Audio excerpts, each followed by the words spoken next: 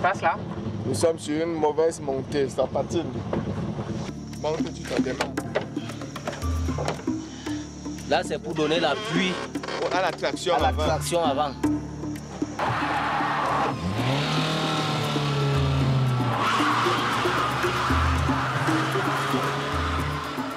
L'idée est bonne, mais le poids pas suffisant.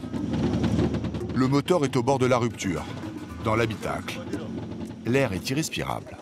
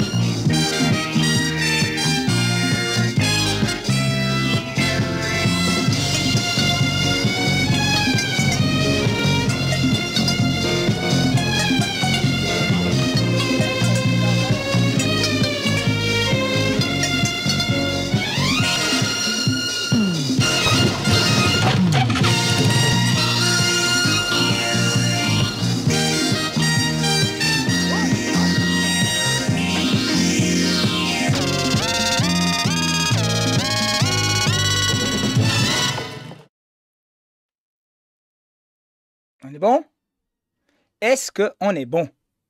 Parce que là, je dois dire que hein, on a un petit peu, euh, on a un petit pataugé dans le yogourt. Euh, Alors, moi j'ai un peu de retard. Les enfants, est-ce que vous entendez? Ouais, moi j'ai. Alors, c'est bien des fois de passer avec des gros nuages. Enfin, tu- Ceux qui me connaissent savent que comment je fonctionne. Euh, parce ça y qu'en même temps, vu l'intro que j'ai faite, qui est déjà publiée en non répertorié, vous pouvez la trouver simplement dans l'ordre des vidéos que j'ai balancées sur YouTube, mais je vais la re. Je vais la. Je vais, je vais la. Comment dire Pas la démuter, mais la remettre en public. Euh, c'est vrai qu'en même temps, c'est con, parce que vu qu'on a du lourd avec les invités, ce serait vraiment trop con qu'on se fasse striker euh, par l'intro. Donc au pire, l'intro, qui est vraiment pas piqué des hannetons, comme dirait l'autre. Et j'en suis très fier parce que c'est... Mais qui Mais qui est l'auteur de cette vidéo? Ben, C'est un travail de mash-up et de ping-pong, toujours avec ce fameux Katsugun qu'on ne voit jamais. Et puis, ben voilà, c'est du méga lourd. euh, je me suis éclaté comme jamais. Et puis, on en a plein d'autres. Parce que là, justement, j'avais préparé ce live, j'arrive, et puis comme une fois sur deux, au dernier moment, ben, il y a tout qui pète.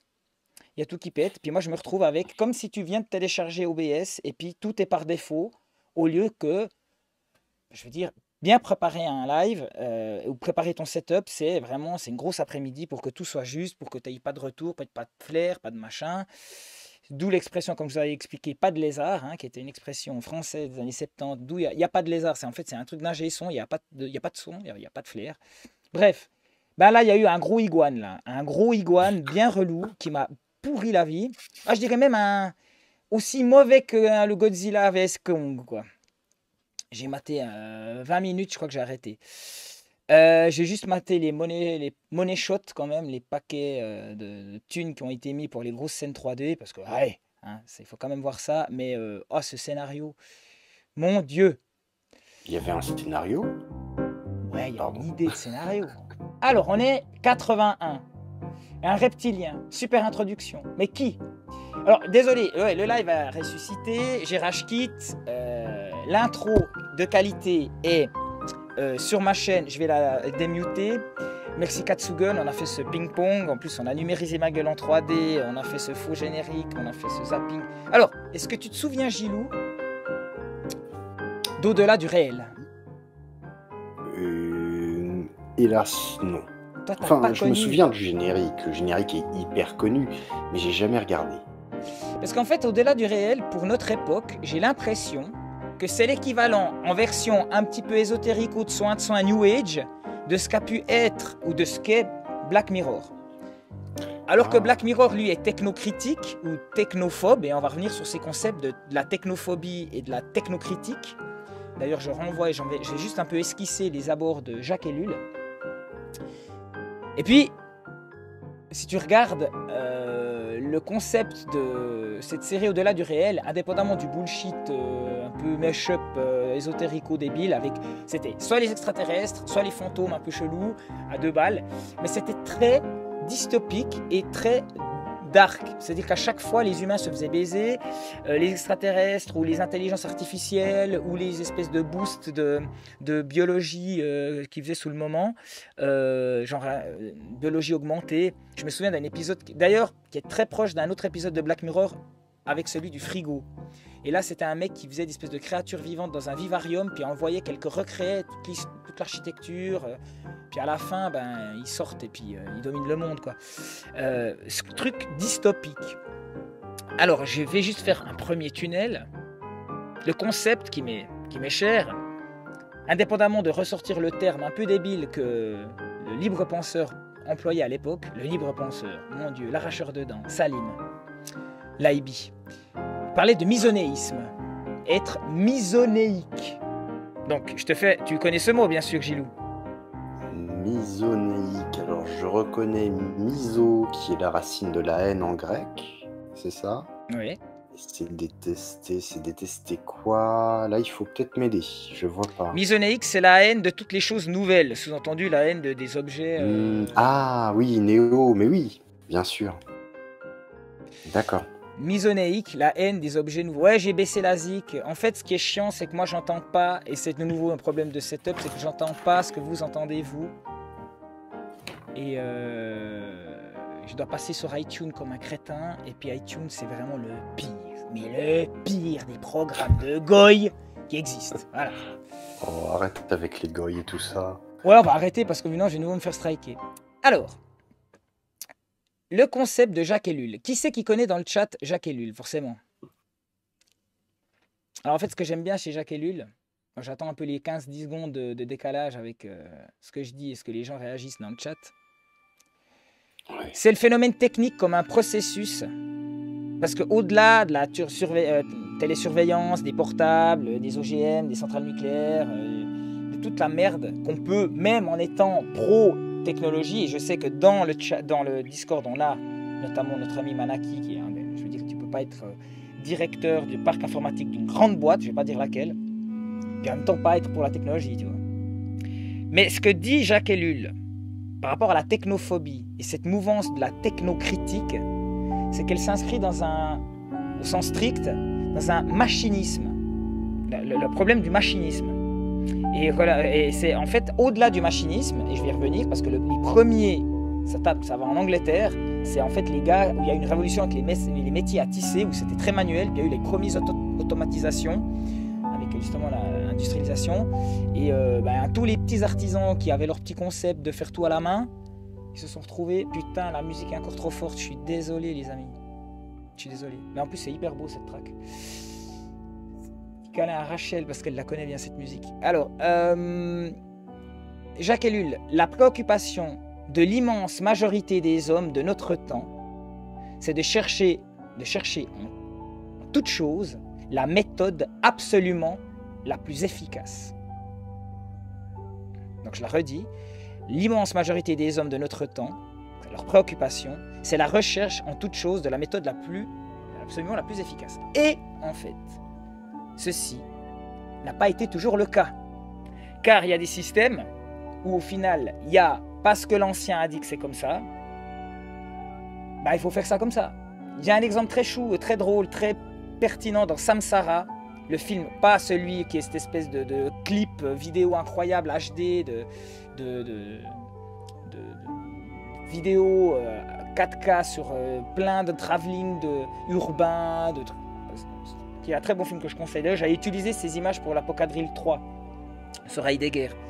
Non, non, Samsara qui raconte un moine bouddhiste tibétain qui redevient euh, profane paysan.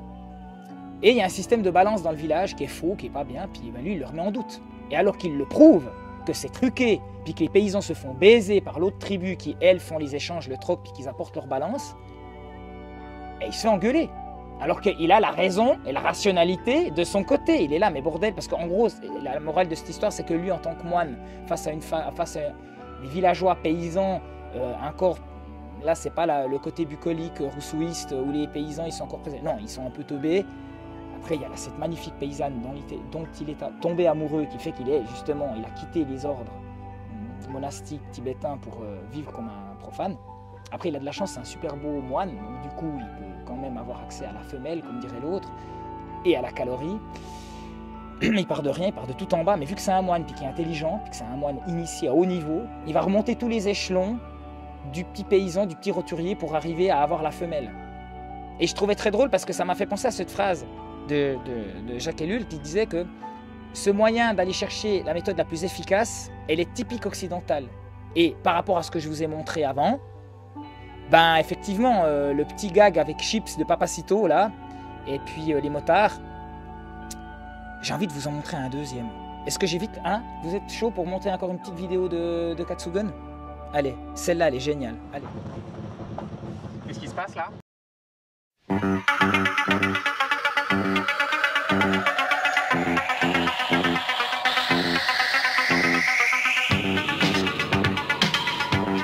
Exploits d'un chevalier solitaire dans un monde dangereux. Le chevalier et sa monture.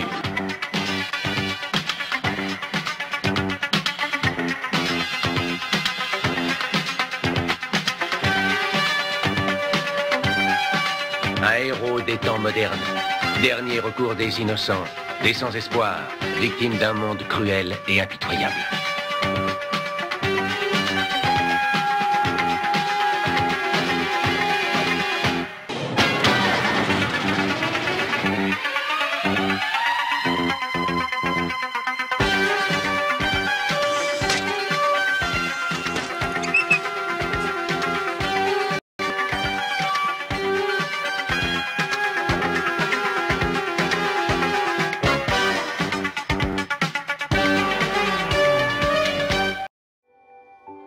Voilà, pile à 10 heures, bam.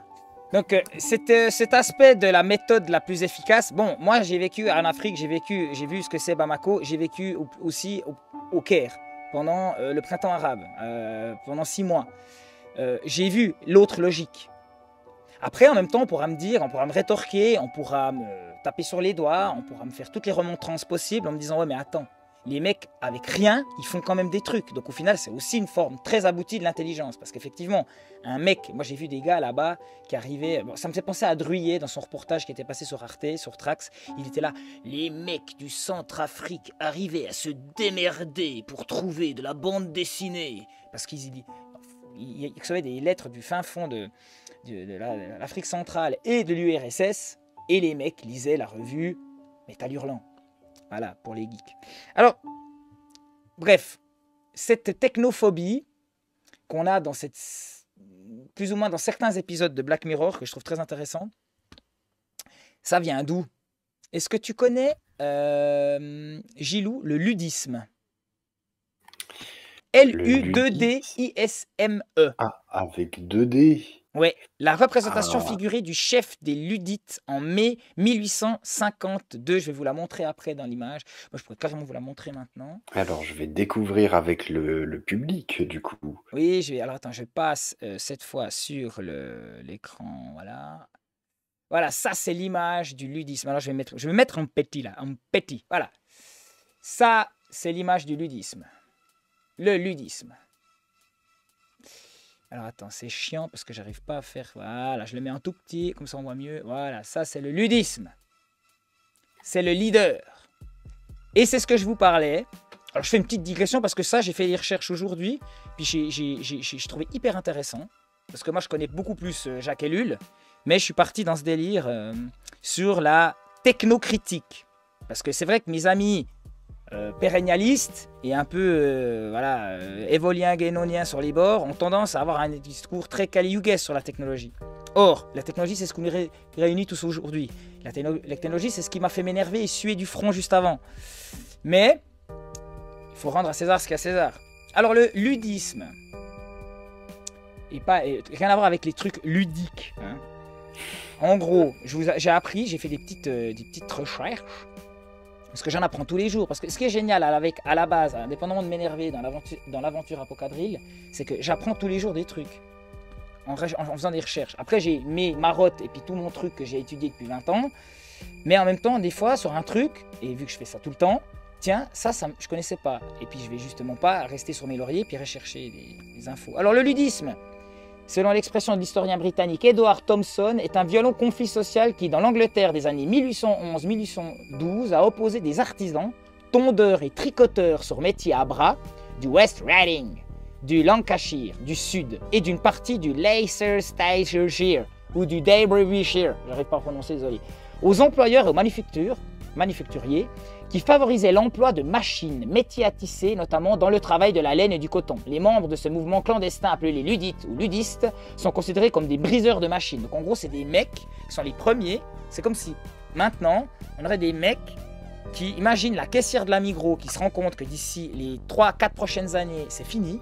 Elle pète tous les beepers, euh, tous les systèmes de, à code barre où euh, bah, tu vas typer toi. Tu dois typer toi-même ton article.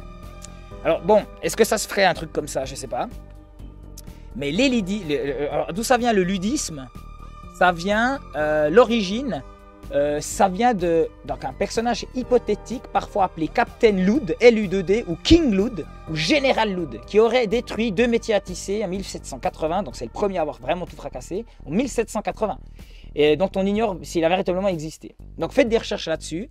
On est en plein dans, le, dans la révolution industrielle, un mouvement, on va dire une esthétique par rapport, euh, pas forcément au steampunk, mais au niveau, on va dire, des, temps qualifiés, au niveau de, du, changement de paradigme de l'Occident, où on est de l'Occident au carré, là, avec la, société industrielle. Euh, c'est hyper intéressant de voir a les premiers prolos qui se sont fait niquer, et puis qui se sont battus. Et puis on a une première prémisse de, la technophobie, ou de ce qu'on appelle dans les sciences sociales les technocritiques. Et je vous renvoie à Jacques Ellul, parce que c'est super intéressant. Alors oui, il y a des... Alors, métier Jacquard, le petit filot de fripouille. Bonsoir, ma. Envoyer des dons. Ouais, alors pour l'instant, euh, j'ai perdu ma voix en m'énervant. C'est vrai que, bon, comme je vous ai montré, bah, là, il faut s'imaginer qu'il y a des gens en rediff qui comprendront pas que j'ai rage quit avant, puis que j'avais fait un premier live qui, qui s'est cassé la gueule. Donc voilà, juste pour la petite histoire, ça, voilà, ça c'est là où je vais travailler. Je commence demain. Là, avec, euh, tu vois, il faut te parquer. Déjà, rien que quand tu te parques, tu dois te parquer obligatoirement avec le cul en premier. Parce que si jamais il y a tout qui pète, pour pouvoir, soi-disant, pouvoir tous prendre sa bagnole et partir, puis pas avoir de confusion dans le parking. On en est là. hein. Je vais travailler avec du gaz. C'est beau ça. Ça vend du rêve le gaz. Ah, Oh tout oui. ce qu'on peut faire. D'ailleurs, c'est marrant parce que ce matin, j'étais faire du tr- street workout euh, au Mail. euh, donc, c'est un endroit où d'ailleurs un gauchiste a construit, enfin, après 10 ans que je lui disais de le faire, euh, un- une, installation. Il a bien tiré la couverture pour lui en disant que c'était son idée. Bon, bref, bref. Puis, ils ont fait une installation avec euh, du street workout. Donc, des piliers, des trucs, des scale monkeys, des cordes, des anneaux, enfin bref, tout ce qu'il faut. Ça fait 20 ans qu'il aurait dû faire ça. Et j'ai vu un mec avec justement une bonbonne de gaz dans la, dans la boîte dans laquelle je vais bosser, était en train. Donc le mec devait être en surcharge, pondérale à un niveau euh, quasiment de la rupture euh, anévrique, quoi. Euh, et il était en train de cramer avec un bec Bunsen, alors qu'il faisait déjà tellement chaud aujourd'hui, euh, les plantes dans un espèce de terrain de pétanque pour prolo portugais, qui est utilisé d'ailleurs beaucoup le week-end. Et en semaine, bon en semaine, il faut bien quand même que les gens bossent. Et puis vers 11h30 midi, en plein soleil, il n'y en a pas trop qui viennent tenter l'expérience. Puis tu voyais ce mec qui était en train de cramer toutes les plantes qui poussent là-dedans. Avec ce fameux gaz dans l'usine où je vais bosser. euh, voilà, parce que c'est pas avec vos dons que je survis. Alors, c'est, je dis, je fais une petite intro un petit peu euh, marxisto-décliniste pour dire juste que ça va vachement euh, me plomber. euh, parce que le peu de temps que j'aurai du coup pour ça, ce sera euh, ma femme, euh, le dessin et l'écriture. Euh, Enfin, la lecture et l'écriture d'épisodes d'Apocadré. Alors, il y a une bonne nouvelle dans l'histoire, c'est que j'ai trois épisodes. Pour ceux qui suivent mes stories, ils voient bien que je tease des épisodes et que j'ai déjà des rushs. Donc ça, c'est une bonne nouvelle. Parce qu'effectivement, là, je pourrais pas rusher ces temps. Donc là, je, pourrais, me consacrer uniquement à du montage. Le soir, comme ça, le dos pété. Et voilà. Mais il faut se dire qu'à long terme, cette situation va être assez préoccu- préoccupante. Je suis pas comme un connard à boire du saké, à me plaindre parce qu'il n'y a pas de thunes, puis au final, on fait rien. C'est ce que je veux dire? Non. Moi, je fais trop de choses en même temps d'ailleurs. Je suis un homme orchestre, je joue tous les instruments, mais mal. Mais j'essaie de m'en sortir. Et ça, tout le monde, tous ceux qui me connaissent en vrai, en tout cas, on peut pas me reprocher ça, que je suis pas un putain de guerrier. T'as eu cette mâchoire. Mais en même temps, je reprends des uppercuts tout le temps. Alors ça tombe bien, les carrés, ils se font aussi mal aux mains en me tapant. Mais là, je peux te dire, je peux- je peux vous dire, les amis, euh, ouais. encore cette histoire de gaz. Ouais. Le gaz, pour qui Pour qui? Putain, je vous adore. Heureusement que vous êtes là. Puis heureusement que Gilou est là. Là, je voulais te remercier, Gilou. Parce que sans toi, Gilou, je pense que j'aurais déjà depuis longtemps arrêté les apocalypses. Enfin, Oh, c'est gentil. Bon, alors, je vais faire une petite homélie. Mais une très petite. Hein je vais faire une petite homélie. Et après, on va dans le Discord. Parce qu'il y a une liste comme ça de gars dans le Discord, puis ça va être génial. Mais j'ai juste envie de vous parler d'un truc. J'ai juste envie de vous parler d'un truc. Et déjà, juste dans le chat, l'intro qu'on a faite avec Katsugun, rien que pour ça, il faut typer, pas pour moi, mais pour que je puisse lui donner de...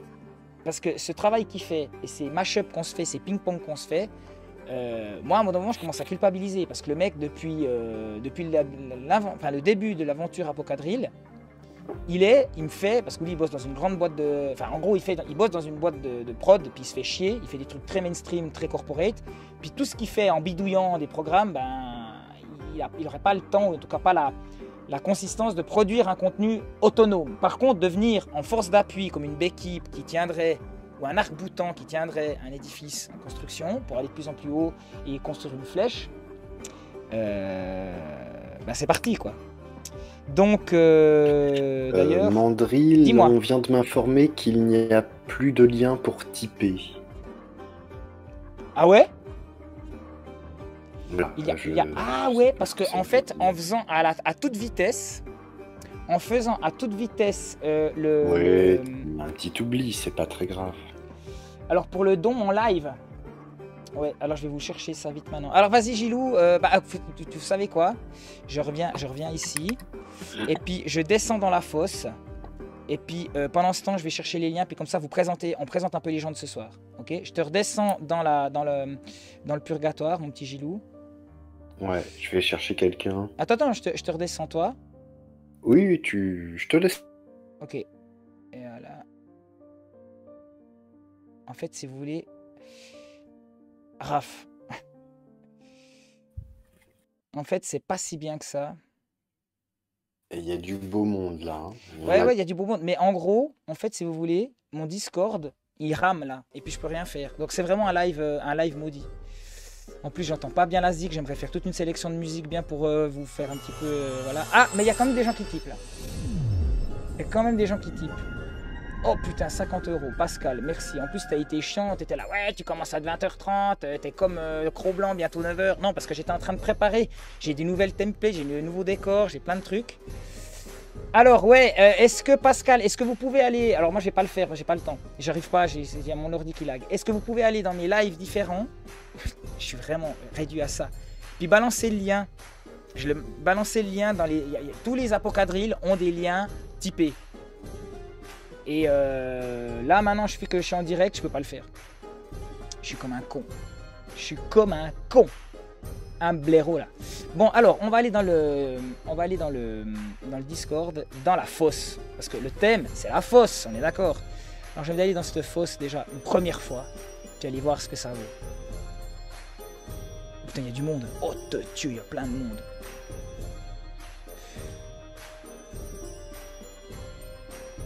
Yo. Alors, Yo Alors, Salut, man. Salut, Mandrill. Oh là là, et on est une chier, c'est incroyable. Ah Oh, ouais, ouais, même il y a du monde Ah là. ouais, il n'y avait plus de YouTube, du coup tout le monde est venu là. C'est magnifique, ça me fait trop plaisir. Vous faites trop plaisir les amis. Alors le son, on n'entend pas beaucoup. Il faut que je regarde. Si vous voulez, moi je suis dans une configuration technologique qui fait que tout ce que je fais, il y a le petit, euh, le petit sablier Mac qu'on aime tellement qui vient me dire euh, ah non ça lag, ça lag. Donc je peux rien mettre de la zik, mettre des trucs. Mais je suis calme hein, parce que je me suis déjà énervé avant. Et puis quand je m'énerve, je pense à ma femme qui est la, plus, la, meilleure, la plus, enfin, l'être le plus calme et le plus serein au monde. Puis je dis que je dois apprendre d'elle. C'est bien pour ça qu'on a fait cette fusion entre lune et soleil, pour que je puisse avancer aussi de mon côté. Je lui apporte plein d'autres choses euh, pour elle, mais moi, elle m'apporte cette façon, cette faculté que je n'ai pas de rester placide. Alors, est-ce que dans le chat, vous pouvez me mettre euh, sur 5 Parlez les amis, euh, je, je- allez par exemple, Manaki, vas-y. Ah non, Manaki il est pas en ligne. Euh, sens démo. Et ma UX bien sûr. T'es là? Tu peux me parler un petit peu? Oui, oui. Alors vas-y. T'en es où avec tes Euh, vidéos là? Bah là, j'ai fait la troisième. Je prépare la réponse aux questions qu'on m'a posées. Et là, c'est sur le live, là? Ouais, ouais, t'es en live mec. Oui. Ok. Euh, bah moi, le sujet de ce soir que je voulais aborder, c'était euh, sur l'immigration. Alors, je sais pas si ça va botter tout le monde. Ouais, alors on Mais parle de ça à la fin du live. Ça joue Moi, c'était juste. Ok. Bah, juste pour le dire, c'était pour euh, proposer euh, une solution et voir un peu les réactions des gens. euh, qu'est-ce qu'ils en pensent Quels sont leurs euh, leurs doutes dessus Dessus Qu'est-ce qui euh, Qu'est-ce que eux ils verraient euh, Voilà. En gros, c'est comment pouvoir satisfaire tout le monde avec un sujet qui euh, qui est aussi clivant. Parce que je pense euh, avoir un un début de solution qui euh, qui peut être pas mal. Voilà. Bah, on en parlera à la Ouais, fin. ok, on en parle là parce qu'on arrive. euh, on arrive quand même à un paradoxe. Euh, Est-ce que ça lag là sur l'écran ou pas? Bon, c'est pas Ça a lagué un petit peu au début. Attends, je vais voir. Ouais, c'est chiant quoi. Je, je suis vraiment dans la merde. Non, même c'est pas dérangeant, dérangeant quoi. Ça va. tant que le son lag pas, ça va. Non, euh, on arrive. Ouais, c'est l'immigration, c'est lourd, sujet lourd, mais important. Alors, on en arrive au fait où moi j'écoute euh, de temps en temps un podcast quand je fais de la fonte ou quand je vais faire du, du street workout. J'ai j'ai écouté un certain podcast qui parle. S'il vous plaît, mettez pas ça dans le, dans le chat. hein. Vous savez très bien de quoi je parle. Ça ressort tous les mardis soirs. Euh, voilà. Puis effectivement, euh, on connaît tous l'immigration algérienne qui vient travailler, enfin en tout cas nord-africaine, qui vient travailler en Espagne pour faire nos fraises euh, chimiques, euh, nos tomates et tous nos trucs. Mais ce qu'on ne connaît pas, c'est l'immigration euh, kenyane, érythréenne, euh, des hannetons, on va dire. Donc française cette fois, sur territoire français, qui vient bosser justement en force d'appui avec les pays de l'Est, qui eux sont formés et qui sont généralement maintenant euh, récipiendaires de connaissances que euh, certains euh, agriculteurs, parce que c'est même pas des agriculteurs, c'est des, c'est l'agriculteur ou le paysan. Ma grand-mère elle disait tout le temps, c'est pas des paysans, c'est des, agriculteurs. Puis maintenant, c'est même pas agriculteur. Parce que le paysan, il fait le pays. C'était bien, ça c'était ma grand-mère paysanne hein, qui disait ça. Non, maintenant on en est avec des techno-agronomes, voilà, et ça pue. Et en gros, l'idée, c'est que maintenant on se retrouve avec des gens. Et ça, c'était la petite anecdote qu'il a balancée dans un Donc, courrier, dans ce fameux euh, podcast euh, qui passe euh, voilà, tous les mardis. Euh, c'est qu'on arrive avec des gens qui sont carrément à se à se- s'enlever les chaussures et se changer euh, sans enfin en mettant des cartons par terre. Et puis le mec demande mais, mais qu'est-ce que vous faites les gars Euh, Qu'est-ce que vous faites chier à chaque fois que vous vous changez Vous mettez des cartons par terre? Vous avez des schlarps pourtant. C'est je ne je, vous- je vais pas vous la faire avec l'accent et machin, parce que là je suis sérieux, parce que autant j'adore faire les accents, mais cette fois je le fais pas. Le mec répond, c'est parce que je veux pas toucher cette terre euh, d'infidèles, cette terre qui n'est pas une terre d'islam. Ah ouais, alors ça c'est euh, même plutôt récent. Quand- quand on- ouais, tout récent. Ouais, mais j'ai appris Tu ça justement, j'ai écouté ça aujourd'hui. c'est assez pervers. Donc quand tu écoutes ça et quand tu as ce discours-là, effectivement, je sais pas comment des Mélenchons qui bon s'excitent sur des gars comme Papacito et des gars, effectivement là, c'est-à-dire que si la normalité c'est de ne même pas toucher la terre des infidèles, tu penses bien que quand il y en a un qui est vénère puis qui a accès à des armes à feu ou des couteaux, des chlasses des machins, ça finit vite en cacahuète quoi. Mais ça c'est un sujet qui est hyper casse-gueule parce que dire Ouais, ça. C'est passer pour un con. Or, moi j'ai envie de dire, ok, peut-être que je passe pour un con, je suis tout à fait conscient que je devrais, parce qu'en plus j'en dis tout le temps, il faudrait parler des choses qu'on aime plutôt que parler des choses qu'on n'aime pas. On prend plus de temps et plus d'amour à parler de ce qu'on n'aime pas plutôt que de ce qui nous considère et qui nous fait alimenter l'incendium amoris ou le furor amoris. pas comme ça aussi. C'est pas comme. Et je suis le premier à le dire. Mais en attendant, il faut aussi pas non plus faire l'ésotérisme de salon qui. Parce que moi, j'en connais des potes anthroposophes qui sont complètement à l'ouest. Ils sont hyper bien. On peut discuter de trucs incroyables avec eux. Euh, sur la hum, Sophia Perennis, sur. euh, j'ai notamment, j'ai un vieux prof que Apollos adorait. Euh, un vieux prof de, langue, euh, de grec, euh, qui vit dans sa baraque, son jardin, tout. Le mec, il est complètement à l'ouest. Je lui ai fait sur l'échelle du Soral des années 2010, 1 sur 10 de ce que on aurait pu tirer quand même de petites, euh, de petites, euh, de petites, de petites piques quand même sympas, géopolitiques de base. Et le mec, il, il- il me regardait, il me croyait pas en fait. Il était choqué. Mais pas parce que c'est comme un gauchiste est choqué, il était choqué, vraiment choqué. Puis en fait, je, je lui- faisais du mal. Parce que le mec, euh, il, est, il est pas prêt en fait. Ils sont pas prêts. Pourtant, ils sont éveillés. Ils ont l'éveil. C'est pas les endormis. Ils ont l'éveil. Le mec, il a, il a, une- il a atteint certains trucs. Il est bien plus. Je pense pour. euh, bon, le mec déjà, il a 80 piges. Donc euh, tu penses bien que il a fait. euh, Ah, c'est gentil, les amis. Il a, euh, une certaine, euh, une certaine sapience et une sagesse opérative, vraiment. Mais en même temps, le mec, au niveau géopolitique, il n'y a rien. Or, je connais des traditionalistes qui se disent guénoniens ou évoliens, qui sont au taquet, qui matent tout. Mais moi, je pense qu'il y a un moment, il faut faire le deal. Et ça, on va en reparler, euh, mon cher ami Science Démo. Euh, Est-ce que être H24 sur Boulevard, Boulevard Voltaire, euh, euh, euh, Français de souche, DP, machin, est-ce que c'est bon à long terme pour un développement spirituel? Sachant que, comme Bernanos disait, la civilisation moderne est la plus grande en, le plus grand frein à tout chemin spirituel. Euh, Donc ça bah, réfléchir. je- je- Je vous laisse débattre là-dessus. Je suis, je d'accord avec ça, mais je pense qu'il y a plein d'échappatoires. Euh, moi, les miennes, c'est pas celles forcément que je conseillerais à tout le monde, mais je pense qu'il faut, par rapport à sa vie, trouver euh, sa propre voie. Bon, je pense que je serai pas le seul à dire ça, surtout dans, dans ce live. Mais le sport, par exemple, euh, peut être euh, justement l'art, le sport, la culture. Ça peut être justement des échappatoires en fait à nos modes de vie en fait qui nous empêchent, euh, mais même au-delà de la spiritualité, même juste en tant que personne, en tant que soi. Là, tout à l'heure, on parlait d'immigration, tu parlais de gens qui, qui se mettent sur un carton. Je pense qu'il y a, y a dans l'immigration actuelle, ou même, même, on va dire, dans des gens qui euh, issus de l'immigration qui trouvent pas leur place en France, je pense qu'il y a un ego qui sait même plus où se placer. Il y a beaucoup de frustration.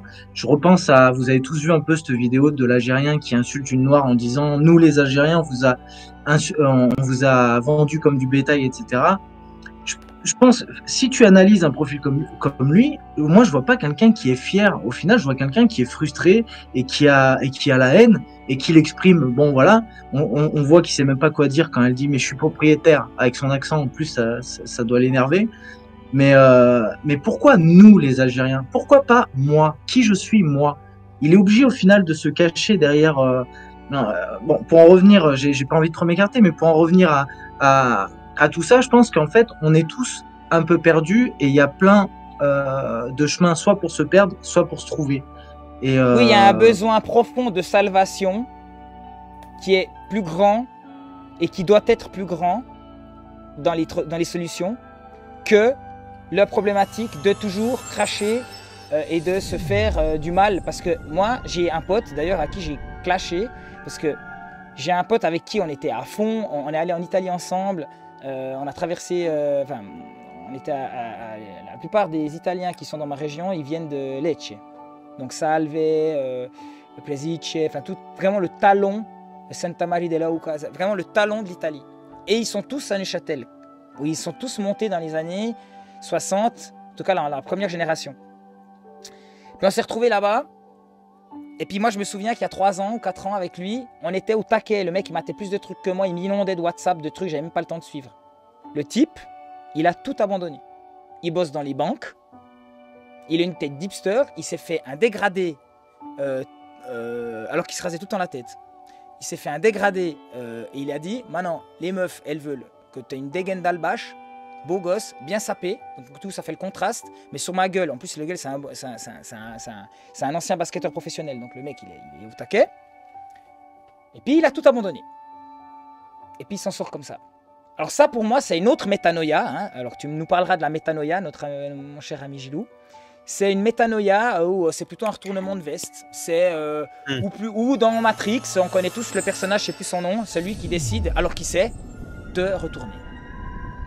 De retourner. Ouais, je vois, je vois. C'est aussi un piège. Mais le dosage pour être pas non plus bombardé et être sain, et puis quand même être. Parce que je te dis, mon petit vieux là, génial, avec qui je parle de Guénon, parce qu'en plus, lui, il a. euh, je- il connaît en plus le fils. Enfin bref, c'est- c'est- Oui, parce qu'il y a toute une histoire aussi avec le fils de Guénon, tout ça. Bon. Le mec a 80 piges. Moi, je vais pas aller euh, lui faire des leçons. Je veux dire, euh, il, il- il a un travail, il a un cheminement. euh, il, allait, euh, il est. Après, c'est hyper hippie. Tu vois, c'est quand même. Je fais en Inde, machin. Il a vécu dans des ashrams. Mais à l'époque, c'était comme ça qu'on se faisait. Donc, c'est toujours facile, nous, à l'heure euh, de tout ce qu'on a bouffé avec Internet, qui nous a quand même vachement éduqués, ou en tout cas rendu vachement plus aigris. Parce que, excuse-moi, mais euh, je pense que le bombardement de la volubilité et des scanctions du Raptor euh, et euh, de Papacito, avec tout le talent qu'on lui reconnaît, c'est pas sain en fait. Mais j'y reviendrai, j'y reviendrai. Enfin, c'est pas sain. Bah, En tout cas, ils apportent, ils, apportent pas quelque chose de vraiment. euh, on va dire qu'ils comblent un vide, Voilà. mais ils, ils, ils y placent pas quelque chose vraiment. Je pense qu'à une époque, ils auraient pu faire euh, vraiment des, des bonnes choses. À un moment, je me souviens qu'ils parlaient de monter une équipe, etc. Ouf, ça, ça Euh, fini. pile à la période des, des gilets jaunes, et c'était euh, à un moment où ils auraient pu réellement faire quelque chose, même de politique, je pense. Hein. Ils avaient vraiment. Enfin, bon, je sais pas ce que tu allais dire là, mais ils, en ont rien fait. Moi, j'ai j'ai vu, euh, j'ai vu Papacito euh, avec euh, merde, c'est quoi sur Canal euh, quotidien, je sais plus euh, comment ça s'appelait, mais tout ce qu'il a fait, alors qu'il a un micro de grande écoute qui vient l'interroger et qu'il a toute sa bande derrière, c'est prendre le micro à la main, courir avec et faire le gamin comme un collégien. Alors là, c'est c'est à ce moment-là, moi, que j'ai arrêté un peu de suivre Papacito. Ah, quand il a fait son petit. euh, ouais, ouais. Quand il a volé le micro, ouais. Voilà, exactement. Moi, j'ai été, enfin, il disait plein de choses à cette époque, notamment avec monter une équipe et tout. Euh, bon, ces délires de je suis le roi Visigo, ok, moi j'accepte, mais je veux dire, quand il y a des moments où il faut être sérieux, je suis d'accord pour la déconne, mais là, tu as un moment de t'exprimer sérieux, grande écoute, euh, en plein gilet jaune avec ton gilet jaune, tu fais quoi? Tu prends le micro, tu fais quelques pas de, de, de, de danse façon euh, collégien, mais tu fais quoi, mec? Ouais, mais c'est comme dit euh, le Colosse Nain, euh, parce qu'ils font du spectacle. Et puis Cousin avait dit Oui. il y a le. Ça, clairement. Il y a, c'est le, il y a le, euh, le en fait, c'était la- la- la- le, le jeu de langage entre critique du spectacle et spectacle critique. Alors c'est vrai, Ouais. moi, je veux dire, je suis le premier à faire mon mea culpa. Euh, je parlais de Pierre, euh, je parlais de, de Pierre Magnard, qui est ce mec qui est né en 27, euh, contemporain de Sartre et de Deleuze. Euh, je crois qu'il y a un petit problème de micro. Ça coupe là, non? Ah ouais? Dès qu'il y a quelqu'un qui part ou qui, qui arrive sur le salon, ça, il y a un coupage de micro. Mandril, tu veux pas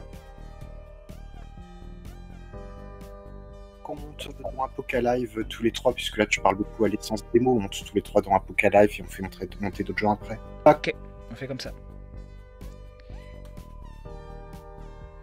Mais moi, je suis dans la merde parce que j'ai tout qui lag. je, je suis critique de Papacito, mais j'oublie pas quand même que Marc, il dit quand même que lui-même, euh, voilà, il- je pense qu'il a un peu remis son ego à la bonne place. Euh, je pense que ça arrive à tout le monde, surtout avec de la notoriété, d'un moment un peu de se, de, de, de se décentrer un peu. Là maintenant, quand il parle, on, il dit lui-même, moi je suis là pour, euh, voilà, je suis un, un je, il dit lui-même. Donc euh, il a beaucoup de qualités, même si je le critique sur sur sur des choses, c'est pas pour ça que je vais pas admettre qu'il est, Bon, voilà, il- Alors, en parlant de Papacito, moi, je vais, je vais déco reco tout le, le- le- le Discord. Allez, une petite dédicace à Papacito parce que comme lui, contrairement à moi, il a de la longe. Mais euh, petite dédicace à tous ceux dans le chat qui font de l'anglaise. Et euh, c'est parti.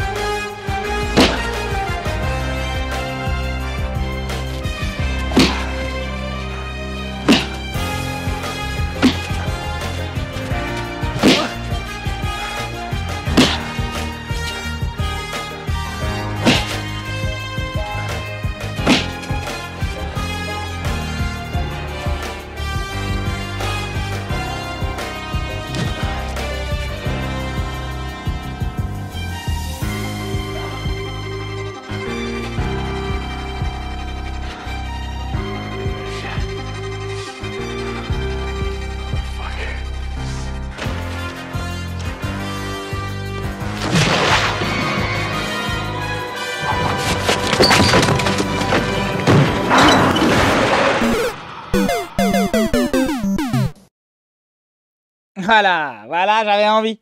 J'avais envie de faire une petite bêtise. Alors, euh, ça vous a plu? Je, je suis monté exprès euh, de nouveau euh, hors de toute la clique parce qu'ils sont pleins, on parle plein de choses. Je, crois que c'est bon là maintenant, je suis désolé, je, je sais pas. Quand ça veut pas, ça veut pas. Et puis aujourd'hui, je crois que, en fait, si vous voulez, le problème, c'est que le, le premier mois que je vais faire à l'usine, ce sera pour me payer un ordi. Après, il faudra bien que je bouffe, donc il y a un problème. Mais c'est clair que moi, j'ai envie de continuer cette aventure euh, Apocadrille. Mais il me faut un nouvel ordi. Alors, j'ai pas envie de me pleurer. Moi, je fais pas. Ouh là, c'est la grosse rincée maintenant.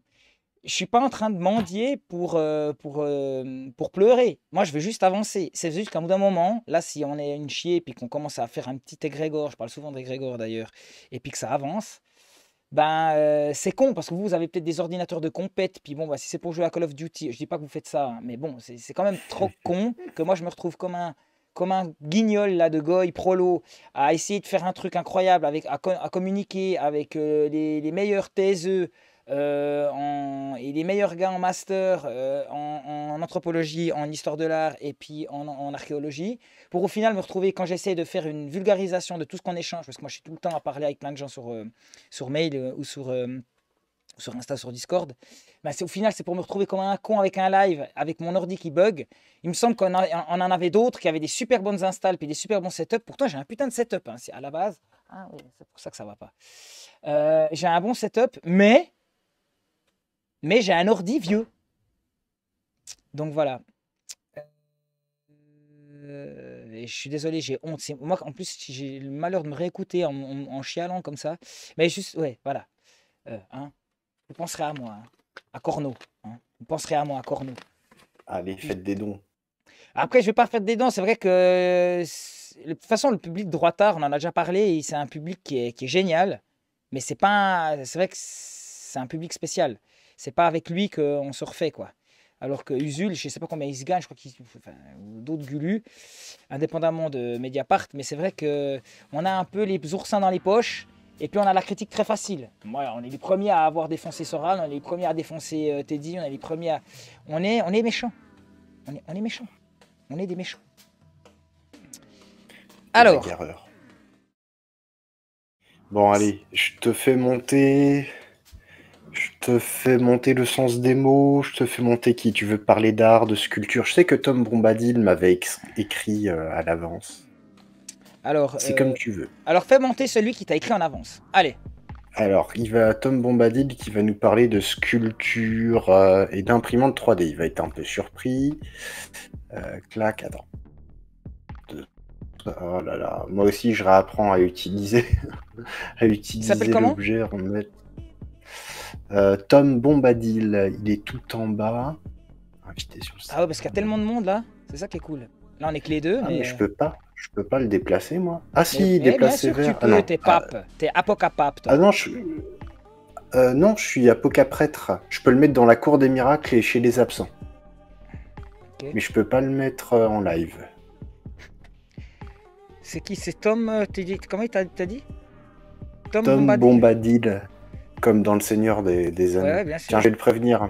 Je vais le prévenir. Euh, ah non, bah c'est bon, super.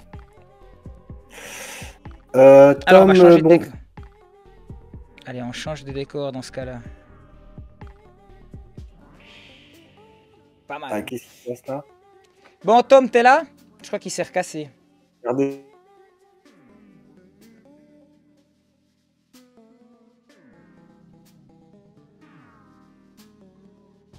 Est-ce que Tom est là Alors, Tom, est-ce que tu m'entends Il est pas muté. Il est pas. Il y a tout qui est bon. Bon, c'est pas grave, on passe à quelqu'un d'autre. Ouais, je vais voir. bon. Je suis- Allez, je monte Manaki.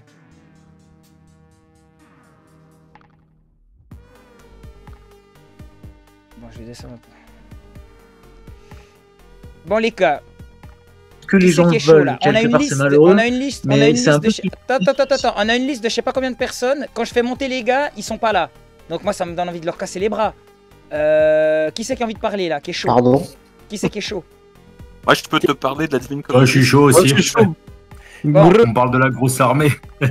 Parmi trop les de gens, monde qui est parmi chaud, les là. gens qui m'ont Moi, je écrit. veux parler de structure absolue de Les gars, les gars, s'il vous plaît, s'il vous plaît, parmi les gens qui m'ont écrit, il y avait donc Greux, Tadil il y a euh, l'essence des mots et Slavonus Francorum. Donc Mandry, tu choisis euh, un des quatre euh, qui tu veux. Allez, euh, le dernier. Slavolus. Slavonus, allez, c'est parti, on monte.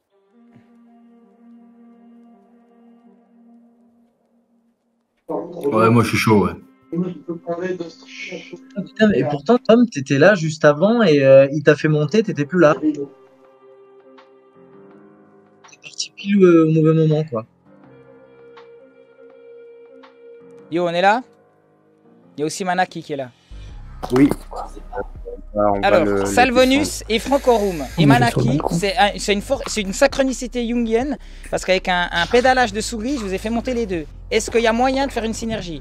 Moi, je connais bien ma, Une Manaki. synergie de quoi?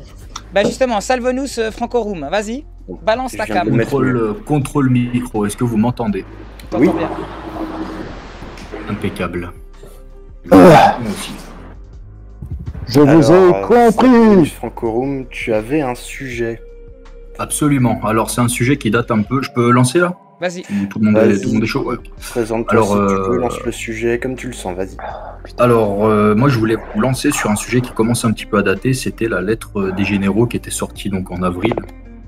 Euh, donc, pour rappeler un peu les, les faits, parce que maintenant l'actualité va tellement vite et un scandale en chien sur un autre. En gros, euh, fin mi- mi-avril, fin avril, il y a euh, plusieurs euh, officiers français et militaires français à la retraite qui avaient signé une lettre ouverte au président de la République où il parlait de déliquescence de l'État français avec derrière un risque de guerre civile et une reprise en main de l'armée, truc classique dans l'histoire de l'Occident s'il en est. Et donc suite à ça, il y a eu des cris d'orfraie, de la, de, euh, des effroyables cris de la part du gouvernement que c'était séditieux, etc. Machin. faut savoir un truc, c'est que cette lettre, elle était en signature ouverte aux militaires et aux anciens militaires sur le site Place d'Armes. Et en, je crois, une semaine, elle a, elle a, elle a eu, il y a eu, je crois, 22 ou 25 000 signatures, quelque chose comme ça. Donc c'était pas, euh, comme on voulait nous, faire- croire, des vieux généraux à la retraite en charentaise, etc. C'est un, un problème qui est beaucoup plus profond que ça et qui touche euh, beaucoup plus de militaires que, ce qu'on a bien voulu nous faire croire euh, dans la classe politique. Et euh, donc suite à ça, euh, il y a eu une deuxième lettre qui a été sortie, qui cette fois a été signée, enfin écrite et signée par des militaires d'active, mais anonymes cette fois, parce qu'eux, ils risquaient justement pour leur carrière, et qui a été mise, pareil, publiée sur la place d'armes et relayée par Valeurs Actuelles, comme la première, et qui a recueilli, je crois, euh, de mémoire, c'était 250 000 signatures, plus ou moins en une semaine. Donc on voit que c'était un problème profond, mais bon, comme d'hab, la classe politique française, on la connaît, et on a préféré, euh, comme d'hab, faire l'autruche. Et euh, moi, en fait, je voulais rebondir là-dessus, parce que voilà, le sujet il date, maintenant ça s'est tassé, il y a eu d'autres trucs et compagnie. Bah, ça a date, ça quand même date fait même pas si longtemps en fait au final. Ouais, mais tu vois, le truc, c'est que, comme dit, il y a un, un scandale en chasse un autre, en fait. Donc, euh, les gens ont quasiment oublié ça, mais quand c'est sorti à ce moment-là, je sais pas si vous regardiez CNews ou, ou les, les- les médias un peu droitards, mais il y avait quand même des histoires de guerre civile, etc., qui sortaient dans des médias mainstream, quoi. Donc, c'est que ça commence à prendre de l'ampleur, ces histoires-là. Ces problèmes euh, qui sont, je pense, de plus en plus gros et très profonds, très ancrés. Et, euh, mais du coup, en fait, je voulais partir de ça, parce que euh, maintenant je vais me présenter, ma vie, mon œuvre, pour euh, expliquer un peu aux, aux gens où je parle. J'ai été militaire pendant 8 ans dans l'armée de terre en Alsace. Je vais pas préciser où non plus pour. Donc à l'étranger, oui. Euh, Pardon. Dans, le, facile. dans le Grand Reich. non, plus maintenant. Euh, non, et donc j'ai été militaire pendant 8 ans en Alsace, j'étais sous-officier, donc euh, sous-officier subalterne, hein, donc pas un grade très élevé si tu veux, je suis un mec, euh, je me considère comme un mec de la troupe, quoi, comme un troupier. D'accord. T'as commencé tout en bas et puis ensuite t'es monté officier, t'as pas fait une école de sous-off? J'ai fait une école de sous-off, j'ai commencé en école de sous-off et je suis resté sous-off. J'étais pas officier ni, ni quoi que ce soit, j'ai pas été... J'ai j'ai deux points de QI, donc enfin, j'ai un QI à deux chiffres. non, euh, du coup, voilà, c'est ça. Et, euh, en fait, euh, il y a eu derrière, en fait, derrière ces histoires de l'armée, il y a les liens qui se sont déliés. Et il y, a, eu un peu tous les sons. Ça veut dire que d'un côté, on entendait que les militaires étaient d'horribles fascistes, des factieux et compagnie. Et d'un autre côté, on entendait aussi que l'armée française était complètement infiltrée par, des islamistes ou des gangs communautaires, etc. Déjà, faut savoir un truc, c'est que l'armée française, en fait, au sein de l'armée française, les choses se disent et les choses se savent, et ça sort très peu dans le civil. Il y a des régiments, moi je parle pour l'armée de terre, après les autres armées je connais un peu moins, je serais moins légitime pour en parler tu veux. Mais dans l'armée de terre, il y a des régiments qui ont des réputations, des, des régiments de cassos. Je vais pas les citer parce que euh, ça reste souvent des régiments qui ont quand même beaucoup de tradition et qui ont eu des morts dans leur rang. Donc, euh, ne serait-ce que par respect, si tu veux, pour ces, ces choses-là, je vais pas dire ce que c'est comme régiment, mais s'il y a des militaires qui nous écoutent, ils savent de quel régiment je veux parler, parce que il y a des régiments, si je veux dire, si t'es muté là-bas, c'est que t'es puni, tu vois. C'est des régiments euh, entre guillemets disciplinaires, si ça n'existe plus officiellement, il y a, il y a des trucs comme ça qui existent encore, si tu veux. Et donc on sait qu'il y a des régiments de cassos, on sait qu'il y a des régiments où il y a des problèmes euh, justement de communautarisme. Euh, Pour te dire un truc, hein, euh, là je te parle d'une histoire, c'était au début que je me suis engagé, 2012-2013, un pote me disait, qui était un peu plus ancien que moi, me disait que lui déjà quand il était arrivé dans son régiment, c'était un régiment d'artillerie. Donc là-bas ils ont des batteries, si tu veux, les batteries, c'est euh, l'équivalent d'une compagnie, si c'est le nom d'une compagnie dans, l'artillerie. Et il me disait, tu avais la batterie des blancs, bah, les mecs c'était tous euh, des skins ou des bikers ou tu vois, des, gros faf. Tu avais la batterie des rebeux où c'était euh, que des rebeux de cité et compagnie. Tu avais la batterie des Antillais, tu avais la batterie des Africains. Et c'était en mode prison américaine, tu vois. Il y a des délires comme ça, quoi. Et ça, c'est des trucs, je pense, dans certains régiments, ça existe encore, mais c'est un peu la merde à les mise sous le tapis, tu vois. Et euh, moi, pour le coup, le régiment où j'étais, c'était, euh, il y avait pas mal de mecs assez câblés, finalement, et assez, c'était assez homogène, on va dire, pour, euh, pour parler un peu mainstream. Et euh, pour le coup, j'ai vu un truc, en fait, euh, se passer, c'est que à partir du moment à peu près de la crise des Gilets jaunes, c'était dans le même laps de temps où tu as eu l'émergence euh, sur Internet de trucs comme le Raptor dissident, comme Papacito. En plus, on en parle à l'instant là dans le purgatoire justement. C'est intéressant, ça permet de rebondir dessus. Euh, mais euh, en fait, le boulot des, des mecs comme ça, des éditions Ring aussi, le travail d'Oberton, qui ont permis quand même de, de vendre des livres bien droitards euh, au grand public et vraiment à se faire connaître hors des réseaux de distribution traditionnels. Parce qu'il y a le petit monde de l'édition, voilà, Hachette, Gallimard, tous les trucs bien, bien dans les cases, euh, bien subventionnés, bien, bien sponsorisés. Et t'as qui est arrivé un peu comme un ovni là-dedans et tout ce qui gravitait autour de Ring, si tu veux. C'est pas que la maison d'édition, c'est vraiment tout l'univers qu'il y avait autour, en mode néo-droitard, etc. Euh, ça a eu une grosse, grosse influence dans l'armée. Parce que euh, moi, je me souviens que par exemple, je parlais à des potes, euh, parce que euh, j'ai grandi en banlieue, en banlieue parisienne, les, émeutes de 2005, etc. Si tu veux, je les ai vécues de l'intérieur. Déjà à l'époque, en banlieue, on savait qu'il y avait des gros problèmes. Déjà au début, fin des années 90, début T'as 2000, quel âge maintenant Là, j'ai 28 balais, là. J'ai 28 ans, donc euh, pendant les émeutes, là, euh, 2005, j'étais au collège. Donc nous, c'était vraiment un truc euh, hors du commun, quoi. C'était un truc de ouf, quoi, quand, ça s'est passé, ces, ces événements-là. Et puis, bah, forcément, depuis, la situation étant ce qu'elle est, c'est euh, dégradé, empiré et compagnie. Mais il y a des mecs qui le croyaient pas, ça, tu vois. Y a... Même s'ils étaient plus ou moins de droite. Et en fait, j'ai vu des mecs, par exemple, euh, tenir des discours en mode ouais, ça va aller, etc. Et les mecs, ils ont lu par exemple euh, Guérilla de. Ça, ça m'avait marqué parce que j'ai un pote qui a lu Guérilla d'Oberton. Et j'ai l'impression qu'il découvrait. Dis, mais putain, mais t'imagines, tu te rends compte comment ça se passe, etc. Je fais, mais calme-toi, c'est un livre, c'est grossi, mais dans quelques années, ce genre de merde, ça peut nous nez, même si c'est euh, le trait forcé à fond, etc. Et il y a un problème très profond en fait dans l'armée. Et pour tout vous dire, je suis ancien militaire parce que justement, on est très nombreux à quitter l'armée par rapport à ça, justement, par rapport à cette espèce de, de dissonance cognitive, en fait, euh, d'aller se faire chier à combattre des islamistes au Mali, soit protéger la France. Alors qu'en fait, quand tu rentres en France, et bah, les mecs, euh, tu les vois euh, limite en bas de chez toi à faire ce qu'ils veulent. Et on te dit, mais non, là, ils ont le droit, t'inquiète pas. c'est la liberté de culte, c'est la liberté de religion. En fait, il y a un problème, c'est qu'à un moment donné, il va falloir qu'on fasse un choix de société entre est-ce que d'un côté, on veut être le, la civilisation du progrès, euh, de la gay pride et du droit des femmes, ou est-ce qu'on veut être la civilisation de la liberté religieuse qui fait que les salafistes et, euh, et tous ces mecs-là qu'on est censé combattre euh, au Mali, en Irak et compagnie, on les accepte chez nous, tu vois. Donc là, il y a En un- disant, on va dire, euh, on fait, je vais faire deux métaphores militaires. Enfin, j'ai parlé de deux choses. Je vais dire, on, on est passé à l'époque où c'était les tanks nazis qui débarquent et les chars qui débarquent et ça puait. Puis il faut choisir entre ça et puis les chars de la Gay Pride. Tu vois? Donc, entre le char SS et le char. euh, SM. Hein? Entre le char SS et le char SM. C'est deux chars où j'aimerais bien essayer d'éviter de faire un grand écart comme Vandame entre les deux camions, tu vois. Moi, j'ai pas Ah, envie de- encore- que, mon- que même mon talon le touche, tu vois. Je, vais aussi mettre des cartons comme les autres, là, qui en ramassant des tomates en France euh, ne veut pas toucher la terre. C'est puisque ce n'est pas une terre d'islam, on se protège les pieds. Bon, Euh, après, il y a une autre chose, j'aimerais que tu rebondisses là-dessus. Euh, et moi, d'ailleurs, je vais aller fermer ma fenêtre, là, parce qu'il pleut, puis j'ai laissé grand ma fenêtre ouverte. J'ai remarqué dans l'histoire, Historia Magistrae Vitae, l'histoire est maître de nos vies.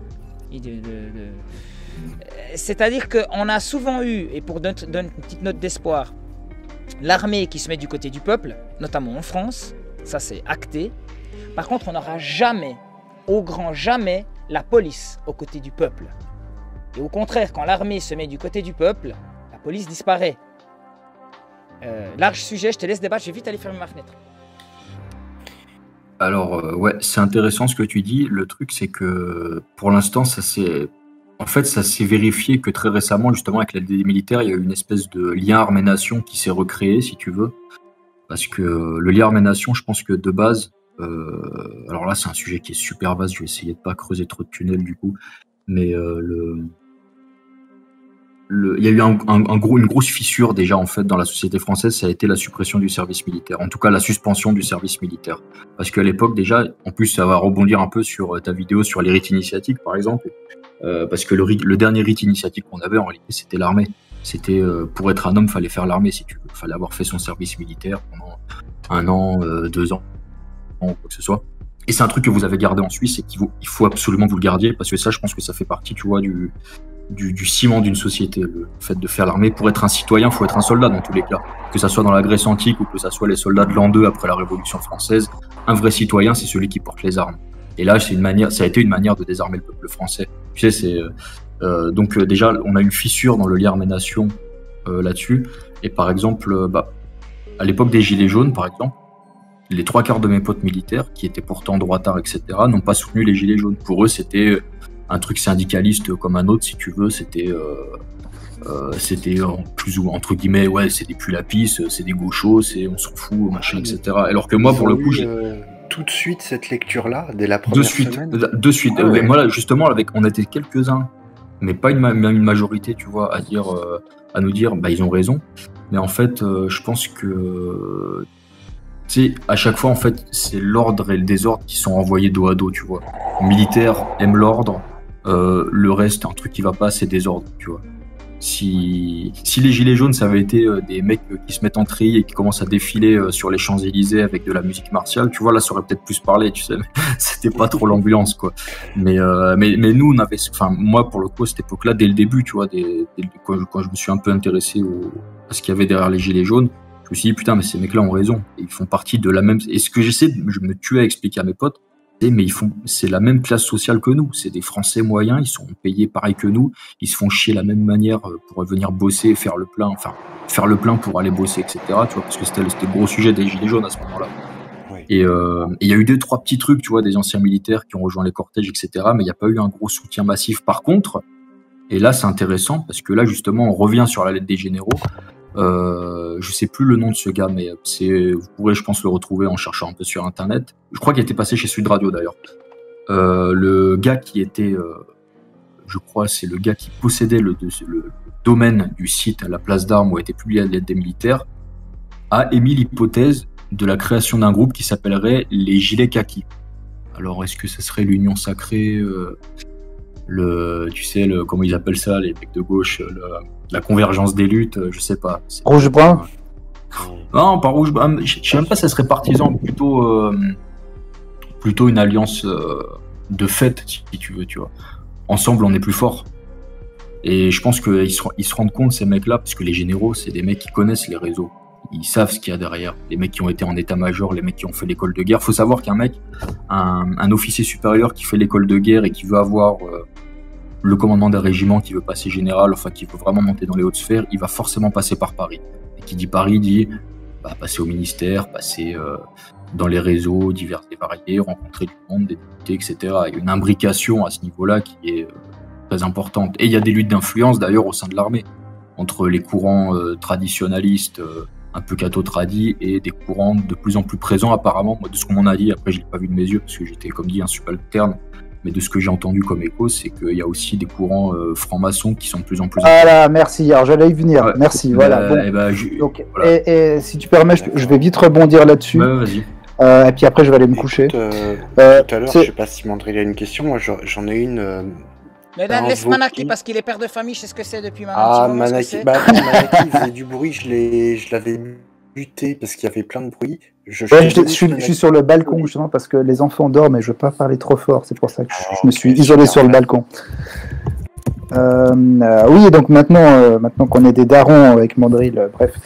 Donc, oui, moi ce que je voulais dire par rapport à cette lettre des généraux qu'il y a eu en France et de ce, ce- ce sentiment de, de- de- de soulèvement, de, de, sursaut martial, euh, je pense que ça n'aboutira pas. Pourquoi? Parce que la- l'armée en général est quand même bien infiltrée, en tout cas dans les hautes sphères, euh, par les réseaux euh, qu'on connaît bien.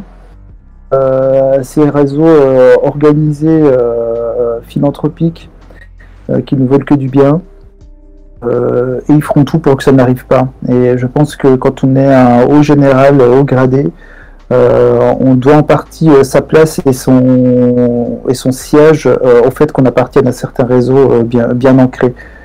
Euh, c'est pour ça que je pense que ça restera quand même du, du, du, du, niveau du, un, peu, un peu folklorique, hein, euh, cette lettre qui, est, qui a un beau sursaut, qui relève aussi d'un d'un mal-être qui est réel, euh, mais malheureusement qui n'aboutira jamais à quelque chose de, de concret. Enfin, malheureusement, ça dépend pour qui mais ça aboutira pas. Pourquoi? Parce que les, je pense selon moi l'armée est quand même bien infiltrée euh, et à dessein. hein. je pense que dans nos sociétés euh, évoluées et où l'information va très vite, les réseaux euh, infiltrent le plus possible les, le- les parties armées du, du- pouvoir. Je suis d'accord avec toi, mais en fait j'ai deux, il y a deux options si tu veux. Euh, je suis d'accord avec toi. De toute façon, dans cette forme, la preuve, ça n'a pas abouti. Là, c'est qu'on n'en parle plus de cette lettre. Euh, Il y a eu euh, le Meki, tu vois, histoire de casser le truc, euh, de dire ah, regardez, c'est vraiment tous des antisémites, ces salopards, etc. Et en plus de ça, tu vois qui a signé la lettre.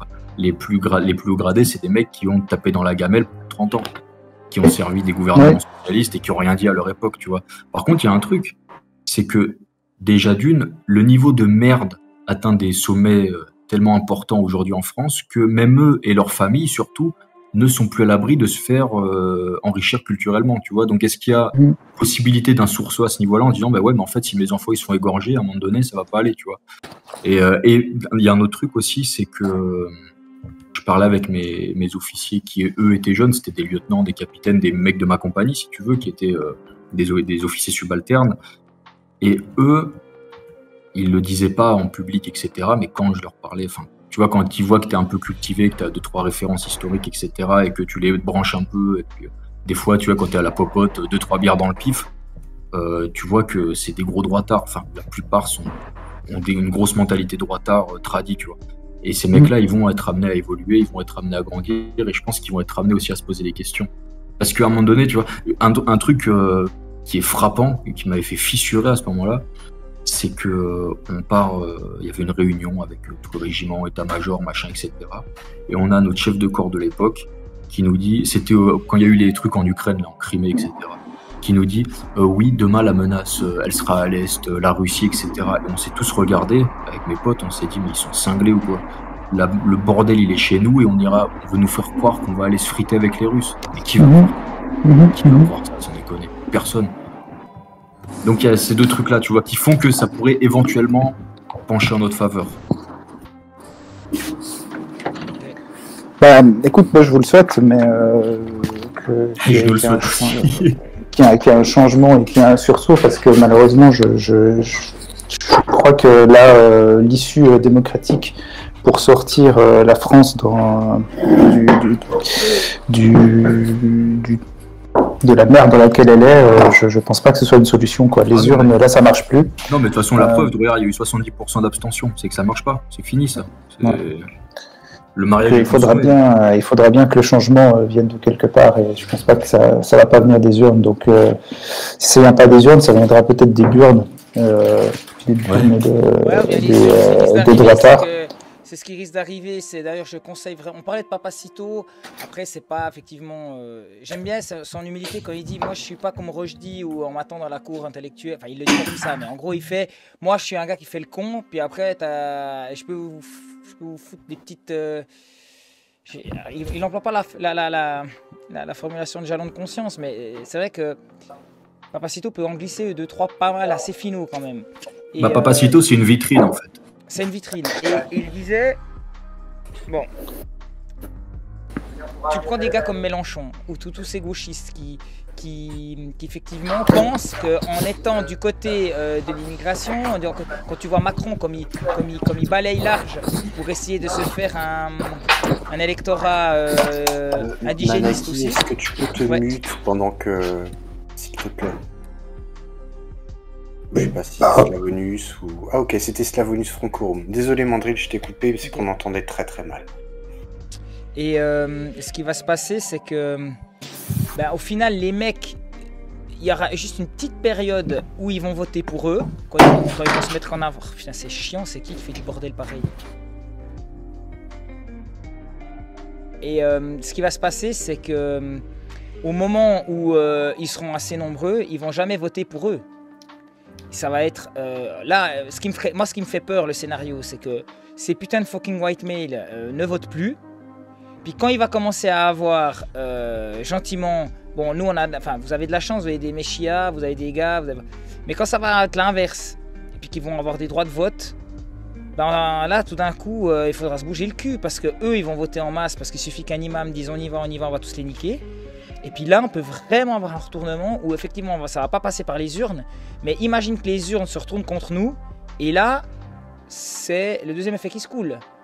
C'est-à-dire que euh, ces couillons pensent qu'ils vont se faire. euh, on, va, voter pour eux, et puis euh, tu vois, des Mélenchon.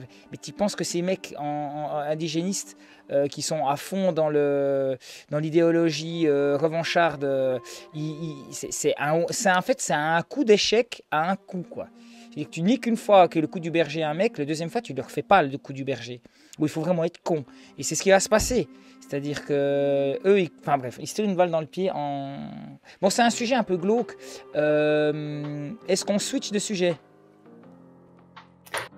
Bah, je pense qu'il Allez, faut résister. allez, quoi. switchons. Je pense qu'on a Yes. bien parlé, on a fait le tour. euh, On t'a écouté, Slavonus. Écoute, euh, c'est parti. Est-ce qu'on est qu'on prend un truc plus. Allez, plus- qu'on pourrait plus prendre un organique. plus détendu Plus détendu, Allez, il y a plus- Greux.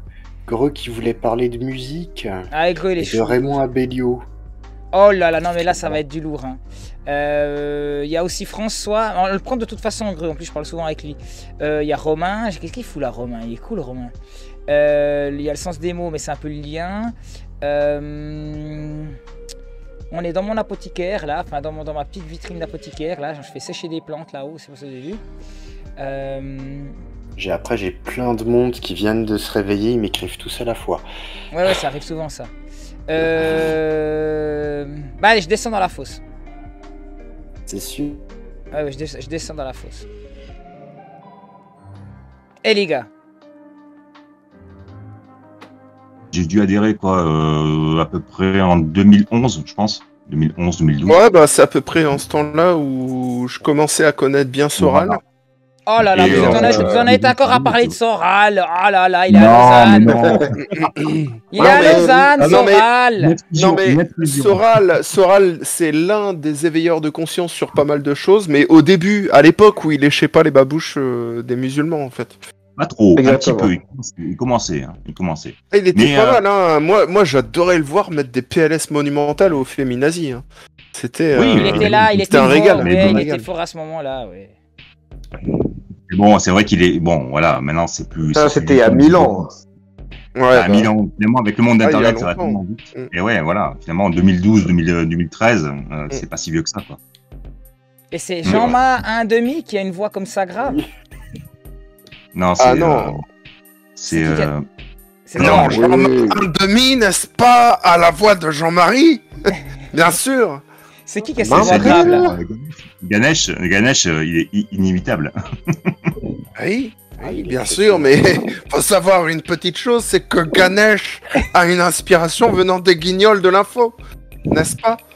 Tout à fait, n'est-ce Eh pas oui. Les gens imitent les imitateurs des hommes politiques. Mais c'est Euh, les, les- les imitateurs imitent des gens, donc on a le droit d'imiter les imitateurs. Et de toute quand façon, quand bien même on imite un imitateur, on imite à la base une personne. Bon, qui va monter Une là seule et même personne. content là, Platon. C'est comme- allez. Quand tu imites. C'est quoi le débat là au-dessus? C'est quoi le débat au-dessus? Désolé. hein, C'était en Roucas, euh, crac crac crac, euh, crotte de Non, je quiche. connais pas. Bon, bah, je connais Bon, pas euh, Jean Roucas. euh.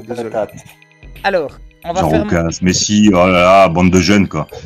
Où en étant du coup?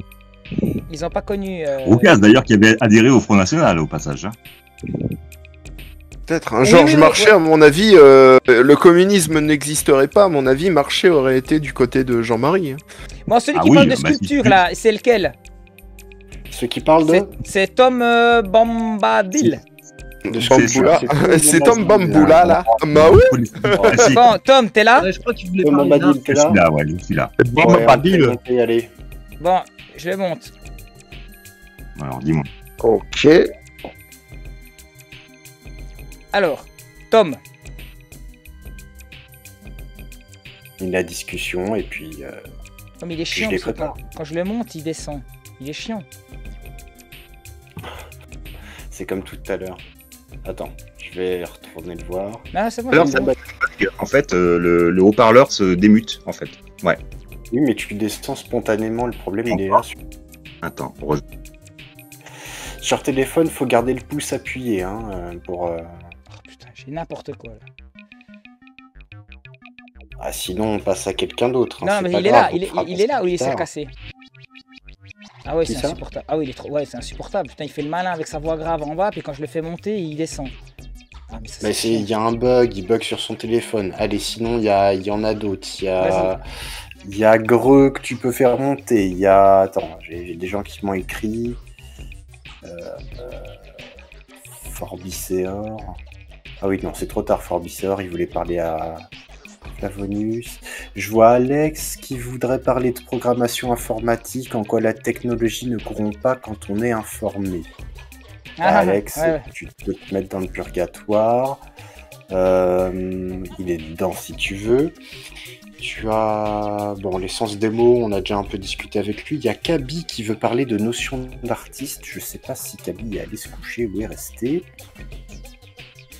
Je ne le vois pas dans le purgatoire. Euh, tu choisis Mandrel, c'est comme tu veux.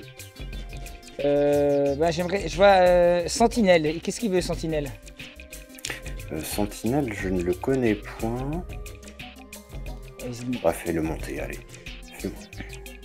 Salut Sentinelle. Salut. Sentinelle. voilà.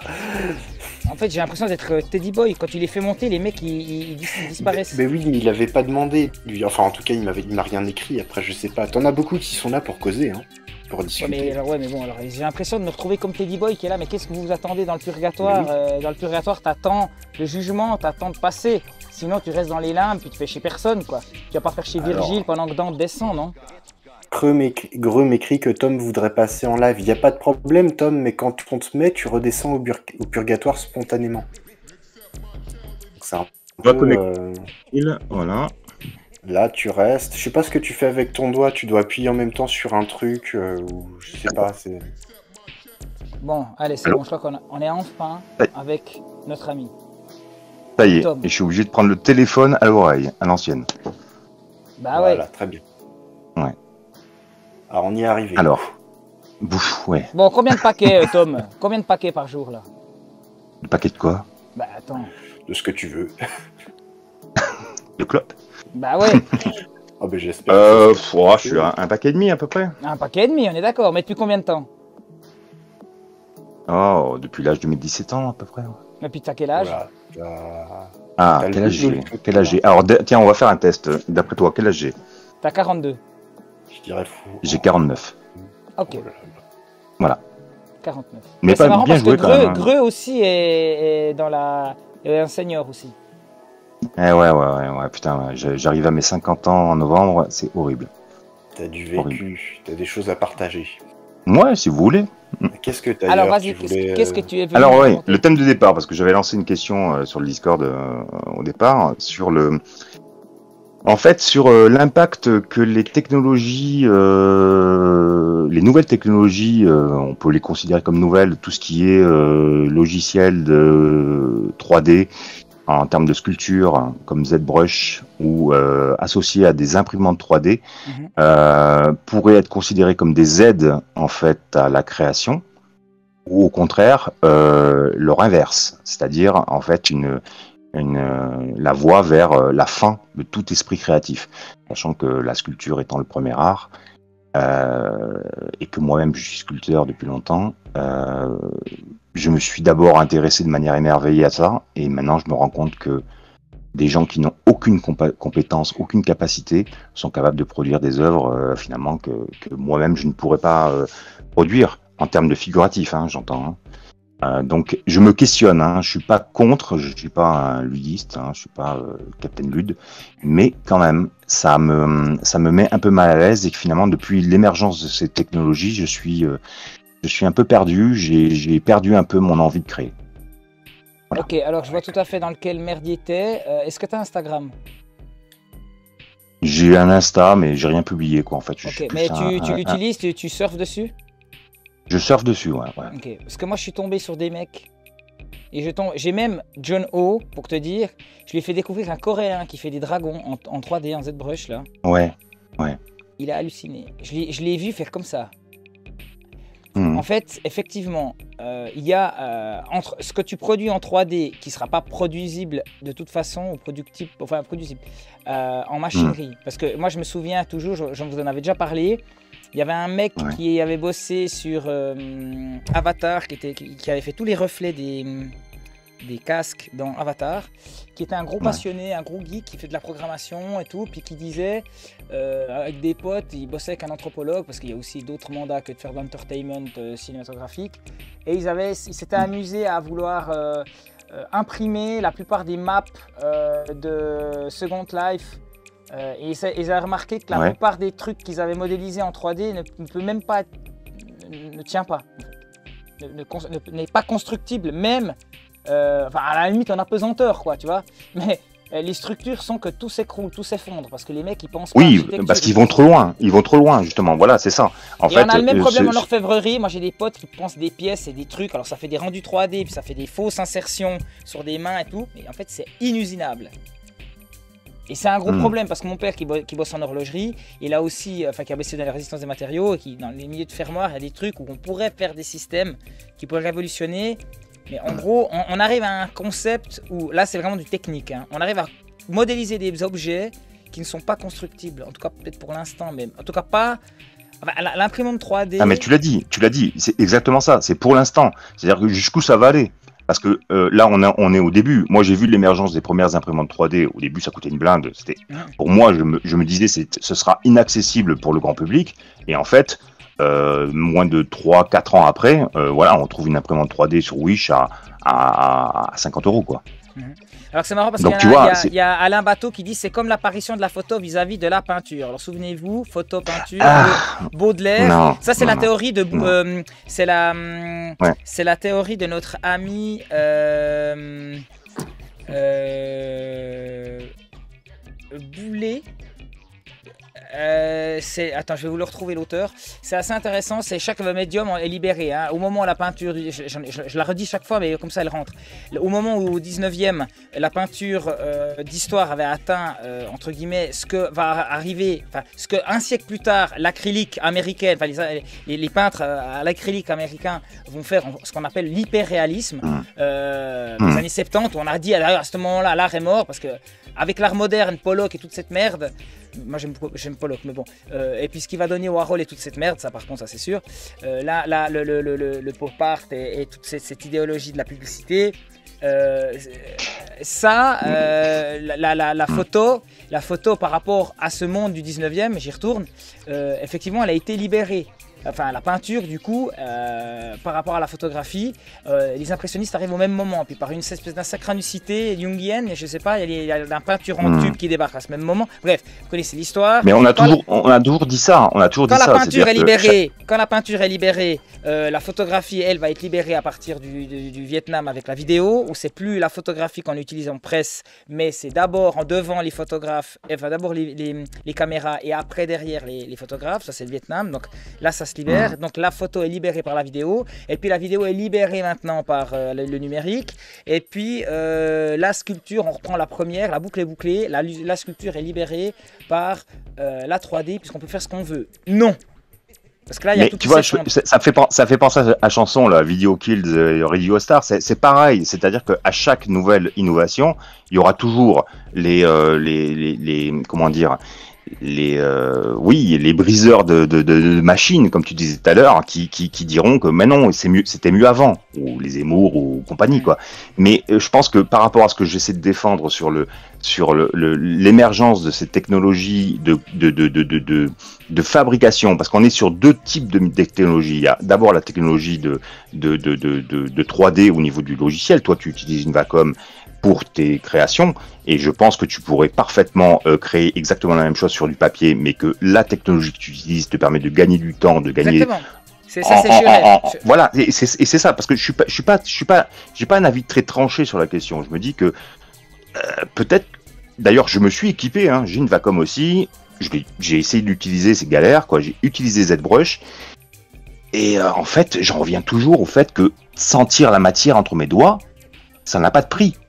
Et en fait, c'est ça. Moi, je te parle d'un point de vue de sculpteur. hein. Donc, c'est vrai que si on dessine, parce que je dessine aussi, c'est un tout petit peu différent. Bien que euh, prendre un stylo et griffonner sur un papier, c'est pas la même sensation que d'utiliser un stylet avec un, avec un petit lag, même de une demi-seconde, euh, mais qui va pas te faire ressentir la matière.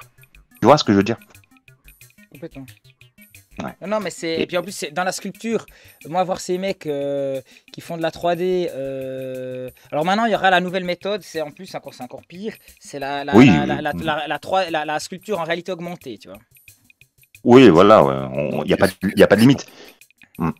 Mais on, a, on en arrive, et, et- et- et c'est ce que je voulais dire en fait par rapport à. Parce que moi je t'ai découvert avec le, le live euh, avec Greg, euh, t'as bien. Euh, donc je me suis tapé tous tes lives et tous tes les apocadrilles, donc euh, vraiment j'ai- tout écouté.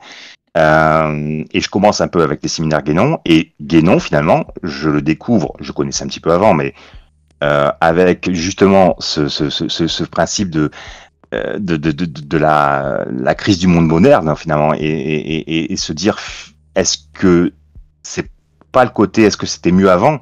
Mais euh, Alors c'est très drôle de euh, voir que effectivement, alors il y, a- il y a un truc que je t'explique, c'est que moi j'ai remarqué, c'est que les sculpteurs Ouais. euh, 3D de notre époque se lancent dans un espèce de syncrétisme.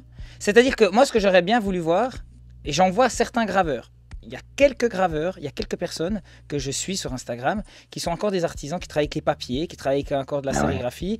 Il y a Desmazières Mhm. par exemple, un artiste bon, qui est vieux, hein, qui doit être euh, même- je pense qu'il y a comme même 10 ans de plus que toi, Desmazières, qui est Mhm. d'ailleurs euh, qui est le, le- le président euh, des, Ouais, des, imprimeurs de, de, de France. Euh, le, chef artisan euh, des imprimeurs de France, des sérigraphes et tout. C'est un mec, bah, je vous sors le bouquin après, vous allez halluciner. Euh, ça, c'est un truc de dingue. Mais il n'y a pas d'imprimeur, euh, il n'y a pas, la- lapsus, il n'y a pas de 3Diste ou 3D maker qui font. euh, moi, quand je vais au Petit Palais à Paris, hein, je vais au Petit Palais, il n'y a pas trop Ouais. de monde plutôt que de te faire chier. Oh, Tu veux prendre des grosses claques, va pas au Louvre. Qu'est-ce que tu te fais chier au Louvre avec des gros Allemands puis des Anglais qui puent partout? Non, va au Petit Palais, c'est beaucoup plus cool. Euh, Mhm. C'est voilà. Je vois personne qui continue l'histoire de l'art occidental par le moyen 3D. Maintenant, je te laisse te mettre en écran. Euh, bon, le problème c'est que tu peux, es sur un écran, hein, euh, sur ton téléphone. ouais ouais, Tu- et là bah, en plus j'étais en, en- en- à l'ancienne hein, euh, voilà ouais. Hmm. Là, je vous fais découvrir. euh, attends non mais attends je vais me mettre sur l'ordinateur vas-y Tu te mets sur l'ordinateur. ouais Là, c'est un des, euh, euh, un des sculpteurs que je suis sur Instagram en 3D, mais c'est de la pire tuerie quoi. Mais je pense que j'aurai 20 20 secondes de, de, de décalage je pense ouais. Ok. attends, mais c'est chiant parce que j'arrive pas à le mettre en plein écran et c'est hyper chiant. Attends. Ah ouais. Ok. Je vois. Ok. Alors ça, c'est un des exemples de gars que je kiffe. Euh, attends, pourquoi j'ai tous mes putains de favoris qui s'apparaissent euh, On s'en fout. Euh, Si je peux me permettre, tu, tu- tu vois la symétrie? Parce que justement, les logiciels de 3D euh, de Oui, type ZBrush et autres. t'as- directement là, mais, mais même sur Photoshop, tu peux le faire. hein. Enfin, je veux dire, c'est très simple. Bah oui, bien sûr. Hmm. Donc les mecs ils bossent en symétrie. D'ailleurs, tu les vois en speed, en speed euh, running, là, t'as as la patate et puis. brrr, bah. Mais moi, ce que- Ouais, voilà. ma, théorie, ça- ma, ma théorie que je voulais dire, c'est que c'est marrant de voir les Asiatiques. Ouais, ça, c'est monstrueux. quoi. Oui, j'ai vu ceux qui sculptent sur des, des trucs en bois euh, incroyables, quoi. Mais Ouais. les Asiatiques, eux, ils continuent leur histoire de l'art. Avec. Oui, euh, complètement. Tu vois, ça, je vois ça. Alors que moi, je vois pas des mecs qui font. euh, Alors, oui, il y a des exemples. Mais il y a vraiment un truc massif avec les Asiatiques où eux, ils utilisent l'outil. Puis ils font, puis en même Mm. temps, ils font des, des- du syncrétisme. Là, ce- cette espèce de truc lycanthrope. euh, Bon, ben voilà, ça, c'est une c'est- un lien euh, d'issico euh, américain. Mais il- il y a. ah, putain, mais il est tellement fort, quoi. Il est tellement fort. Mais regarde-moi ça. Mais, mais là, tu, tu la vois bien sur les photos, tu la vois bien la symétrie. Hein. Il, il a, il a, il a. Hmm, hmm. Non, c'est bien, ouais. ouais. Et puis ça, des sites comme ça, j'en ai à tort larigot. Hein. Mais lui, c'est Mm. un des plus, un, un des plus, un des gars qui me fait le plus halluciner. Et tu vois, finalement, moi, je suis abonné hein, sur Insta. Tu me parlais tout à l'heure d'Insta. Je suis un- et sur autres, Pinterest et autres. Je, je, je récupère hein, ces photos, ces images, ces inspirations, quoi, en fait, pour, pour trouver des. Et, euh, et je me dis que pourquoi pas, pourquoi pas. Mais euh, bon, alors, si je dois parler de ma vie personnelle, par exemple, euh, dans, dans ma famille, euh, donc j'ai un neveu hein, que je connais très peu, hein, qui sait que bon, bah, je sculpte depuis longtemps, et puis et qui m'a demandé des conseils euh, par rapport à tout ça. Je sais que lui, c'est malheureusement pour lui, il est il est pas du tout créatif. Il, est, espérerait l'être, mais il ne l'est pas. Il fait des choses très basiques. Il, il n'a- il- il n'arrivera pas à un niveau qu'il espère. Donc, il s'est tourné vers ces technologies-là. Il s'est tourné vers ces, ces, ces, ces concepts et il a monté sa propre boîte de, de, de, production de sculpture euh, 3D. Et euh, moi, ça m'a fait beaucoup de mal. Moi, je lui, je, je lui avais proposé de lui passer des bouquins de, de, de je sais plus c'est qui là. Attends, hop, je sais plus le bouquin. Je crois que c'est Rosier, Rosier, euh, qui euh, propose justement toutes les techniques de moulage en fait. Parce que au-delà de la sculpture, si tu veux faire de la production, il y a aussi le moulage quoi. Donc euh, et, en fait, c'est Rosier, Pascal Rosier. Et en fait, il, voulait récupérer en fait un petit peu mes connaissances, un petit peu mes compétences à son profit. C'est un peu ça que je dénonce sur, les, sur le, la, la dérive de, ce, de, de, de le développement de, ces technologies. Ça crée des vocations pour des gens qui n'ont pas, euh, euh, n'ont pas leur place là-dedans. Et euh, alors peut-être que je suis, ça peut paraître un peu, un peu prétentieux, mais voilà. Mm. Bah, en fait, c'est un paradigme qui change. Et le problème, c'est que Ouais. moi, j'ai aussi beaucoup de gens qui travaillent la vraie matière. Là, je suis sur un autre Insta avec des mecs qui bossent quand même encore euh, avec des coffrages l'ancienne. euh, avec, à l'ancienne. Ouais. Et Mais ça Mm. se ressent aussi dans le, dans le délire, dans, dans, dans, dans la facture, en fait, dans, dans l'esthétique. Mm. Il y a, il y, a, il y, a, hum, il y a comme un gap où quand tu choisis euh, le, le- le- le monde, euh, quand tu choisis le, monde numérique, tu, tu- forcément tu vas aller dans un truc beaucoup plus trendy que quand tu vas choper l'ancien. Alors après ça finit avec le petit gars sympa, comme on en a vu tous, qui te fait avec des pelles, des fers à cheval, des machins, des espèces de trucs un peu biomécaniques rigolos, puis ça finit avec Ouais, des c'est ça, ouais. Mm. et puis ça finit avec des espèces d'anamorphoses, avec euh, je te Mhm. fais une espèce de tortue grenouille, euh, machin, puis tu sais, puis, il fait... puis ça aussi ça pique, quoi, tu vois. Mais Ça fait mal Tiens, yeux. euh, je, je, je profite, je profite d'être d'être d'être avec toi. Euh, tu m'avais euh, dans le dans le dernier live euh, qui n'était pas un live mais un, un chat, euh, tu m'avais demandé de développer sur le Tingly. Enfin moi je l'appelle Tingly, hein, Ouais. tu l'appelles pas comme ça mais Tangly, ouais. mais c'est Tingly, ouais. Tingly, je sais, mais bon, moi, moi, je l'ai tout regardé en mémoire et j'arrive pas à dire à dire différemment sur le fait que j'avais été un peu entre guillemets le nègre de quelqu'un qui qui n'arrivait pas à, à, à, à produire un sujet qui lui était demandé pour dans, dans le cadre de ses cours et j'avais fait ça avec des mécanos. Euh, j'avais fait ça, mais pour moi c'était un, un jeu, Tu vois, c'était, euh, j'avais euh, vu un petit peu ce qui, ce qui se faisait et j'avais beaucoup apprécié d'ailleurs. Euh, et j'avais utilisé différents engrenages, une poupée Barbie, un machin à la con, quoi. Pour moi, c'était vraiment un truc à la con. Et il a réussi à avoir son, son, son, son année grâce à ça, quoi, tu vois. Et, c'était il y a très longtemps. Mm. Et c'était un peu le- les prémices de ce qui se passe aujourd'hui avec ça, avec cette technologie de, de, de- qui facilite finalement, qui, qui, qui ouvre des, des, des voies pour des gens qui n'ont pas les compétences, qui n'ont pas la vocation. Voilà, c'est, c'est, c'est, ça me fait chier, hein, parce que ça fait un peu vieux con, hein, hein, quand je dis ça. hein. Je le sais. Alors moi j'ai vu ça, euh, j'ai vu ça effectivement avec des gens. euh, là j'ai trouvé un gars qui fait du dessin et de la gravure et qui, qui a un monde. Alors il utilise aussi le numérique, mais il a un univers graphique qui me fait penser, voilà, c'est du néo Gustave Doré quoi.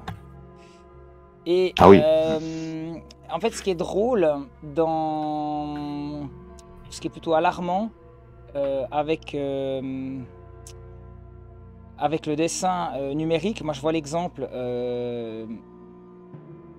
c'est que des gens qui sont handicapés par la partie épure, par le dessin, par l'iPad par exemple, se retrouvent beaucoup plus, euh, on va dire, euh, tenus euh, par la main. Quoi. Après, il y a un plancher de verre. Ouais. Et à un moment, C'est une béquille. Mm. C'est une béquille, mais la béquille, à un moment, elle plie. Parce que les vrais, moi les gars que je suis là, euh, les Kim Jong ou tous ces Coréens de malades ou deux trois Ruskov incroyables et tout ça, ou en sculpture des gars qui, qui, qui balancent vraiment du lourd, excuse-moi, euh, ils ont dessiné des kilomètres et des kilomètres euh, sur la, la- la méthode traditionnelle.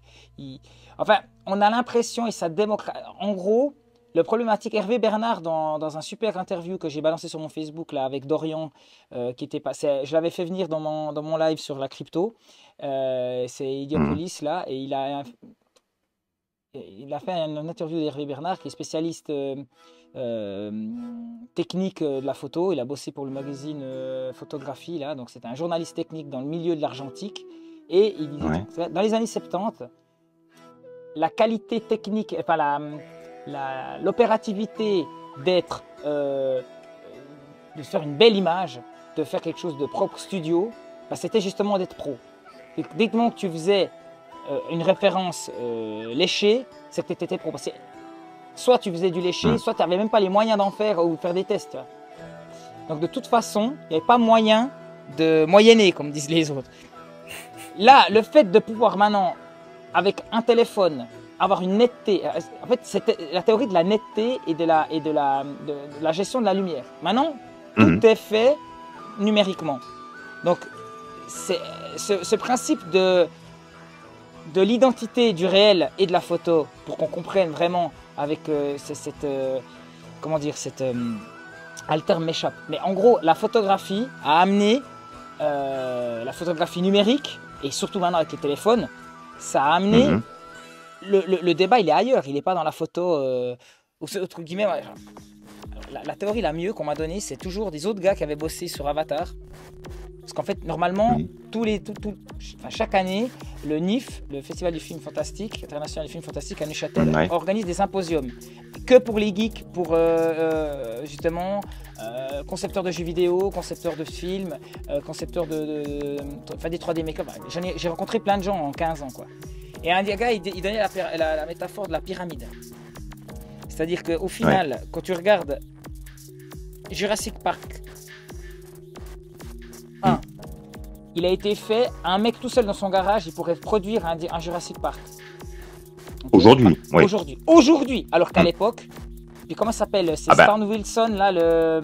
Ah, je sais, je, le- je, je le- sais le plus. laborat- mais- Tu sais, c'est ce marionnettiste, enfin pas marionnettiste, mais le mec qui bosse dans les FX, mais. euh, euh, Oui, euh, ce qui est- la- la- tout ce qui était animatronique, euh, voilà, voilà. tout ce qui. Et puis que voilà. eux sont, Mm. ont compris, alors qu'ils avaient fait. Il y a un travail aussi pour Jurassic Park parallèle, parce que Jurassic Park c'est le premier qui balance la 3D à fond.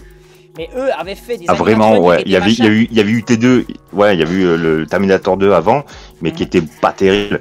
Et c'est vrai que moi j'ai vu le Jurassic Park 1 au cinéma et j'ai été, euh, j'ai Bah, le été mec, comme les acteurs. Le mec a chialé. En fait, il a Ouais. compris. euh, Ah ouais. C'est Stan, euh, Stan Winston School. Hein, c'est euh, c'est Mm. juste un truc de fou. Et lui, alors qu'ils ont fait des, alors qu'ils ont fait un travail de, de titanesque pour Jurassic Park au niveau de l'innovation, euh, de, de- des, animatroniques, toute la scène des Raptors, par exemple, c'est pas de la 3D. Enfin, la, la scène dans le. de- Non, ils ont mélangé les deux en fait. Ils Oui, ont oui, mélangé les deux, Ouais. mais en gros, les gens n'ont retenu que la 3D. Et puis ils ont Ben été. oui, c'est ça, parce que c'était impressionnant, c'était euh, c'était monumental. Quand tu vois les, les, les brontosaures qui sont euh, immenses, c'était de la 3D. Quand tu vois le, le Triceratops qui est euh, plein de merde là, à un moment donné, c'est c'est euh, c'est de, de l'animatronique. Et c'est vrai que ça rend moins, mais on s'en rend compte tous.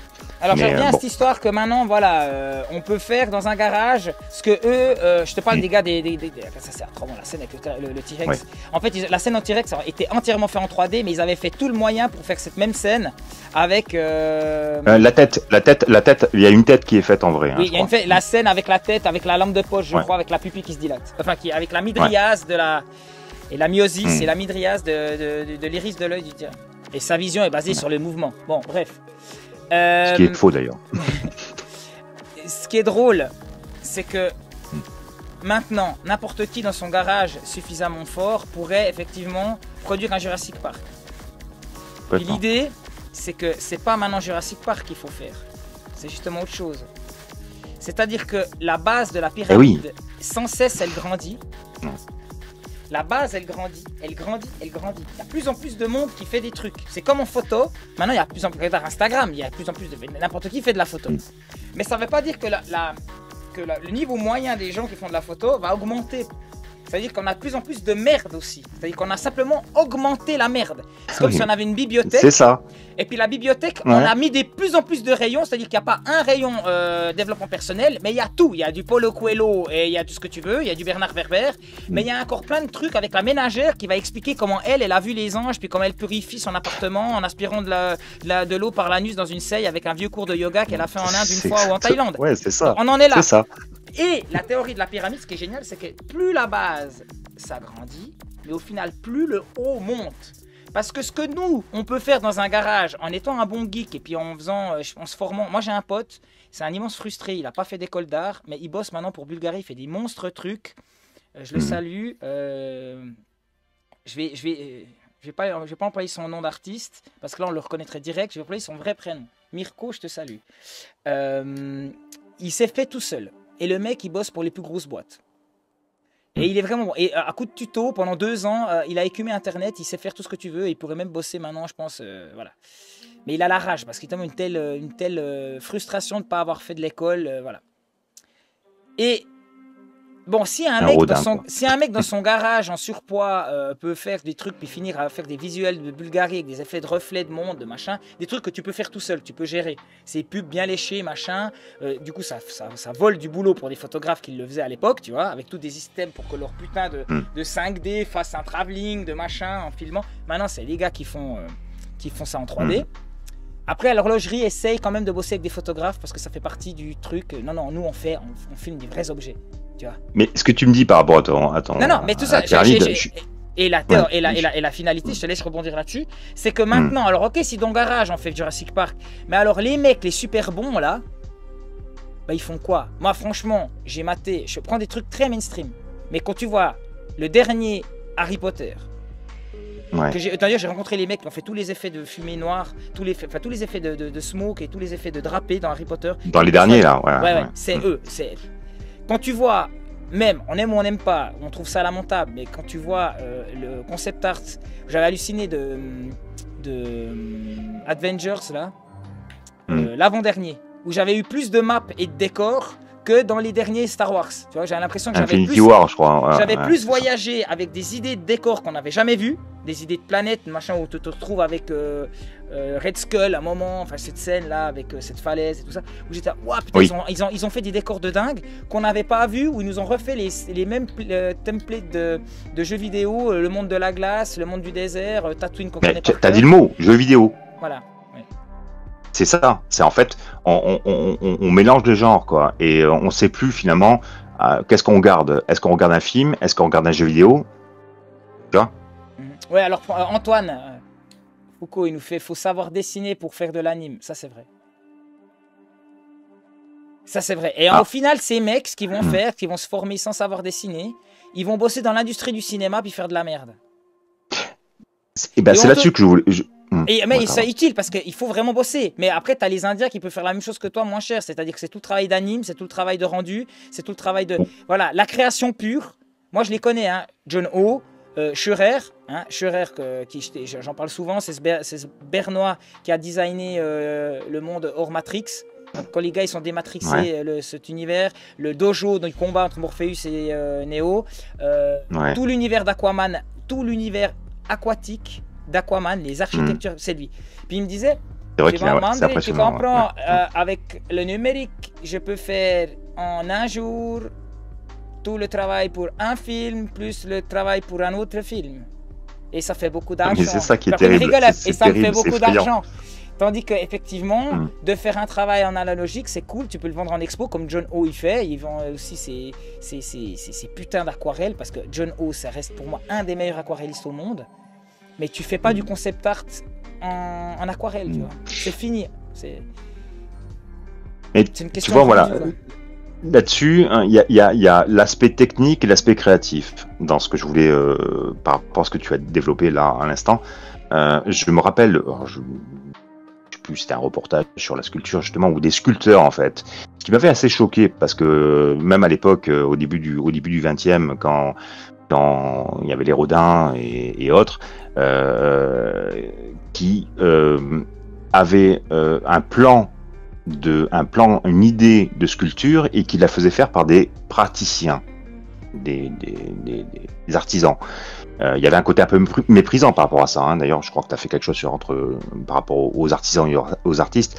Et, j'avais vu ce, reportage où euh, des sculpteurs euh, actuels euh, faisaient faire des sculptures par des, je crois que c'était en Italie par rapport au, marbre de Carrare, euh, donc euh, sculpté dans la, dans, dans la pierre, hein, donc parce qu'ils ne savaient parce que les sculpteurs à la base euh, faisaient peut-être des modelages, euh, des, des, des épreuves de base et, et, et, et, donnaient les cotes à des, à des techniciens qui allaient reproduire ça dans, le, dans, dans la pierre dans le marbre. Moi, je me suis e- exposé à tenter de sculpter la pierre et en effet, c'est galère, mais c'est plaisant, c'est une autre technique.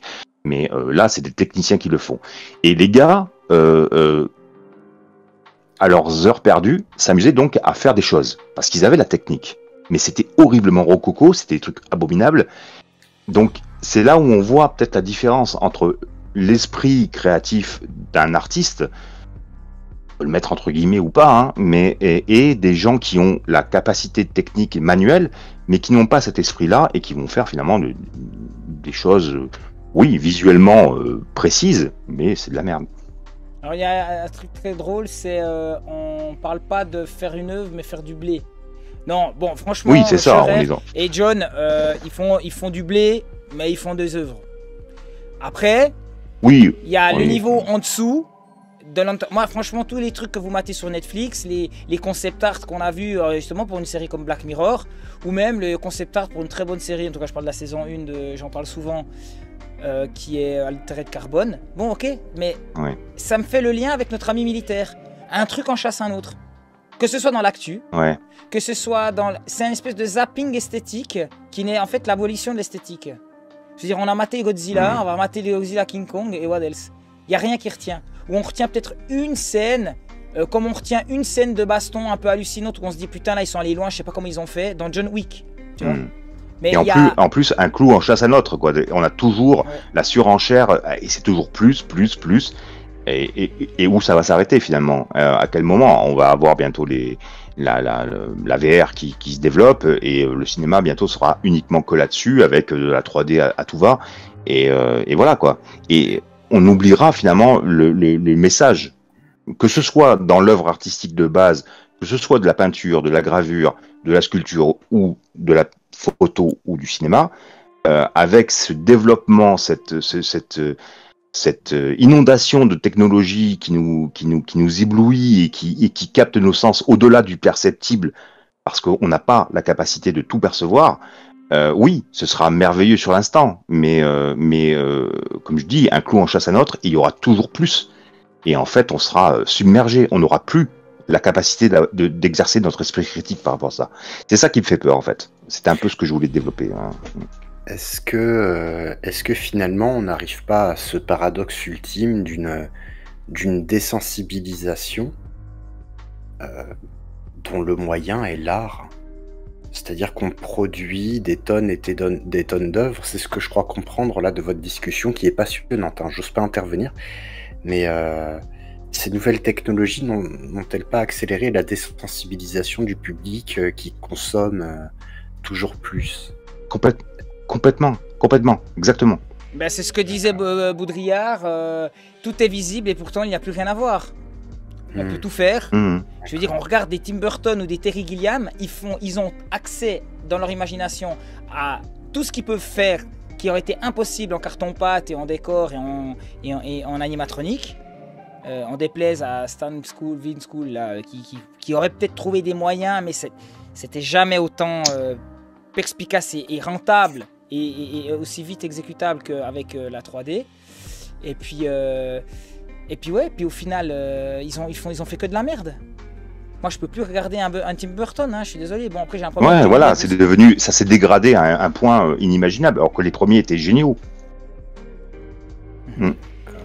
Donc on a une baisse de, on a une baisse de niveau quand même en fait. Bon, là, je suis en train de montrer à un gars que, franchement, moi, je pleure. hein. Là, je suis en train de montrer à un mec. euh, après, c'est, voilà, ça se mate une fois. Il faut aimer. Mais moi, dans les trucs euh, macabres, bizarres, euh, hallucinants, euh, j'en ai rarement vu un gars autant fort. hein. Oh, ça ressemble beaucoup à ce que tu avais, le polonais là, celui qui s'est fait tuer là, ça ressemble beaucoup à. Ah oui, oui, c'est du. euh, oui, bien sûr. Ouais, euh, je Voilà, crois. qui, ouais, qui est dix fois plus beau. Mais euh, franchement, il y a quand même. Non, non, mais il y a deux, trois trucs, mec. Moi, non, mais ça, c'est énorme. C'est trop bien. Non, non, il y a quand même deux, trois trucs incroyables. Mais effectivement, tu reconnais les principes de symétrie. euh, tu reconnais. Ah oui, ouais, ouais, il y a tout. Ouais. Et puis en plus, le mec, il m'a l'air un peu. C'est ça qui, c'est ça qui rend l'œuvre euh, que- attrayante. Je sais pas pourquoi des fois, soit c'est lui ou je comprends pas, mais c'est hallucinant comme il a pu tro- s'auto-troller son Insta qui est juste une mine de, de, de concept art. En plus, quand il fait des robots, il fait des robots tellement monstrueux. Euh, mais euh, bordel, euh, je sais pas pourquoi il se. Enfin, bon. Voilà. Euh, c'est hyper intéressant cette, concept, cette conception de, de l'hyper. Euh, on va dire l'hyper production euh, qui au final. euh, moi je vois les gommes. Les, enfin, moi j'ai tellement halluciné quand j'ai vu. euh, voilà, moi j'ai l'impression de parler comme un vieux con, mais l'histoire sans fin.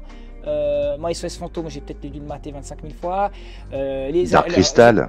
Dark Crystal, c'est- fondamental pour moi. Mais c'est marrant d'ailleurs, Dark Crystal, ils ont refait sur Netflix un reboot. J'ai pas vu. hein. Qui Ah est non, très bien, hein. qui est entré un peu kitscho et tout. Ah ouais et ils ont inventé, il y a plein de machins qu'ils ont repris dans. Ah ça on voit, du coup on, ça on invente une histoire de ça, un peu comme dans Star Wars avec Clone Wars ou n'importe quel petit élément que tu vois dans la, dans la trilogie normale, ils ont essayé de, de la- de le placer dans un univers étendu puis d'en faire une histoire. Genre euh, la scène dans Dark Crystal qui est... ah, D'ailleurs on va mater cette scène là parce que cette scène là elle est juste incroyable. Dark... euh, euh, alors ça faut juste qu'on mate cette scène. Mais c'est très drôle de voir qu'ils ont Forest Scene. Ces espèces d'abrutis, ils ont, enfin pas abrutis, mais ils ont, ok, ça c'était génial, alors qu'est-ce qu'on fait? On invente euh, un truc qu'ils ont fait avec des ball- ballons de baudruche et tout. Ils ont fait, ben viens, on, invente un, passage dans l'histoire où en fait on crée euh, ce, qu'on avait fait à l'époque, mais en version euh, hyper toxique, hyper dangereux. Regardez-moi ça. Ah, attends, je vais faire ça comme ça.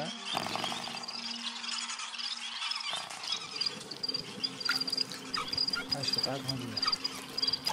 Voilà. En plus, c'est la musique du Mandalorien à côté, c'est chiant.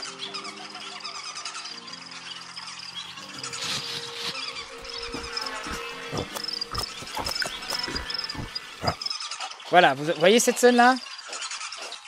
Attention, ça. Juste cette petite scène-là qu'ils ont inventée avec les espèces de grosses bouboules là qui se déplacent. Bah, c'est tout un truc dans dans Dark Crystal où ils ont inventé comme un peu dans Nausicaa euh, la, la forêt toxique. Et ben ils ont dit ouais ben on a- enfin, c'est assez bien vu. Mais euh, j'ai pas autant halluciné. Ça, moi, je, moi, je, veux dire, le, mon petit garçon, là, enfin, c'est pas le mien, mais euh, je vais tout faire comme si ça l'était. Euh, je, je vais lui faire découvrir ça dès qu'il pourra un petit peu piger des trucs. Enfin, pas tout de suite parce que ça peut faire peur. Mais euh, bah justement, est-ce que ça peut faire peur? Moi, j'ai l'impression que j'ai tellement flippé sur certains trucs quand j'étais petit que moi j'ai l'impression que là, les, Mhm. les, les, les gosses, là, euh, et c'était ça ce que Mhm. je voulais rebondir là-dessus, c'est que moi j'ai flippé sur tous ces films que je viens de citer et que toi tu as aussi corrigé, là. Mais j'ai l'impression que les gamins, ils sont complètement amorphes, là, maintenant. Ils ont plus ces effets de. Tu de peux aussi leur montrer la. Ça, on peut la- en la- parler des la-. Hum La, la désensibilisation des gosses, moi j'ai eu euh, combien de fois une discussion, euh, surtout en fin d'année, quand il y a très peu d'enfants dans la classe. Ils ont vu tous les films d'horreur, tu vois, Oui, à la oui, mode. les Conjuring, mais, les mais- machins.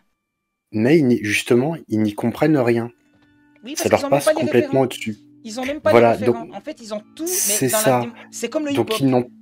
Ils ont Attends, la attends, je dimension. finis. Vas-y, vas-y, excuse-moi, excuse-moi, excuse-moi. Donc ils ont, ils ont, ils n'ont même pas la peur en fait qui va avec, vu qu'ils n'ont pas les références, mais ils ont quand même la désensibilisation. Donc ce que tu montres là, qui est très beau et, et qui effectivement devrait être effrayant, ne l'est plus. C'est parce qu'ils ont, ils ont ce filtre de l'écran, en fait. hein. En plus, c'est c'est- c'est- c'est- c'est ce que je fais au niveau professionnel. Donc, euh, malheureusement, j'ai vu l'évolution. C'est qu'ils sont complètement déconnectés, tout en étant hyper connectés. Euh, euh, on le voit aussi dans les violences euh, qui sont capables de se faire les uns envers les autres. Ils, n'arrivent plus à exercer leur esprit critique, c'est ce que je disais tout à l'heure. Ils sont complètement euh, omnubilés par l'image et par l'instantanéité, en fait.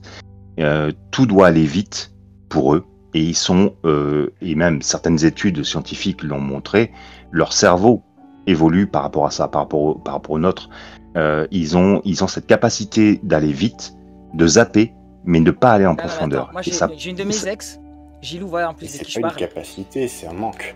J'ai- J'ai j'ai une de mes ex là qui, qui, qui était dans plus euh, dans la facilité parce que euh, tuning comme elle était, c'était l'accessibilité à tout, à la calorie, à tout. Enfin, tu vois, c'est euh, le mannequin chez Hermès. Tuning comme elle était.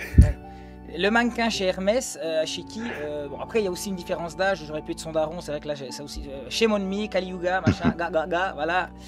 Euh, les mêmes jambes. Enfin, je veux dire. L'autre que je fais à Sainte-Sacha, c'est pas pour rien que j'aime ce genre de physique. Enfin, bref, on s'en fout.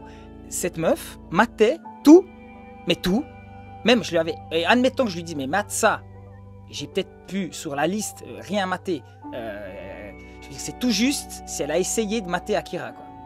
Je crois qu'elle a arrêté au bout de 10 minutes. Mais même quand elle m'a ces trucs, pourtant qu'elle aime, les trucs qu'elle aime. Et puis je veux pas, je veux pas dire ce qu'elle aime parce que euh, on pourrait reconnaître qui c'est, mais euh, je pense pas qu'elle me regarde de toute façon. Mais euh, t'en es à, en fait, c'est comme WhatsApp. Les fois où je, je- je- je- sur la fin quand je quand je parlais, ils écoutent tes messages en accéléré maintenant, les gars. Puis des fois, quand tu fais des audios, Mhm. Gilou, il sait très bien de quoi je parle. J'aime bien faire des petits audios de 2-3 minutes pour un truc pour développer en accéléré. Puis moi, je me suis amusé à me réécouter en accélérant. Je dis, mais c'est inaudible. Bah, ils matent les films comme ça.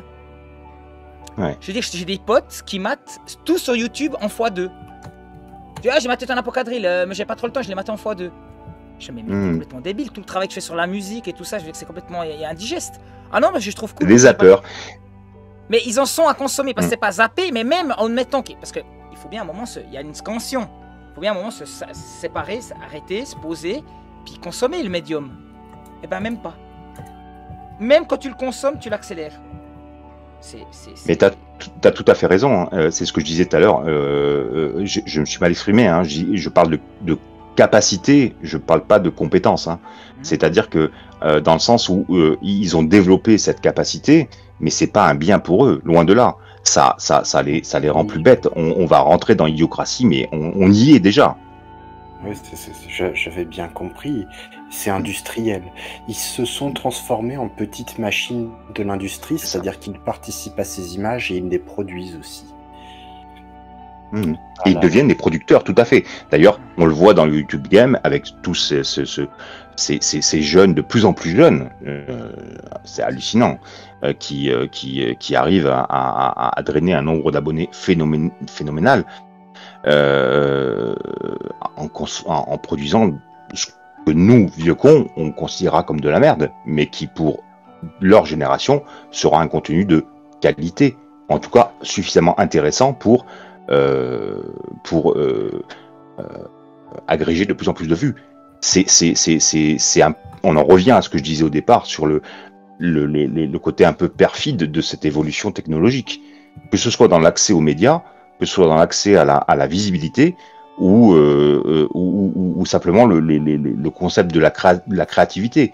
Euh, où elle est la créativité? Quand on voit ça, quand on voit les, les- les créateurs de entre guillemets de contenu, euh, les contenus sont, sont, sont assez effrayants. hein.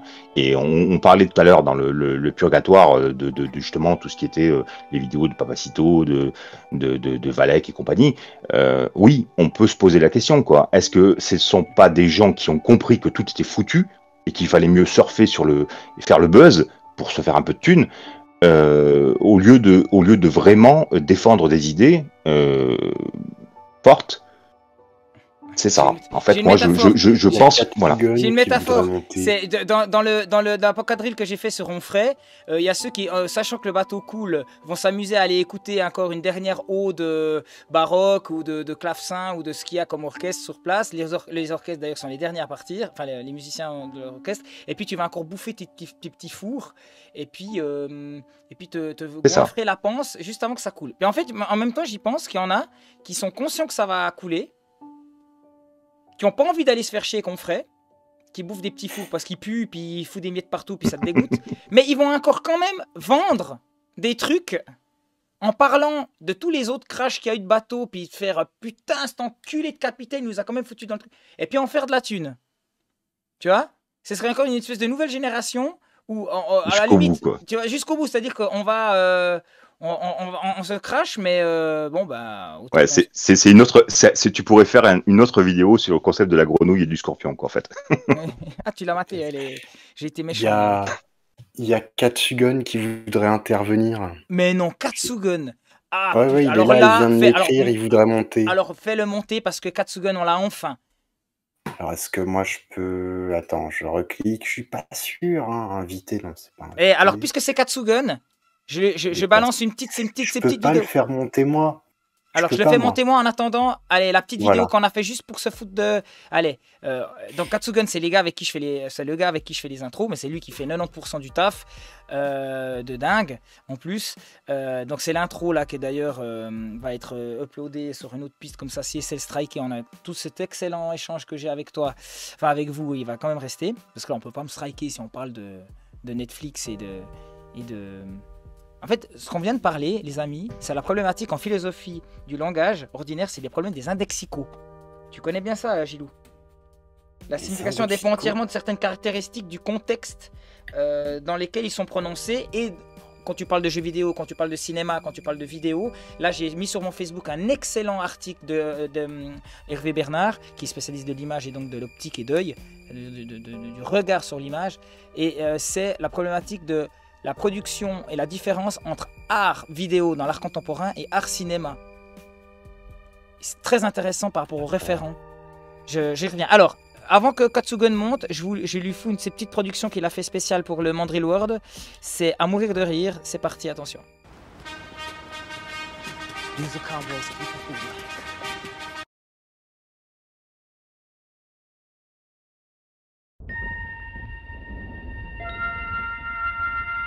Espace, frontière de l'infini, vers laquelle voyage notre vaisseau spatial.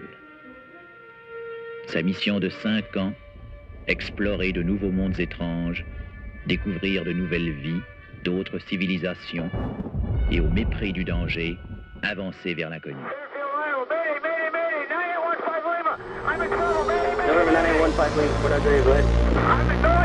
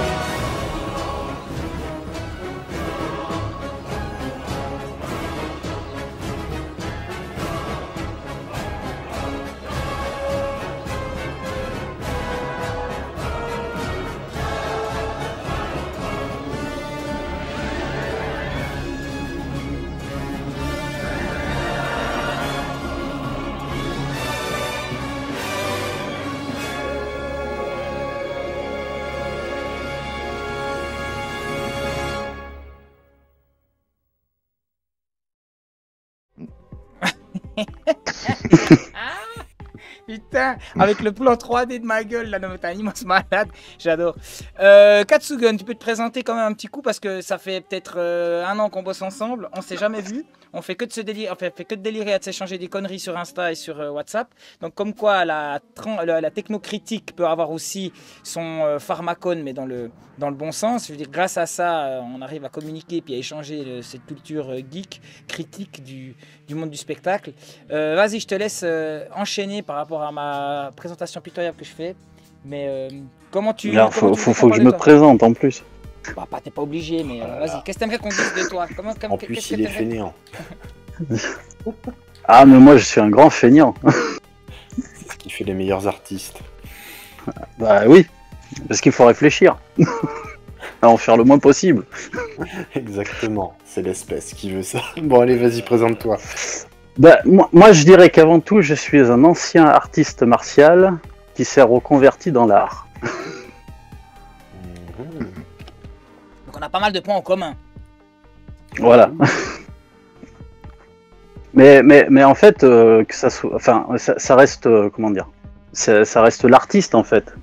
Peu, peu importe euh, quel outil qu'il utilise, et puis là, on peut rebondir sur la, sur l'échange en fait, qui a été fait là depuis le début. C'est en fait, euh, en gros, le, peu importe l'outil que tu utilises, qu'est-ce que tu vas raconter avec? Qu'est-ce que tu vas en faire? C'est exactement ce que dit Hervé Bernard. Quand tu prends Victor Hugo, quand il écrit un poème, quand il écrit un roman, quand il écrit à son ami à la plume, ou quand son roman va être euh, printé, ou quand il fait au brou de noix, et j'en ai déjà parlé avec Teddy, euh, les brous de noix de Victor Hugo, euh, c'est l'exemple même du romantisme noir, donc ce truc lugubre qu'il fait avec des... En fait, ces trois moyens sont... Il peut parler d'amour, par exemple, ou de, de- la mort, mais les trois moyens, les trois médiums ne vont pas utiliser... C'est comme un cercle, et je vais revenir d'ailleurs sur cette métaphore du cercle, une métaphore des, de, sagesse indienne, euh, donc euh, amérindienne, où au final, on a toujours tendance à vouloir, avec le réalisme et avec euh, les problèmes des indexicaux dans la réalité de, entre photo et réalité, on est à 9h, 3h, puis on est toujours comme ça. Mais c'est se couper d'un pont d'information ou de fenêtre d'information ou de niveau d'information énorme que d'autres cultures ont. Et nous, en fait, on est une bombe atomique. C'est-à-dire qu'effectivement, euh, indépendamment que tout le monde s'habille en costard maintenant sur la planète, euh, sur Terre quand il y a un deuil, que ce soit le japonais qui devait s'habiller d'une manière, je pense, bien plus belle avant 1850 euh, pour euh, une cérémonie mortuaire. Mais le ravage qu'on a eu, je parlais de Jacques Ellul qui disait qu'on cherche absolument l'efficacité au maximum, mais aussi l'efficacité visuelle. Toute la culture, toutes les cultures sont touchées par ce paradigme occidental. Alors qu'avant, on avait euh, un truc qui était beaucoup plus proche d'une certaine façon, je ne dis pas l'art naïf ou l'art brut, mais quand tu regardes les représentations codées euh, des aborigènes, euh, moi je vois un autre chose, un autre plan d'information, un autre plan esthétique, un autre plan de sensibilité sur le cadran ou sur le cercle de ce que pourrait être ce que- ce qu'on appelle l'art, mais l'art d'un point de vue beaucoup plus transcatégorique que l'art euh, qu'on va essayer de mettre sous euh, l'appellation commerciale ou sous l'appellation du monde de l'art, euh, entre guillemets, en musée. Et euh, ces Mhm. histoires de support, alors tu as été un artiste martial, donc tu as utilisé ton corps comme outil, euh, c'était de, faire des arts martiaux. Puis après, ben maintenant, euh, Mhm. la vieillesse arrivant, c'est aussi cool de pouvoir se reconvertir avec un truc ou même, même à moins que tu dois souffler dans une paille pour avancer, euh, tu pourras toujours créer et puis jusqu'à jusqu'à longtemps, tu vois. J'ai aussi ce truc, c'est que moi, ma, ma carrière d'artiste martial, entre guillemets, par rapport à tout ce que j'ai fait là, c'est fini depuis bien longtemps. Alors que j'aurais rêvé de faire des films et puis d'utiliser. Moi, j'ai- grandi avec Tony Jaa, avec tout ça, sans compter que j'ai encore connu. euh, quand j'avais peut-être 8 ans ou 10 ans, euh, les Van Damme, où c'est encore possible. Tu te disais, je peux essayer d'imaginer de finir là-dedans. Là, maintenant, j'ai vu la nouvelle génération, mis à part ça. Donc après Yamakasi, après les breakers, après les gars en gym artistique, après les gars en street workout, après tout ce qu'il y a maintenant en parcours, les nouveaux gars qui prétendent être dans le milieu des arts martiaux, non j'en suis un, je vais essayer de le retrouver là, un mec qui fait des arts martiaux là. Euh, ouais alors même Tony Jaa, il peut se rhabiller.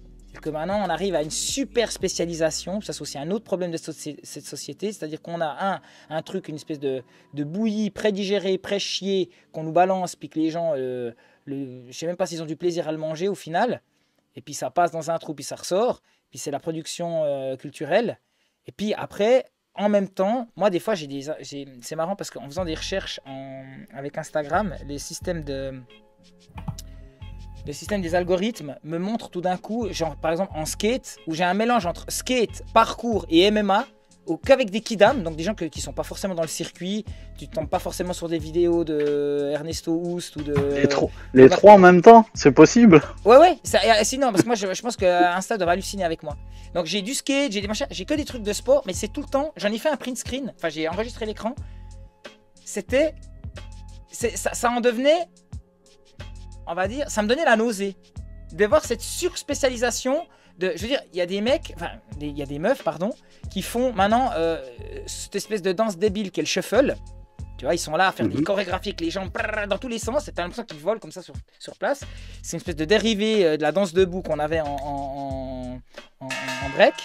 Et puis, j'ai vu maintenant la nouvelle étape, c'est qu'ils font ça, mais en corde à sauter. Donc, déjà que t'arrives même pas à faire ce qu'ils font en dansant simplement, mais en plus, ils te placent la corde à sauter. Mais après, ça va finir en espèce de théâtre chinois.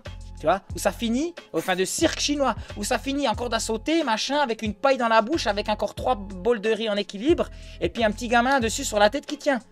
Ça devient euh, malsain, quoi. Cette super Ouais, mais c'est toujours pareil. Tu vas où avec ça? Tu racontes quoi? Rien. C'est le mec qui faisait, euh, qui crée tout le temps le même décor de planète euh, avec des effets de cache, puis d'assiettes et puis de spatules, puis qui te fait euh, dans des grandes, grandes fêtes populaires. Nous, on a la fête des vendanges en Suisse. qui va être encore une fois de plus annulée, voilà.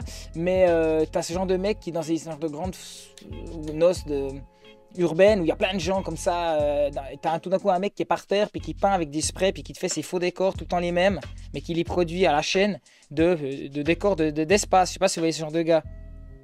Mhm. Dit- C'est un même pattern qui reproduit. C'est, ça fait mal au cœur, quoi. Mais ça, c'est encore un autre aspect. Oui, Ça, oui, c'est- mais, mais, mais c'est toujours pareil. Je veux dire, le, le mec, il, il, il peut être bon dans ce qu'il fait, mais euh, il en fait quoi? Tu vois? Ouais, Si tu maîtrises un outil, tu, tu, si, tu maîtrises un outil, c'est pour quelque chose. C'est la NTM Ma Benz, l'instrumental qui est en boucle. Oui, j'ai j'ai fait un petit, un petit clin d'œil à Teddy Boy. Euh,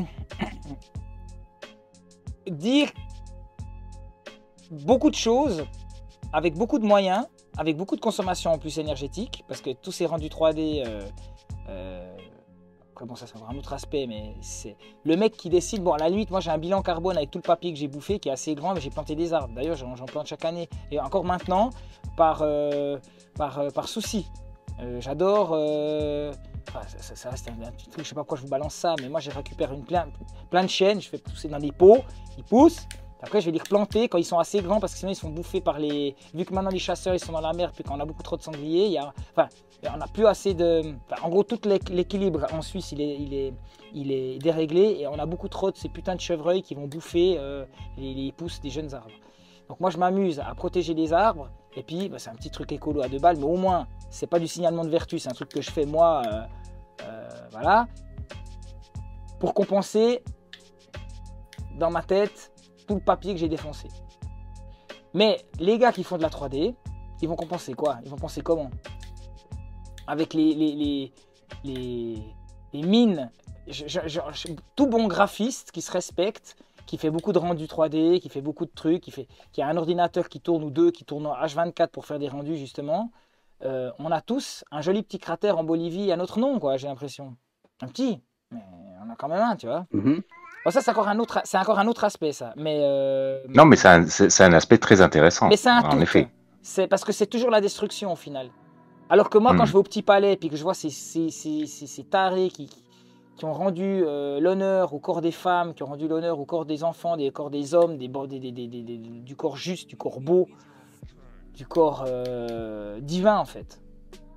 Mais sans passer par l'esthétique de forcément dessiner euh, enfin, de- ou de produire ce que les Américains vont faire avec le, comme je vous ai dit avant au début du live, ce, ce culte de, de, de la fausse jeunesse. Quoi. Et vous, vous Mhm. savez- vous savez d'où ça vient ce, ce culte de la jeunesse, au final? Claire-nous. Hmm? Parce que euh, au, XVIIe siècle, tu, oh, sauf pour la femme, mais ça, Delavier va te l'expliquer par rapport à la fécondité et puis machin. Effectivement, euh, de 16 à 22, 23, c'est là où il y a l'épicentre total, le rayonnement de, de, la, fécondité. Mais, mais d'une manière générale, les couples, ou les, la représentation de l'humain, de pas mettre des ados dégénérés. Là, on, on se retrouve avec des. Bon, là, maintenant, on se retrouve avec des Bilal Hassani comme représentant de. J'ai dit la pub Logitech, là, la pub Logitech qu'il y a sur euh, YouTube. Elle t'a traumatisé celle-là. C'est une synthèse, mais c'est une synthèse parce que je sais pas si tu as remarqué, mais il n'y a pas un référent à l'homme blanc. euh, C'est-à-dire que tu vois une blanche qui a l'air d'être une gouine qui fait du manga dégueulasse, puis sinon c'est que du métis ou des blacks qui sont là euh, et puis qui disent que euh, on va casser le passé parce que maintenant il faut arrêter, il faut changer de paradigme. Enfin, je sais plus comment il dit, mais euh, elle est affolante cette pub. Mais tu vois, tu, tu mets, tu mets le doigt sur un truc très important parce que tout à l'heure tu citais le Japon ou les Amérindiens. Mhm. Euh, eux, ce qu'ils ce qu'ils ont transmis dans leur, euh, dans leur art, c'est c'est- c'est- c'est un héritage en fait. Et cette espèce de euh, fausse nouvelle génération, il n'y a pas d'héritage, il n'y a rien. Bah en fait, les référents qu'ils ont, c'est transidentité, machin, euh, une gonzesse qui a l'air d'être un trans qui s'habille en espèce de tourment. Tu vois le montage où elle a une espèce de gueule, où elle, est- elle, est- elle, est- elle a l'air de se faire du tuto make-up euh, euh, en barre. Donc elle, est, elle devient une espèce de sirène bizarre, un peu non humaine. Mais c'est des non-humains. Les mecs qui sont habillés fashion, machin, on dirait que c'est la Fashion Week, quoi. alors qu'ils se baladent. c'est c'est abject. Et c'est immonde. Et c'est une. Eh ben, tu pointes, tu, pointes exactement le, le- la fin de l'humanité en fait. C'est exactement ça quoi. On arrive. C'est le. Kali Yuga. Le C'est Kali Yuga. Parce que moi, je la fin pas, du Kali. dans cet univers-là, je vois pas eu la place pour l'enfantement, pour la, la transmission et l'enfant. Et je fais le référent, comme quand j'ai fait le clash avec Hypnomachi, de la référence, parce que lui, il est forcément, c'est le truc puéril, c'est le machin. D'ailleurs, c'est aussi une remarque, qu'un pote qui est très très bon en art brut m'a fait, c'est ouais, mais toi, l'art brut que tu as montré dans tes épisodes euh, sur Apocadrille, qui est hyper bien, c'est un des meilleurs que tu fait, mais tu montres que l'art brut qui parle à l'enfant c'est l'homme cabane, c'est le, le, le peintre un peu foufou, c'est machin. Mais c'est pas l'art brut euh, comme. euh, alors il m'a parlé de, je sais plus comment il s'appelle, euh, ce gars qui a construit lui-même ses appareils photo avec n'importe quoi. Il a une boîte, il fait ses trucs d'optique et puis il fait des espèces de caméra obscura. Puis, puis le mec, sans connaître la photo, il s'est lui fait. Enfin, juste. Alors en ayant compris le, sy- le système de, l'appareil photo, il en a fait sans, pouvoir s'en acheter. Puis enfin, je sais, sais plus comment il s'appelle cet artiste, je peux retrouver facilement. Bon voilà. Puis c'était pour me dire, ouais, c'est l'enfant. Mais putain, mais, mais c'est la base, bordel de merde. Bah ouais, carrément. Et moi, là, maintenant, qui suis dans une configuration euh, où j'ai effectivement, j'ai pas, pas juste mes potes qui me parlent de leur gosse puis qui me font chier, mais c'est que ma meuf a un petit de 18 mois, donc c'est vrai que là, je suis confronté vraiment à.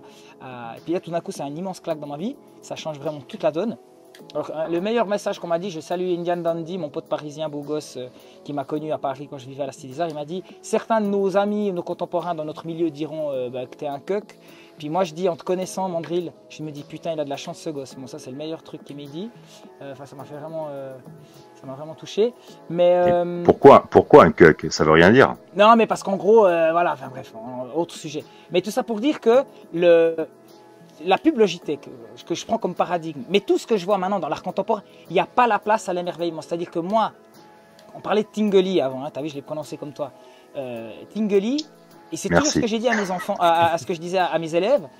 Euh, je disais, euh, si tu fais un truc qui marche, normalement, c'est autant le gamin de 7 ans, il pète un câble, il trouve ça incroyable, pour des raisons qui sont pas les mêmes que pour le mec de 80 qui va trouver aussi incroyable, comme le mec de 40 cin- ou 30 qui va euh, vraiment comprendre ton boulot. Après, je leur disais toujours, et tant que vos parents comprennent ce que vous faites, les amis, c'est très mal barre. Mais ça, c'est encore sur un autre plan. Toi, le gars qui est dans une école d'art puis qui produit des trucs puis que les parents ils adorent, j'étais là, bon, déjà, un, est-ce que si tu faisais ce que tu. Enfin, si un, un gars de Lausanne faisait exactement ce que tu fais, ce que tes parents, en tombant dessus, sans savoir qu'il n'y a aucun lien avec toi, ou à eux, indirectement, est-ce qu'ils aimeraient? Non. C'est comme mes parents, mes parents, je les adore, mais ils comprennent rien à ce que je fais, mais ils le savent que j'ai déjà assez engueulé. Enfin, non, je dis pas qu'ils comprennent rien, mais disons que j'aurais un gars. C'est- marrant, c'est marrant ce que tu dis, Mandrill, parce que c'est une réflexion que je me faisais il y a deux jours. Euh, je me dis, est-ce qu'une œuvre qui, qui est bonne doit plaire forcément Ouais, Alors, ça, c'est un. là, on envoie du lourd, là. Vieux comme le monde, là. Le, le- Le Thomas- moi, je pense que le- l'art doit être en lien avec le Thomasheim. Donc c'est l'émerveillement. Pourquoi il y a rien? Enfin, pourquoi il y a quelque chose ou qu'il y a rien? Et si tu fais quelque chose, pourquoi ce truc on va le considérer comme beau. Alors que qu'est-ce que c'est que la valeur du beau? Le beau, le jugement de goût, ça c'est toute la philosophie du 18e avec l'esthétique. Esthética, un Baumgarten qui latinise le terme grec euh, esthé- esthé- esthésis et puis qui en fait euh, esthética. Puis ça va devenir tout le sujet du 18e, l'esthétique, l'esthétique, l'esthétique. Mais non, bordel de merde, indépendamment du terme qui est très tardif, euh, euh, un retable, le retable de Van, de Van Eyck, euh, ou même une, allez, je vais être, encore plus hardcore, une Vénus euh, préhistorique avec les canons euh, toujours taille fine, hanche marquée, hein, toujours dédicace à Delavier, mais bien, bien là, quoi. Les mecs, ils voyaient une Vénus, ils devaient- de- de- très certainement la mettre en scène et tout. C'est ça doit faire quelque chose, quoi. Moi, un art mort qui ne suscite pas. Ça, c'est un débat, j'en ai assez fait ce débat. Mais non, pour moi, c'est, vicié, quoi, sinon. Qu'est-ce que t'as comme exemple, t'as Katsugun, où t'aurais un, un, un truc qui serait intéressant artistiquement, mais qui ne pourrait pas forcément être euh, beau Oh, alors là. Parce que moi, je te trouve des trucs de malade qui sont effectivement pas beaux pour que la plupart du, du- du- du- des gens, euh, que je vais trouver moi hyper beau, mais effectivement, c'est dérangeant. Mais c'est une beauté dérangeante. Bah, c'est comme Giger ou. euh, voilà, c'est exactement. Moi, je pense à Bendisky, ce hein. mec. Voilà, exactement. Voilà. Où ce mec, j'ai un, un gars, je sais plus comment il s'appelle, il est très connu. Je le suivais déjà sur MySpace. Il, a, il fait, euh, tu vois, un bateau, mais rempli de détails. En fait, il prend plein de, de sculptures, plein de trucs, puis il les colle. Mais c'est un travail, je pense, sur des mois. Après, il arrive à faire une patine, puis tout est lié. Puis il fait des trucs complètement. euh, complètement déjantés, euh, genre de bateaux pirates euh, hyper macabres comme ça, mais il fait plein d'autres trucs que des bateaux. Il a fait aussi euh, des tanks, des trucs gothiques bizarres sur roulette. Enfin, c'est ce mec-là. euh, Tout le monde a vu une fois dans. Enfin. C'est pas beau, mais c'est dérangeant et beau, tellement que c'est c'est esthétique. C'est harmonieux. C'est ça, non? Ouais, c'est une harmonie dans un espèce de chaos ça. maîtrisé, quoi. Moi, je crois que c'est ça qui nous marque le plus, c'est l'harmonie des choses qui est, qui est différente de la beauté, qui a un concept différent de la beauté. ou même la désharmonie en fait dans, dans, dans le fait qu'on détruit en fait ce qui ce qui ce que ce que l'on conçoit comme être beau euh, en fait on, on entre dans l'univers du cauchemar et en fait ça nous parle à tous Ouais, mais Mhm. l'harmonie, je, je prends vraiment au sens euh, hyper neutre du terme, tu vois, c'est-à-dire que les choses sont organisées les unes par rapport aux autres et, et, euh, une scarification, par exemple, c'est il y a des peuples qui font ça de manière très lourde, c'est atroce, c'est terrifiant, mais en même temps, ils te font des dessins incroyables, quoi, tu vois, c'est ce que je veux dire. Hmm. Ben, L'art doit susciter le questionnement avant tout. Oui. Ouais, mais c'est un principe un, un éminemment beau. Ça doit, ça doit, ça doit, ça doit. Mais la beauté, c'est c'est- c'est subjectif. Tu... bah oui il faudrait redéfinir ce qu'est ce qu'est le beau et le laid en fait Hmm. Oui, voilà. Là, j'ai retrouvé, j'ai Mhm. retrouvé le mec que je kiffe. Alors, je vais vous montrer ça.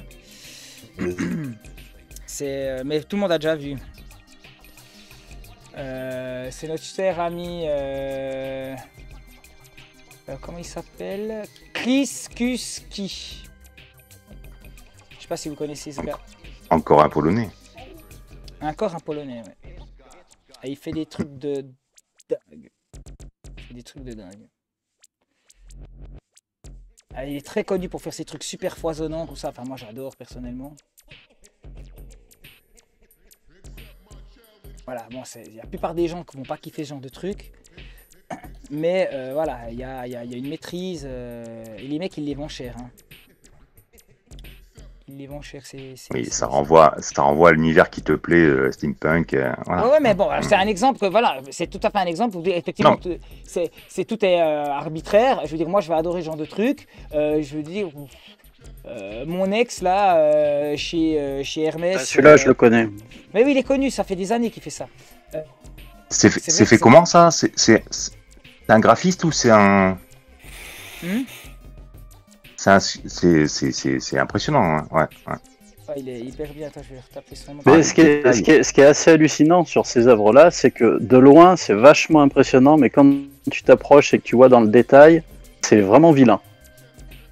Hmm.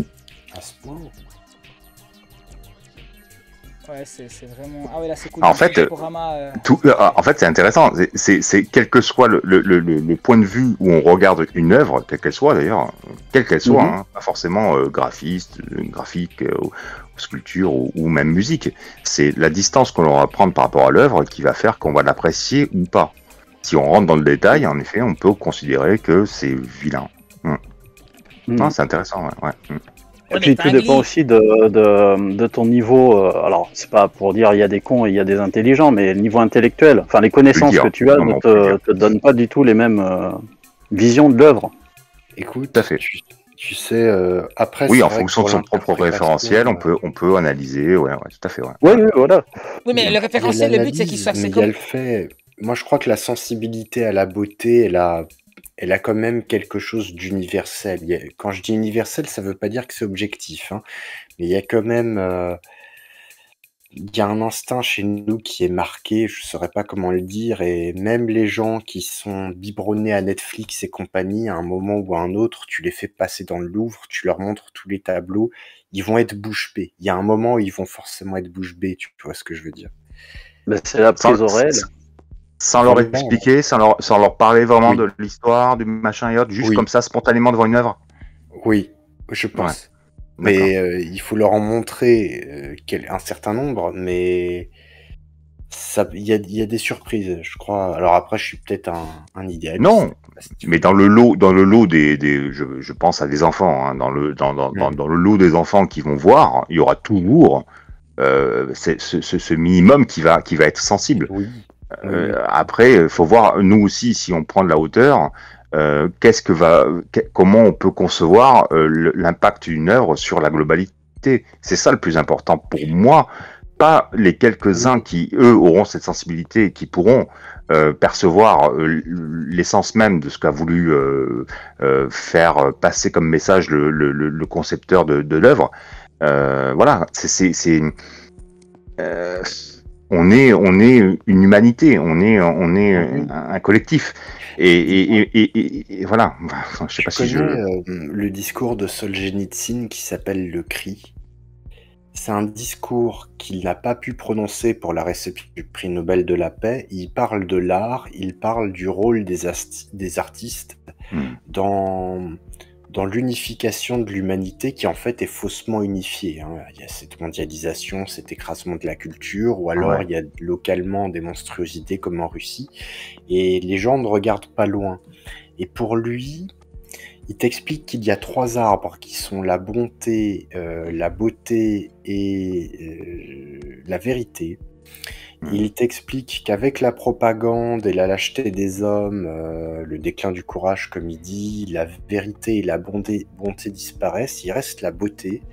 Et les artistes, surtout par la littérature, d'après lui, mais c'est qu'il était auteur, les artistes vont, grâce à la beauté, grâce à la transmission d'état en état, euh, à partir de la cime de l'arbre de la beauté, faire sortir les branches de la bonté et de la vérité. Et, et ça, moi, j'ai trouvé ça très fort, quoi. Il, il inverse Hmm. un peu le système platonicien, quoi. Tu vois, il ne refuse pas le lien beauté-vérité, mais il le change. Non, ouais, c'est, euh, on, en- on en revient à l'idée de la pyramide de départ, là, euh, justement. euh, Est-ce que finalement, il vaut pas mieux se hisser et tenter de se hisser plutôt que de s'aplatir et, et, et sombrer vers, un, vers, vers un- une espèce de néant, une espèce de, de flaque euh, hum, informe. Hum. Mais bon, moi j'arrive Ça, à parfaitement. pourtant, la, la, la nature l'indique. hein. Hum. Tout ce qui est dans la terre pousse vers le haut. C'est vrai. Oui. Nous, nous aussi, d'ailleurs. Hum. Mais après, comme disait dans le commentaire, il y a El Colosna qui disait euh, c'est pas faire de l'art, c'est faire euh, de l'argent. Moi, j'arrive parfaitement à identifier maintenant par rapport à mes élèves euh, que, je vois maintenant qui sont dans, qui rentrent dans le game et tout, et puis qui sont notamment des, élèves avec qui j'avais pas forcément une bonne, euh, une bonne, un bon feeling, mais ils se font de la thune parce que j'arrive totalement donc à identifier la nouvelle configuration esthétique. Là, je- je suis désolé, je reparle de cette. Euh, pour mes potes photographes et graphistes, euh, ou mes anciens élèves, quand je dis potes, c'est, c'est pas mes amis, tu vois. Euh, mais j'ai toujours eu un. Voilà. l'art avant tout. Donc j'ai toujours eu des bonnes synergies et des, débats qui peuvent être enflammés, mais jamais dans un. J'étais prof, mais en même temps, j'étais pas du tout comme je suis avec vous dans un live où on voit très bien ce que je pense. J'essayais toujours de tirer le meilleur. Et même si j'ai quelqu'un qui n'est pas du tout dans mon monde, j'allais toujours le tirer au maximum pour qu'il puisse exploiter son monde. Après, tu arrives à un truc, c'est quand tu vois que le mec va vraiment dans un chemin qui est pour toi anti-civilisationnel, tu dois quand même les, les laisser aller là-dedans. Bon, ça c'est encore un autre truc. Mais un vrai prof doit faire ça. Et euh, Exact. Et Oui. euh, mais je vois, donc, l'est- je parle des graphistes et des photos, mes potes photographes là. L'esthétique de cette saloperie de pub euh, Logitech, c'est ça maintenant. Ça marche. C'est que ce signalement de vertu, ce truc où on va foutre, euh, où on va tout faire pour ne. En fait, j'ai- j'ai plutôt faire par apophatisme. Qu'est-ce que maintenant un truc qui marche je- c'est- je vais, donc je vais, je vais plutôt dire ce ce Moi, Mandrill, je, je pense que tu as, signé un truc avec euh, Logitech parce que tu pas de les citer. C'est de la pub dissimulée. euh, Vous aviez vu, vous aviez vu, vous avez vu la pub J'avais fait, j'avais, il y a, il y a 15 ans, j'avais demandé à Logitech euh, de me les, ils m'ont filé gratuitement 300 souris d'ordinateur et je me, je me suis toute foutue sur moi puis ça fait euh, Iron Man. J'ai vu la photo. J'ai vu la photo sur Instagram. Ouais, et je les ai après, je les avais utilisés pour une autre expo, je les avais toutes pendues. En fait, il fallait aller pour accéder à une salle. Où j'avais- c'était mon professeur Frustrator. Ça, c'était un truc, un délire à la. Ouf, si je vous en parle une fois de ça. Euh, et il fallait traverser 1000. bah, toutes ces souris, elles pendaient avec. J'avais fait d'un mini donjon comme ça. Puis il fallait traverser un petit couloir avec toutes ces souris, avec des, pas des câbles, mais cette fois des chaînes. Puis il fallait toutes les traverser. Puis les gens, il y en a certains qui allaient pas. trouvais très, j'étais très content que les gens qui ne prennent pas le ne veulent pas traverser toutes ces souris, euh, ils ont rien à faire dans, mon expo. Euh, Non, mais c'était pas des souris inclusifs, c'est pour ça. Mais Ah, il y avait euh, les blanches et les noires. hein. non, mais tout ça pour dire, de- de- les- il y avait, oui, il y avait toutes les couleurs.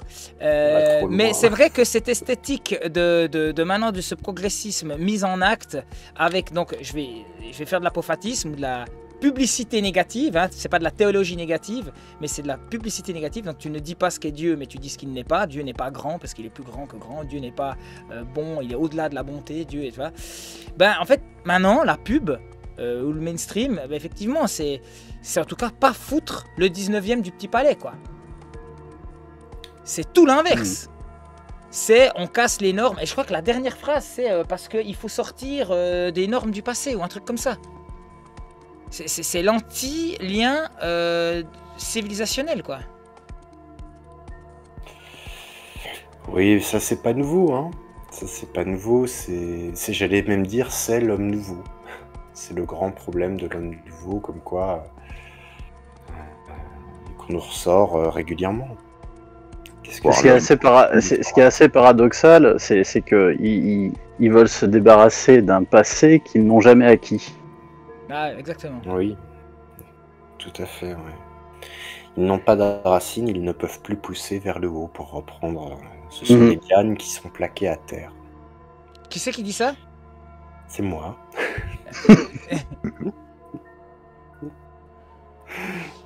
Et Gilou, 2021. Ah, mais Gi- Gi- Gilou, mais, mais Gilou, c'est. c'est- Gilou, c'est. Gilou, c'est. Ce Gilou, nom d'ivrogne. Ça, c'est beau, ça. Je suis tombé sur un truc très beau. J'essaie de vous trouver. Parce qu'en même temps, on parle. euh, Je vous ai montré plein d'artistes un peu glauques. Mais j'a- j'approuve. Et c'est pour ça que j'avais aussi des relations avec mes, élèves qui étaient assez, assez rigolotes. Parce que je pouvais très bien avoir des, des- expériences esthétiques avec des choses que je n'aime pas du tout.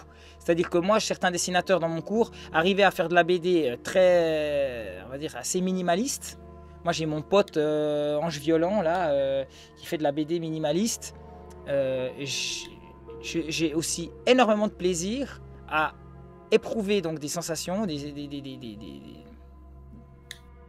des, comment dire, des catharsis, avec des choses qui correspondent pas à ce que je fais. Parce que pour l'instant, je vous ai montré que des trucs que j'aime bien, c'est de l'organique, c'est des trucs, voilà.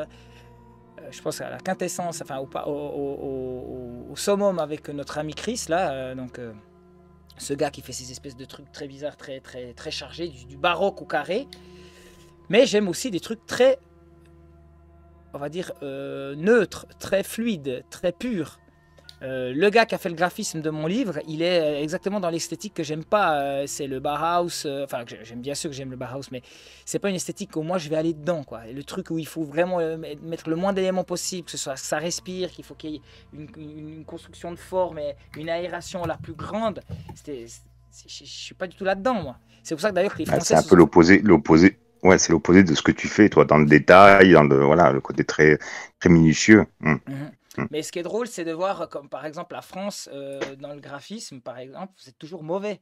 C'est très mauvais. Les graphistes, c'est connu que les graphistes, c'est pas, c'est pas, c'est pas les Français qui, qui, cartonnent. Parce que vous étiez très fort jusqu'à encore à présenter vos dossiers avec euh, les, les, salons des artisans, quand tu vois les galeries Lafayette, tout, tout ça, tous ces, tous ces salons des artisans où on présentait au final euh, des trucs du, du Louis XVI, Louis XVII, machin, mais c'était du rococo, quoi avec tout d'un coup on fait euh, on, changeait euh, soit on prend les formes rondes après on fait torsadé après on arrête on fait pas torsadé on fait droit mais c'était toujours un peu on fait les extrêmes. On change un peu comme art nouveau art déco tu vois art nouveau euh, enfin art art nouveau c'est rosace c'est arabesque puis art déco c'est ligne. Ça reste très lié au final. Les deux peuvent se matcher. À Bruxelles tu peux avoir un immeuble art déco un, un- un immeuble art nouveau ça match mais l'un s'oppose à l'autre, on est d'accord.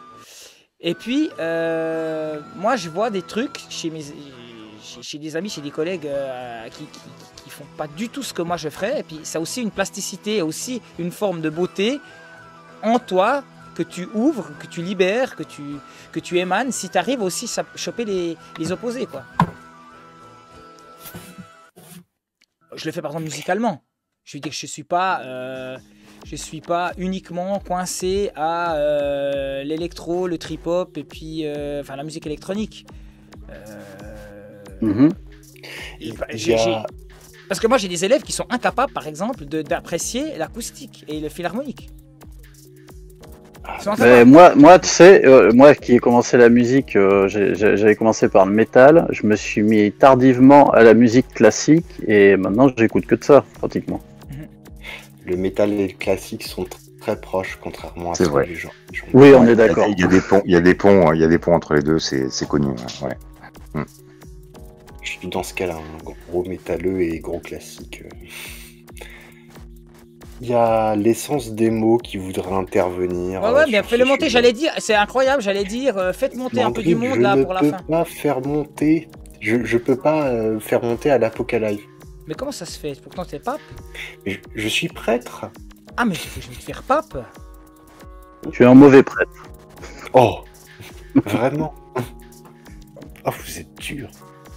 Si c'est comme ça, euh, pas de vin à la prochaine messe pour toi, voilà. Je, je, je- je tourne au saké, moi, ça va. Bon, j'ai fait monter plein de monde là, parce que c'est la fin, c'est cool, euh, c'est parti. Là, on est en fin de soirée. hein. Alors en fait, moi je vais vous faire une petite homélie là, quand même, parce qu'à la base j'avais préparé un truc. Est-ce que vous connaissez les sculptures en tenségrité Les quoi? Les sculptures en quoi? Les, Culture, j'ai, le reste non. les sculptures en tenségrité, ça vous dit rien? Ah. Qui, est issu de matière, est-ce. Je, je Alors attendez, je vais, je, vais, je vais foutre une autre petite track euh, pour ce petit bout là. Comme ça, ça va être plus sympa. Alors, puis vous n'allez pas googler pour essayer de dire que vous savez, parce qu'après, ah ouais, non, non. Alors, Non. je vais vous montrer. Alors, C'est des trucs avec les pendules, les machins et autres. hein, ouais. Les sculptures en quoi déjà? Fait en 1963, en mars, euh, lors de... Alors, là, je vous ai mis une petite image. Voilà ce qu'on a sur Google si vous tapez en tenségrité. Ouais, ce truc avec les chaînes et tout. Ouais, ouais, ok. Voilà. Alors, la tenségrité, c'est, si vous voulez, en architecture, la faculté d'une structure à se stabiliser par le jeu des forces de tension et de compression euh, qui se répartissent et s'équilibrent. Ok Alors, attends, il faut juste que je Mhm. retrouve. euh, voilà. Là, j'ai des exemples. Si vous voulez, c'est équilibré non pas par les résistances de ses constituants, mais par la répartition et l'équilibre des contraintes, reliées par, par exemple, des barres. des, des- des- des barres sont reliées, euh, ou des segments sont Ah, des reliés en- contrepoids, quoi. Exactement. C'est-à-dire que c'est relié entre eux, mais ils sont pas reliés entre eux. Ils sont reliés par des intermédiaires. Et pourtant, tout arrive à s'équilibrer. Tout arrive avec un système rigide. Alors, c'est très drôle parce que... euh, attendez, je vais juste me décaler par rapport à ça. Je vais me mettre en plus petit parce que là, c'est chiant avec ce, ce mode comme ça. Euh, Ces fameuses balles de quand on était petit qui pouvaient euh, à la fois s'agrandir et se rapetissir et toujours rester solides, quoi. Exactement. Qui augmentent de taille quand on les lance. Oui, je me souviens de ça. Équilibré non pas par résistance des constituants, mais par répartition. Et bien sûr, ça, les amis, vous allez comprendre pourquoi. C'est martial hein, comme concept. Mais merci Katsugen, parce que en gros, j'ai découvert ce concept avec euh, un prof euh, de shiatsu, mais aussi de... En fait, le mec pratique plein d'arts martiaux japonais. Et on a parlé de ces structures en. Et je vais aller dans son petit dojo d'ailleurs. Enfin, il a ainsi un cabinet de shiatsu.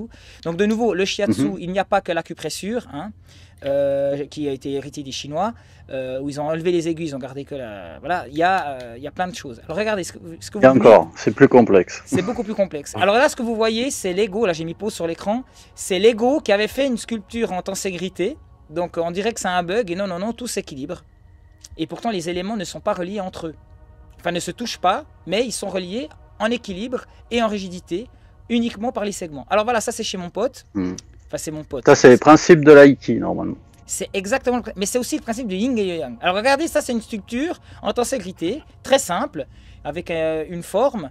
euh, voilà, c'est très écalien, c'est très euh, hipster parce que c'est. Alors, je me souviens du graphisme d'il y a 10 ans où ils mettaient des structures comme ça. Ça me fait penser à Johanny Le Mercier, avec qui j'avais collaboré dans le chez les DJ, euh, chez les. hum, Il travaillait avec beaucoup de DJ, mais euh, chez les VJ, pardon.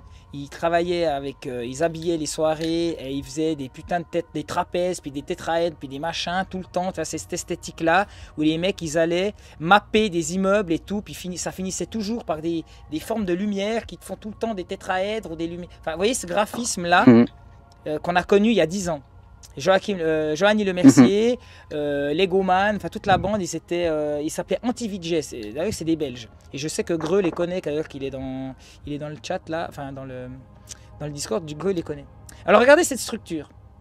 En gros, cette structure, ce qui est drôle, c'est que dans cette tenségrité, qu'est-ce, qu'elle euh, qu'est-ce qui est intéressant, c'est qu'elle a un centre. Et elle émane. Là, je vous ai mis une sphère à côté, à droite. On a un centre de gravité. Alors, c'est compréhensible pour une sphère, mais ça émane. Il n'y a rien qui est... Il y a du vide. Puis souvenez-vous, ma petite théorie, hein, c'est dans le rien que Dieu se cache, hein, dans le vide, hein, euh, Christian Bobin. Bah, c'est un peu ce principe. Euh, parce que dans le shiatsu, il y a les kyo et les jitsu. Et ça, ça va plaire à Gilou, parce que c'est exactement ce qu'on a avec Aristote, donc avec l'éthique Nicomaque. Qu'est-ce que. euh, enfin, le vice et le défaut. hein. Euh, Qu'est-ce qu'une harmonie? Dans n'importe quel concept, genre euh, la nourriture, il y a le vice et le défaut. Euh, la gourmandise, euh, ou alors, comment on appelle ça, celui qui. ou l'anorexie, je sais pas. Et puis entre deux, entre, un, deux, et entre deux vices, vice, excès et défaut, il y a l'harmonie. Le téméraire chez Aristote, c'est pas bon. Le téméraire, c'est le mec qui a même pas remarqué que ses potes n'ont pas encore le suivent pas, puis il va au combat. Et puis il y a le pleutre. Puis au milieu, il y a le courageux. Nous, on dit le téméraire, on dit que c'est positif. Non, chez Aristote, ce qui est traduit par téméraire, c'est le mec qui a même pas remarqué. Donc, toujours excès ou euh, défaut. Ben, dans le shiatsu, il y a exactement ça. Kyo, jitsu. S'il y a défaut, vide, Le vide ou le plein vide ou excès. ouais. Alors vous allez voir les amis, parce que là j'ai pris une immense claque quand j'ai parlé avec, mon, avec ce gars. On a le soleil qui tourne. On a, euh, là je mets pause exprès sur l'image. On a une autre structure que j'ai trouvée, c'est une espèce de, truc de gif sur Instagram que j'ai trouvé rigolo. Puis on a cette structure là, au centre, cette structure donc en tenségrité, avec un centre qui est invisible. Un centre de gravité. Et puis ce centre, il est comme le soleil, enfin la structure en elle-même, elle est comme le soleil. On a l'impression que la structure, elle est vide et qu'elle bouge pas. Enfin, qu'elle est vide, elle est vide, ça c'est clair, mais euh, qu'elle est statique, pardon. Et en fait, elle est Creuse. mobile. Elle est mobile, elle est fluide. Elle est fluide, comme le soleil qui n'est pas du tout euh, le, le soleil. Attention, attention avec les histoires de fluide. euh, Attention. Pas- Ça chagrait et la cuvette, c'était pas mal. Hein, ce petit. T'as vu que j'ai rajouté ça Parce qu'en fait, si vous voulez, Katsugun, il me fait des trucs incroyables. Puis tous les aspects zapping et tout, tous les trucs d'image, c'est moi qui rajoute. Puis je passe au- pas autant, autant, autant de temps pardon, que lui. Mais t'avoueras que le générique de base brut que tu m'as envoyé, puis comment je l'ai remodifié, c'est pas mal. Hein Ah oui, oui, non, mais il y a une bonne synergie. Il y a une synergie magique. Alors, en parlant de synergie, il y a un vide et il y a des, des- il y a des segments qui créent cette rigidité entre euh, une harmonie, yin-yang. Alors, regardez ce qui est très drôle, on me voit, suis en Seiza, on la presse et ça revient. Parce que l'organisme, il est comme ça. Cette structure, elle est, on va dire, elle encaisse. Si vous me permettez, il n'y a pas que la copine. Y a, voilà, ça encaisse et ça revient toujours à l'état initial. on dit elle encaisse. Et regardez bien, là, je crée une tension, je presse et ça revient. Mais attention, parce que vous allez bien comprendre qu'à un moment, ça ne revient pas toujours. Et c'est ça le problème qu'on va essayer de chercher avec le, le shiatsu. Là, une colonne vertébrale, une, simplification. Là, je la, je la sors de son socle. Et, euh, alors désolé parce que c'est un petit décalage, mais vous allez comprendre de toute façon. Et je crée tout d'un coup une tension. Et qu'est-ce que fait une, structure en tenségrité? Elle va s'adapter. C'est-à-dire que si à un moment, je presse à un endroit, il y a une tension, il y a un vide, et ben il y aura une autre, un plein, une autre tension par excès de l'autre côté. Puis après, ben, du coup, Ouais, il va. C'est pas des élastiques, hein, c'est des câbles. Ouais, c'est des câbles. C'est un transfert de tension qui est constant. La, la force, elle bouge. euh, Et on, re- on a- transfert et on- et retrouve exactement ça dans le tai chi. On retrouve exactement ça en acupuncture, entre le yin et le yang, qui doivent s'équilibrer. Parce que le but de l'organisme, quand on est, normalement, je l'ai dit toujours, un bébé, il est parfait. C'est l'homme divin. euh, on est souple, on est tout, et puis on est censé. euh, voilà. Et ces structures, notre Mais dans, le système A aussi, tu as le même euh, concept. Ok. Oui, le système, alors c'est un large sujet. D'ailleurs, tu sais avec qui j'ai fait pour la première fois du système C'était avec ce crétin d'hypno machin. Euh, J'en avais fait. Ouais, bah, je, je comprends ta déception. Voilà. Alors, ces structures en tenségrité, elles sont une métaphore. Et là, on va parler, vu qu'on parle d'art. Moi, j'ai pris, là, si vous voulez, euh, j'ai dû faire normalement trois séances d'acupressure. En fait, j'ai fait trois séances de deux heures chacune où on a fait que de parler, en gros. Parce qu'il pouvait pas me traiter. Et d'ailleurs, il ne peut pas me traiter parce qu'il m'a dit, Mandril, euh, avec toi, c'est tellement intense que, justement, vous allez comprendre. Qu'est-ce que... tension. Je suis sous tension totale. Parce que le problème, c'est, regardez bien, là, je m'amuse, là, je fais bing, bing, bing, comme ça, gauche-droite, je le presse. Puis après, je vais vous montrer un exemple où il y a un centre de gravité, normalement. Puis tout le reste est équilibré. Mais qu'est-ce qui se passe quand on fait le con Ou quand on a euh, des problèmes, euh, que ce soit de santé, ou des problèmes de stress, ou, de, de- quand est un artiste, on va tout centrer. On va même décentrer. Je vous explique. Regardez. La structure, elle est vide, il y a le centre de gravité, et tout d'un coup, il y a un kyo qui va apparaître. Regardez, je presse, tac, voilà, je me sur ce moment-là. Tout d'un coup, j'ai réuni trois segments en un. Et ça, on n'explique pas, on peut l'expliquer. Ça, c'est tout le travail de l'idiosyncrasie et du dialogue qu'on a avec le thérapeute ou le prof de shiatsu. Parce que c'est pas comme en acupuncture où le gars, il regarde la langue dessous, dessus, il prend le pouls, prend les trois pouls, puis après, il pique. Généralement, en Chine, c'est comme ça. Euh, puis encore pire, en Occident, t'arrives, en Chine, ça va plus vite. En Occident, vu que tu payes 180 balles ta séance, ils arrivent, ils regardent la langue, ils regardent le truc, ils te massent un peu pendant 10 minutes, put, put, put, put, ils stimulent le sang. Après, c'était sur le ventre, sur le ventre. Après, c'est tournez-vous sur le ventre, tournez-vous sur le dos. Puis après, tu te tournes sur le dos, là, il te pique, il te défonce. Puis après, il te pique, puis tu restes comme un con pendant 40 minutes parce qu'il faut bien justifier que ça coûte 180 balles, mais il aurait très bien pu piquer, tourner un peu les aiguilles. Parce qu'un vrai acupuncteur, il pique et il tourne. Quand il pique, c'est pas juste tic, puis aïe, ça te défonce quoi. Après, ils ont une façon de piquer. C'est marrant, j'ai un pote qui se, qui se, qui se met à l'acupuncture, il me pique, mais j'ai l'impression de crever, alors qu'il enfonce à même pas 2 mm. Alors que mon chinois, il arrive à me faire, il me plante à 1 cm et demi, voire 2, mais il me fait pas autant mal que mon pote qui apprend, qui fait. Il y a une façon, tu sais, ils ont. Et chaque acupuncteur, si tu remarques, moi j'avais, j'avais un vieux acupuncteur qui me faisait un effet avec son doigt, clac, c'était hallucinant. Enfin bref. Là, enfin, petit. Il y a une façon de, de piquer. hein. C'est pas Il y a une évident. de hein. piquer.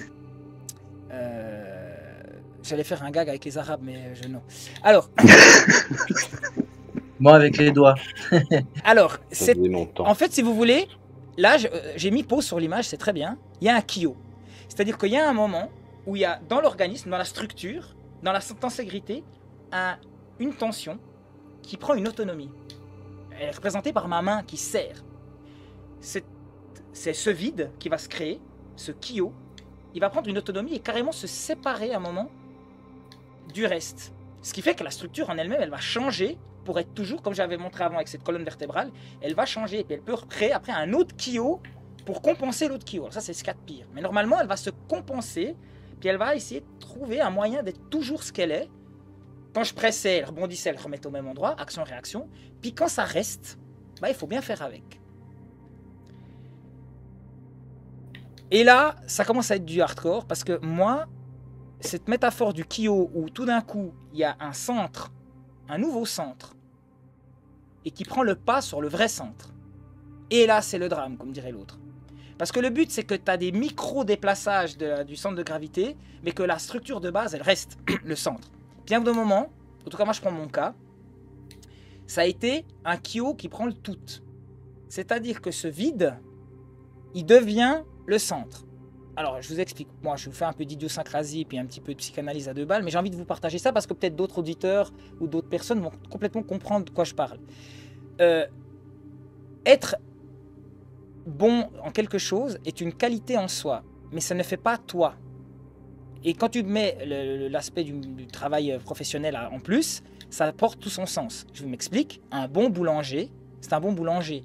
Mais quand tu sors de ta boulangerie, à moins que c'est la boulangerie de tes ancêtres, puis que tout tourne autour de ta boulangerie, bah justement, c'est un kio là. C'est que tu es, tu es boulanger, mais tu n'es pas boulanger en fait. Tu as un être humain qui a une capacité et une valeur active à être un très bon boulanger. Mais la capacité n'est pas l'être. Ok? Je sais pas si vous voyez où je veux en venir. Avec l'art, Ouais. ça devient plus compliqué. Un bon boulanger, un bon maçon, un bon. Je veux dire, le mec, quand il finit, il pose sa dernière brique à 5h30 ou à 6h, il a fini de poser sa brique, il va prendre sa douche, il va poser sa pêche, il va ce que tu veux. Il rentre chez lui, il est un père de famille. Et là, peut-être que il est autre chose. Il est déjà plus lui. C'est déjà plus son vrai centre. Et après, com- combien de potes que j'ai de mon âge qui se mettent à fond quand ils ont une fois des gosses, surtout le premier, ils sont complètement dedans. Puis j'ai envie de dire, eh mais pense aussi à toi. Tu n'es pas qu'un père de famille ou c'est plutôt l'inverse, c'est plutôt les mères. J'ai des, des- j'ai des copines qui se laissent complètement aller, qui prennent 10 ans dans la gueule euh, parce qu'elles deviennent maman. Je dis, Tu n'es pas que maman. La qualité d'être une bonne mère n'est pas ton centre. Je sais pas si vous voyez ce que je veux dire. Ouais, Si, si, contre, Et moi, contre mon- le déterminisme. Ouais. Exactement. Et c'est-à-dire que selon tes capacités, plus tu as de capacités, plus tu as des trucs cool, plus tu, normalement tu dois avoir un équilibre entre Kyo et Jitsu qui fait que tout d'un coup tu presses, mais en fait tu es sans arrêt en train. Là, je le fais juste à une main. Mais on pourrait imaginer que c'est un truc un peu comme les certaines euh, imageries euh, de physique quantique du vide, où ça, ça, ça, ça frémit, quoi. Ça, ça, il y a vide plein, il y a, matière, pas matière. Il y a, dans le vide quantique, il y a une espèce de, grésillement comme ça, de, de, de fluctuation, d'ondoiement, d'ondulation. Voilà, c'est ça que je cherchais. Et puis, eh ben, dans le shiatsu, il y a vraiment un moment une cristallisation qu'il faut battre, combattre. Puis, ben, moi, en fait, j'ai remarqué, euh, et c'est un peu gros le problème, c'est pour ça que je me retrouve dans des. Je me, je me- je me fais des grosses claques quand je me retrouve comme un con euh, euh, à devoir bosser euh, dans un truc, euh, comme quand j'ai fait de la sécurité, quand, quand j'ai bossé en prison, comme quand j'ai fait tous ces genres de trucs hyper avilissants, hyper hardcore. D'ailleurs, j'ai vu dans les commentaires, dans le premier live que j'ai que j'ai rage là, le mec il m'a fait Ouais, putain, qu'est-ce que tu te plains, Mandré? J'ai fait 11 ans d'usine. Ouais, bon. bah, T'inquiète pas, j'ai fait, ça fait 20 ans que moi je fais des boulots de merde aussi à côté, indépendamment de l'enseignement. Euh, mais là maintenant j'ai plus l'enseignement, donc je- voilà, j'ai tout cristallisé sur le personnage, le couillon, voilà. euh, comme tu l'as dit, vas-y Gilou, vous ne pouvez pas échapper au mandril, c'était drôle.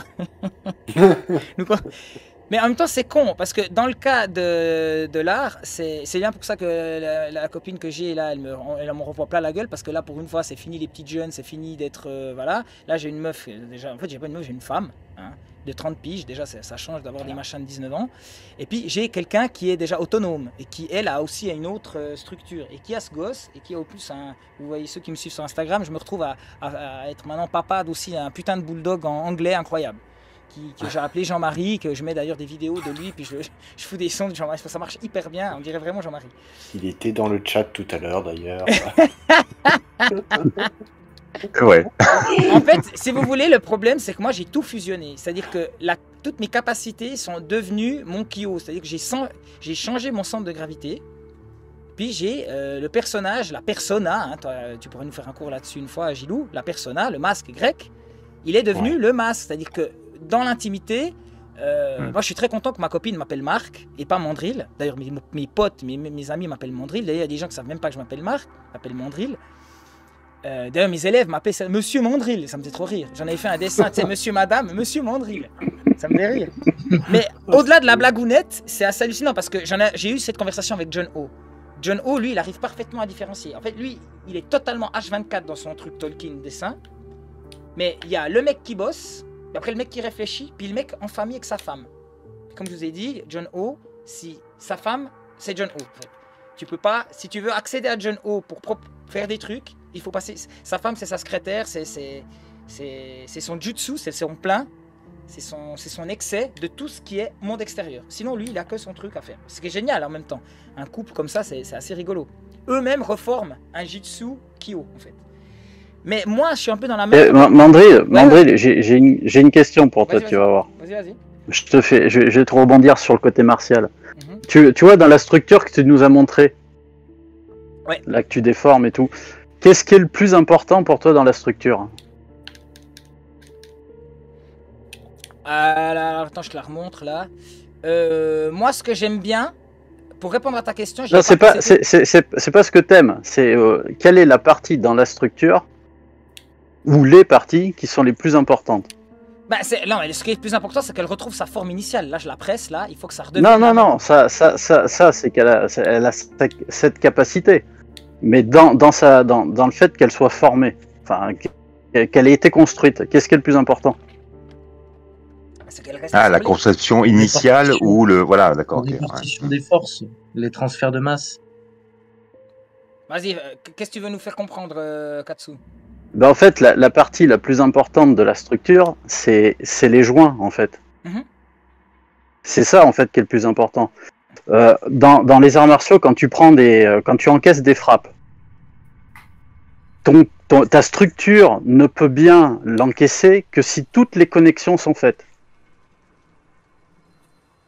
Si tu as une déconnexion dans ton corps, l'onde de choc va se répercuter dans cet endroit où il n'y aura pas eu cette connexion en fait. Ah, Donc, j'aurais une question là. Est-ce que ça, ces objets-là, sont parfaits alors? La perfection Mais dans leur pas. conception, dans leur conception, oui. Là Ah bon? Ben, parce qu'ils absorbent. Justement, justement, leur, leur avantage, c'est qu'ils sont, ils, ils sont même pas voués à l'être. Ils sont juste, euh, c'est ça quelque part la perfection pour moi matérielle, elle est là. C'est quelque chose qui n'est jamais voué à être parfait, tout en sachant ne jamais pouvoir l'être. C'est pas le but euh, de, de pouvoir être parfait, sinon ça serait, ça, ça pourrait pas s'adapter. Mais elle est, elle est C'est parfaite dans, son, dans sa conception et son équilibre. Et, C'est euh, C'est la question en fait. c'est Mais si elle n'était pas parfaite, on, on pourrait, on pourrait la détruire finalement, euh, sans parler de, de, de, de détruire un, des- un des éléments qui ferait euh, sombrer la, la, la, la, la structure euh, en soi. Mais euh, est-ce que c'est vraiment en soi, une fois fini, parfait ou pas? Moi, c'est un peu la question que je me pose. À la base, on est parfait. À la base, on est un parfait euh, alliage entre Ting et Yang. On est un parfait euh, alliage entre Kyo et Jutsu. On est, on est, on est, on est juste. Et on doit retrouver cette. euh, cette- Mais, moi justement, juste pour euh, moi cet équilibre que je vois dans une sculpture comme ça, c'est un, un déséquilibre quelque part. C'est pas, je le dis pas dans un sens euh, négatif, mais pour moi c'est pas, euh, c'est pas quelque chose de, c'est un, c'est un, un peu un résultat. C'est un résultat de tensions qui se transmettent et ça fait un quelque chose qu'on constate, mais au final c'est qu'un résultat. C'est pas une construction, c'est ça naît de soi-même un peu. Je sais pas si je, je suis Non, Oui, c'est un- on pourrait c'est- croire c'est que un tu me objet parles de fini. l'univers. On pourrait, pourrait croire que tu me parles de, de l'univers. C'est assez drôle. Bah, un petit peu, hein, un petit peu. Pour moi, la, la vie et le, le monde réel, la réalité, c'est un peu, ça fonctionne un peu selon des, des codes comme ça pour moi. L'équilibre, si on regarde, même euh, tout à l'heure, tu parlais d'humain, de centre euh, par rapport à soi, mais l'équilibre, si on y réfléchit bien, c'est un, déséquilibre constant qu'on rattrape. Même marcher, c'est se casser la gueule et, rattraper, le rattraper à chaque fois. Si on y réfléchit bien. L'é- L'équilibre, c'est toujours une, une perte d'équilibre. C'est pour ça d'ailleurs, en plus, que dans ma dernière vidéo, je termine euh, la- la- avec la phrase. Très peu de gens la comprennent. Et je pensais pas, tu vois, mais souvent on me dit, euh, ouais, mais je comprends pas ce que tu veux dire. Mais je ne cherche pas le contrôle, je cherche la maîtrise, car c'est l'art de perdre le contrôle. justement. Et c'est ça que je veux dire par là, en fait.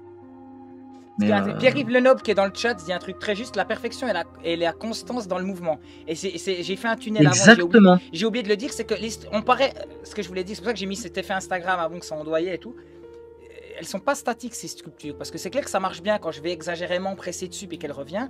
Mais on peut très bien imaginer que de toute façon, elles sont légèrement déformées par. euh, là, j'exagère. hein. J'avais un prof de dessin qui me disait rien n'est droit. Même ta règle, en fait, elle prend la forme de la Terre, mais à un degré minimal d'atome. euh, tu vois, il n'y a rien qui est plat. Enfin, il n'y a rien qui est. Tout suit la forme de la Terre au final. Même ton truc. Après, Ouais. bon, les gars, à la NASA, ils te font des machins en Non, mais- dans l'idée, rien n'est plat.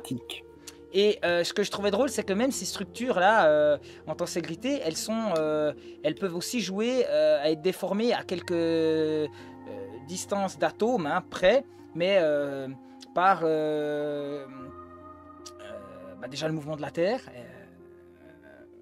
et simplement aussi la Lune. Elle a une marée, euh, Ah. elle a- il y a des marées de terre aussi, hein, il n'y a pas que l'eau. L'eau, c'est visible, parce que c'est beaucoup plus fluide, mais la terre, elle bouge aussi par rapport à. Et on pourrait imaginer que même Mhm. nous, on est aussi connecté à ça. Ça me fait parler, on parlait d'Abellio avant, euh, quand je bouge la, la main, c'est ça, c'est dans l'apocadrille sur. euh, euh, sur l'homme et le corps, c'est quand je lave le, le bras, je change de manière infinitésimale le centre de gravité de la Terre, mais je la change quand même. Et du coup, je change jusqu'aux confins de l'univers euh, les lois universelles de la gravité. L'effet marrant papillon, hein. que les, sci- que les scientifiques admettent ça pour la matière, mais n'admettent pas ça pour la conscience. Et c'est- Je trouvais, euh, je trouvais assez beau ce passage. Bah, en fait, ce qui, est, ce qui est important à comprendre avec euh, ça, c'est c'est- c'est juste que le seul truc qu'il faut retenir, c'est que c'est la connexion qui est important. Et tu peux l'appliquer sur n'importe quel domaine, n'importe quelle situation. Enfin, j'avais envie de vous partager ça. Puis, vu qu'on est fou, vais vous partager une autre idée. Parce que là, c'est là en ce moment, bon, j'ai eu l'épaule, je sais pas si vous voyez, mais là, ça va, ça va un peu mieux. J'ai bon, vraiment soigné euh, en acupuncture à fond, en mixobution, en, en, en massage à fond. Donc, je vois autant des ostéopathes, euh, vraiment l'ostéopathe qui te masse et puis qui est dans une dimension euh, très matérialiste, mais très concret, un gars génial qui bosse aussi en crossfit, qui bosse en, euh, qui fait euh, voilà, qui fait un, du yoga. Donc c'est pas juste un gars qui, c'est pas un réparateur sur machine, voilà, c'est pas un réparateur d'humain. J'ai vu une autre petite ostéo, euh, mais qui bosse beaucoup plus sur le, subtil. Et elle, elle est incroyable parce que j'ai eu une chat avec elle. J'étais là, mais bordel, c'est incroyable. Ça, tout rentrait en résonance avec cette histoire de, jutsu et de, et de kyo. Elle connaissait aussi le, le- le shiatsu. Puis quand je la revois la fois suivante, elle me, je lui dis Ah putain, j'ai beaucoup repensé à ce que vous m'avez dit. Puis elle me fait Ouais, Mandrill, euh, ok, euh, tu as pensé, mais est-ce que est-ce que tu as aussi ressenti? Et je reviens à l'idée. C'est que bon, un truc, que ce soit chez mes potes. euh, euh, c'est ça, chez les gars qui font du shiatsu, chez mes acupuncteurs, chez mes amis ostéopathes, mais qui sont dans un autre plan que forcément que l'aspect, on va dire, mécanique, il y a toujours où la mandrille, avec toi, c'est l'intellect, c'est la tronche, c'est impressionnant. C'est toujours ça. Et c'est que ça. Et c'est vrai que depuis tout petit, je vais pas vous dire encore que j'ai rencontré un, truc assez hallucinant. Une petite. euh, alors vous, vous allez peut-être me prendre pour un gros, un taré, mais j'ai vraiment eu, là, il y a deux semaines, un, une claque avec la rencontre d'une personne qui arrive assez facilement à te, à te foutre euh, un uppercut. Euh, on en avait parlé, ça faisait des années que j'entendais parler de cette personne, et voilà, j'ai une fois décidé, et ça fait un peu. Enfin, j'ai fait, un- lapsus. J'ai pas décidé, J'ai décidé dans mon inconscient de la rencontrer, et je l'ai rencontrée à ce moment-là. Et elle m'a aussi dit, euh, donc on- j'ai pas envie de l'appeler comme médium, mais c'est quelqu'un qui voilà, qui va au-delà des choses. Et elle m'a fait ouf. Mais avec toi, le problème, Mandrill, et c'est en même temps ta force, c'est que depuis toujours, tu as toujours fait tout avec le mental. Tu as toujours fait tout avec le mental. Ton dessin, ton art, tout est travaillé. Et ça me fait penser à ce que m'avait dit Galizia. Galizia, c'était ce grand galeriste de Paris euh, qui est un des premiers à avoir euh, foutu des thunes chez Banksy et tout ça. Qui avec qui j'ai eu un super feeling. Puis il m'a fait Mais le problème, Mandrill, avec toi, c'est c'est un art d'homme fait pour les hommes. Savez, tout ce que je vous ai montré, c'est super masculin. Et où c'est que tu places la féminité? Et la dernière fois que j'ai été voir ma petite euh, ostéo incroyable, là, elle me fait Mais Mandrill, qu'est-ce que c'est pour toi? Je te te dis pas être féminine, mais qu'est-ce que c'est être féminin? Le féminin. Et puis là, on est venu toute une discussion assez hallucinante sur la notion de verticalité et d'horizontalité. Alors la, conclusion c'est il faut être erect. hein. Il faut avoir sa dimension masculine, connectée, Uranus, le ciel et tout. Mais il faut pas aussi, et ça paraît un peu euh, du Bernard Werber ce que je vous dis, mais allez voir au-delà parce que je vais, je, vais, je vais un peu construire le truc. C'est il faut aussi chercher l'horizontalité dans le sens réceptivité, fluctuation, fluide. Dimension Mais féminine. C'est un peu le yin et le yang, non? C'est toujours, mais Moi, le bien sûr que vous faites ça. le lien. Parce qu'en gros, si vous voulez, ce que j'essaie de vous dire, c'est que là, depuis le début de l'année, je vois à peu près 5 personnes. Alors, je vois, je vois pas de psy, hein, ça je vous rassure tout de suite. Parce que ici, généralement, je sors avec les psys, puis les expériences que j'ai eues avec les psys, ces petites universitaires qui sortent avec leur permis de pêche en master, en psycho, je les démonte. Enfin, tout dans tout sens, enfin, sens propre comme figuré. Mais bref, ça finit légèrement très mal. Mais j'ai eu 5 personnes, et ces 5 personnes m'ont fait comprendre chacun avec une méthode différente, un truc où j'essaie, j'essaie de vous le, euh, recracher là, de manière un peu maladroite. Alors l'intégrité de cette histoire, c'était je pense le plus concret pour vous le faire passer. Mais là j'ai eu donc avec cette petite, euh, cette petite euh, masseuse euh, ostéopathe, mais qui travaille sur plein de plans, euh, elle m'a parlé justement de cette ve- verticalité, ho- horizontalité. Et puis l'histoire du yin et du yang, c'est vrai que feu, flamme, yang. Mais souviens-toi, la flamme, elle est fluide, c'est une flamme. Donc c'est une parfaite connexion. Comme la lave, Mhm. elle est liquide, mais c'est du feu. Je sais pas si vous voyez ce que je veux dire. C'est- toujours essayer de trouver des exemples de de- d'union parfaite. Et alors après, je reviens toujours avec cette histoire de, l'intellect, qui serait la partie yang. Je reviens avec mon ami Apollos.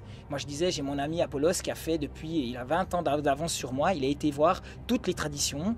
Euh, là, il est que ce soit euh, les Coptes, euh, les, les orthodoxes, le christianisme originel, les, les maçons, un peu comme notre ami Craig Tabibian qui a aussi été voir les. Elle me regarde puis elle fait, ouais, elle était voir les hommes quoi. Puis elle dit, mais je ne dis pas ça de manière négative. Mais c'est la spiritualité homme. Et c'est pas du tout une féministe. hein. C'est pas du tout une gauche. Je pense que c'est la première à défoncer tous ces trucs LGBT. Elle va avoir, comme nous, les mêmes constats de dégénérescence et de, de, de, de. Mais elle a fait, et là j'ai trouvé hyper fort, parce que ça m'a mis en lien avec ce que m'avait dit mon ami Galizia. Mandril, tu fais de l'art pour les hommes. Bien sûr, je vois des vieux dandys, des gars du 19e, des réminiscences de ces gens qui vont acheter des tableaux. c'est effectivement ce que j'ai eu. Sur les milliers de gars qui me suivent, euh, j'ai ceux qui décident de passer à l'acte et puis qui m'achètent un truc, c'est effectivement des vieux dandys, des vieux aristos, des machins qui correspondent à un ancien monde mort, perdu. Donc moi je suis toujours en train de parler du fucking white male, mais en fait au final je m'adresse qu'à eux, puis c'est, je suis en voie, de- je suis en voie d'extinction. Puis peut-être le problème c'est que je, devrais réactiver autre chose, parce que je vais pas dessiner des meufs puis faire des trucs kitschos.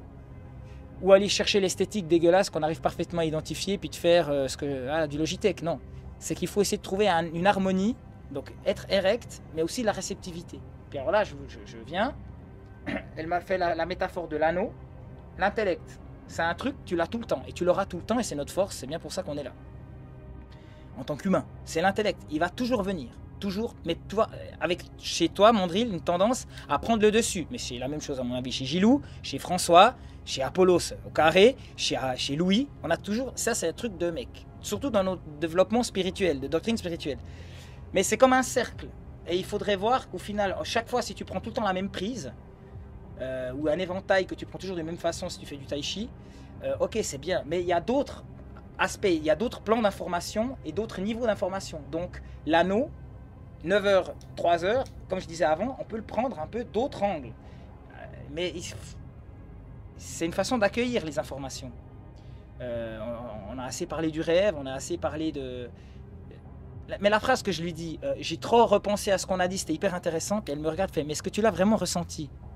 Puis c'est vrai que j'ai eu le clash avec Apollos. euh, moi, j'en ai marre d'avoir des gars euh, surdoués, surbons, surfaits, sur, et- et avec d'autres potes universitaires.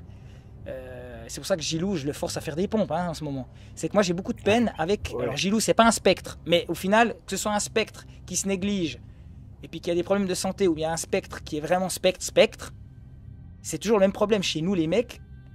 Ou alors dans d'autres extrêmes, on va bosser notre corps, puis on va faire, voilà, c'est toute cette droite euh, maintenant, euh, droite balèze, euh, droite euh, coachings pro, machin. Mais c'est la même face opposée de la même pièce. C'est toujours le mental qui se cristallise une fois dans un excès du mental musclé, quoi. C'est le, le, le Nietzschéen, le tout ça. c'est- bien, mais c'est qu'un aspect de, de la flamme. Si vous voulez. C'est- la flamme, mais elle n'est pas fluide au final. Elle n'est pas fluide. Ou c'est la lave qui est coincée. Il faut percer. Vous avez déjà vu quand la lave, elle est noire, puis Ouais. tout d'un coup, elle pète, puis tu vois de nouveau le Ben, coulant vraiment chaud. C'est exactement sort. ça. C'est un, travail de surface. La lave elle se durcit sur le dessus et elle reste liquide en dessous. Alors, le mental, ok, je te connais, tu arrives, tu débarques, à chaque fois, je t'accueille, oui, parce que je sais que tu es là. C'est le fameux monkey mind en méditation. Donc, faites une fois Vipassana, essayez de faire euh, une retraite 10 jours, euh, même on vous fait à bouffer, hein, donc vous n'avez rien d'autre à penser que méditer 8 heures par jour. Sans parler, vous allez voir ce que c'est la, la claque. C'est ok, je t'accueille, je suis toujours là, mais laisse un peu parler les autres. Après, qu'est-ce que j'entends par les autres hein? Mais laisse aussi parler, il n'y a pas que ça. Et je vois, moi, euh, je suis sorti avec des sportives d'élite, je suis sorti avec des... elles, elles ont peut-être rien compris, elles comprendraient rien ce qu'on dit, mais elles ont, je vous promets, par le corps, quand même d'autres aspects du cercle, hein, de l'anneau, de la métaphore indienne. C'est qu'elles ont euh, 4 heures, 8 heures. Alors c'est peut-être un peu chiant pour nous, ces 4 heures, 8 heures, parce que ça reste un truc de bonne femme. Mais il faudrait aussi des fois un petit peu balader les mains, parce que c'est, c'est vraiment, je pense, aussi le gros problème du piège du mental depuis le 15e siècle, dans la, culture occidentale. Et ça se retourne euh, contre nous avec le jeu qui a été euh, la déconstruction à la Deleuze. Et ça donne hypnomachie, quoi. Le mec, dans les derniers fights que j'ai eu en commentaire suite à, ma réponse de vidéo et sa vidéo, c'est vraiment, euh, à la fin, c'est que tu... Mais c'est qu'une construction sociale. J'ai dit à moment, mec, mais vas-y... au moins avoue que t'as losé et puis euh, au moins demande pardon quoi. Non non non, de toute façon c'est qu'une construction sociale. Donc même quand je le mets en PLS, euh, la PLS que je lui fais c'est qu'une construction sociale. Donc au bout d'un moment peux, tu peux pas. C'est comme euh, c'est comme l'évangéliste que tu, les dinosaures c'est Satan qui les a mis pour douter que le monde a pas 6000 ans, tu vois. Donc tu peux plus. Donc il faut accueillir et il faut essayer de dire bon maintenant je veux aller sur un autre plan. Et puis là je finis, je finis ma, j'aurais pu remettre le logo au Mélie du Moindre là. La caravane du musée. Ah, ça veut dire qu'est-ce qu'il va nous dire? En fait, cette petite dame, euh, c'est elle d'ailleurs qui m'a fait, euh, quand je disais la patate, la pomme de terre Deleuze, euh, putain, et les gars, ils, veulent plus d'arbres, ils veulent des pommes de terre. Ils veulent le rhizome. hein. Donc Sartre qui n'aimait pas les arbres et Deleuze qui reprend ce, ce joke puis qui fait que je vais te faire du rhizome. Même si c'est hyper intéressant. Moi, je me souviens, à 20 ans, je parlais de la métaphore du rhizome de Deleuze. C'était hyper opératif pour moi. Et en fait, c'est un piège intellectuel total. Et comme j'ai dit, ça marche aux États-Unis, ils veulent des patates, quoi. Et puis elle me fait, mais oui, parce que c'est un peuple jeune. Vous voyez le sens maintenant, quand je vous avais dit ça avant Bref, donc la caravane. Elle me dit, en me regardant, Mondril, le problème chez toi, c'est que tu as visité pas mal de pays, au sens propre comme figuré, mais est-ce que tu as vraiment visité les pays? C'est-à-dire que quand tu passes dans un pays, tu peux apprécier chaque relief, karstique, calcaire chez des trucs euh, en Chine continentale, euh, plat, machin, euh, Mexique, ce que tu veux, désert. ma- Mais l'avantage du voyage, c'est vraiment dans ta caravane impersonnelle, dans ta caravane intérieure. J'ai fait beaucoup de liens sans lui parler parce que j'ai l'impression de passer pour un con parce que je foutais du mental. Mais je voyais la caravane de Bergson. Je sais pas si vous connaissez la caravane de Bergson, mais c'est hyper intéressant. Comme quoi elle avance, puis on meurt. C'est une caravane qui avance, puis c'est l'humanité. Puis elle avance parce que on se. C'est comme si c'était des gens qui marchent, qui s'arrêtaient jamais de marcher, ils baisent et ils revivent, ils meurent, ils revivent, ils meurent, ils font des gosses, puis elle avance tout le temps. Je vous la résume très mal, mais c'est un peu ça.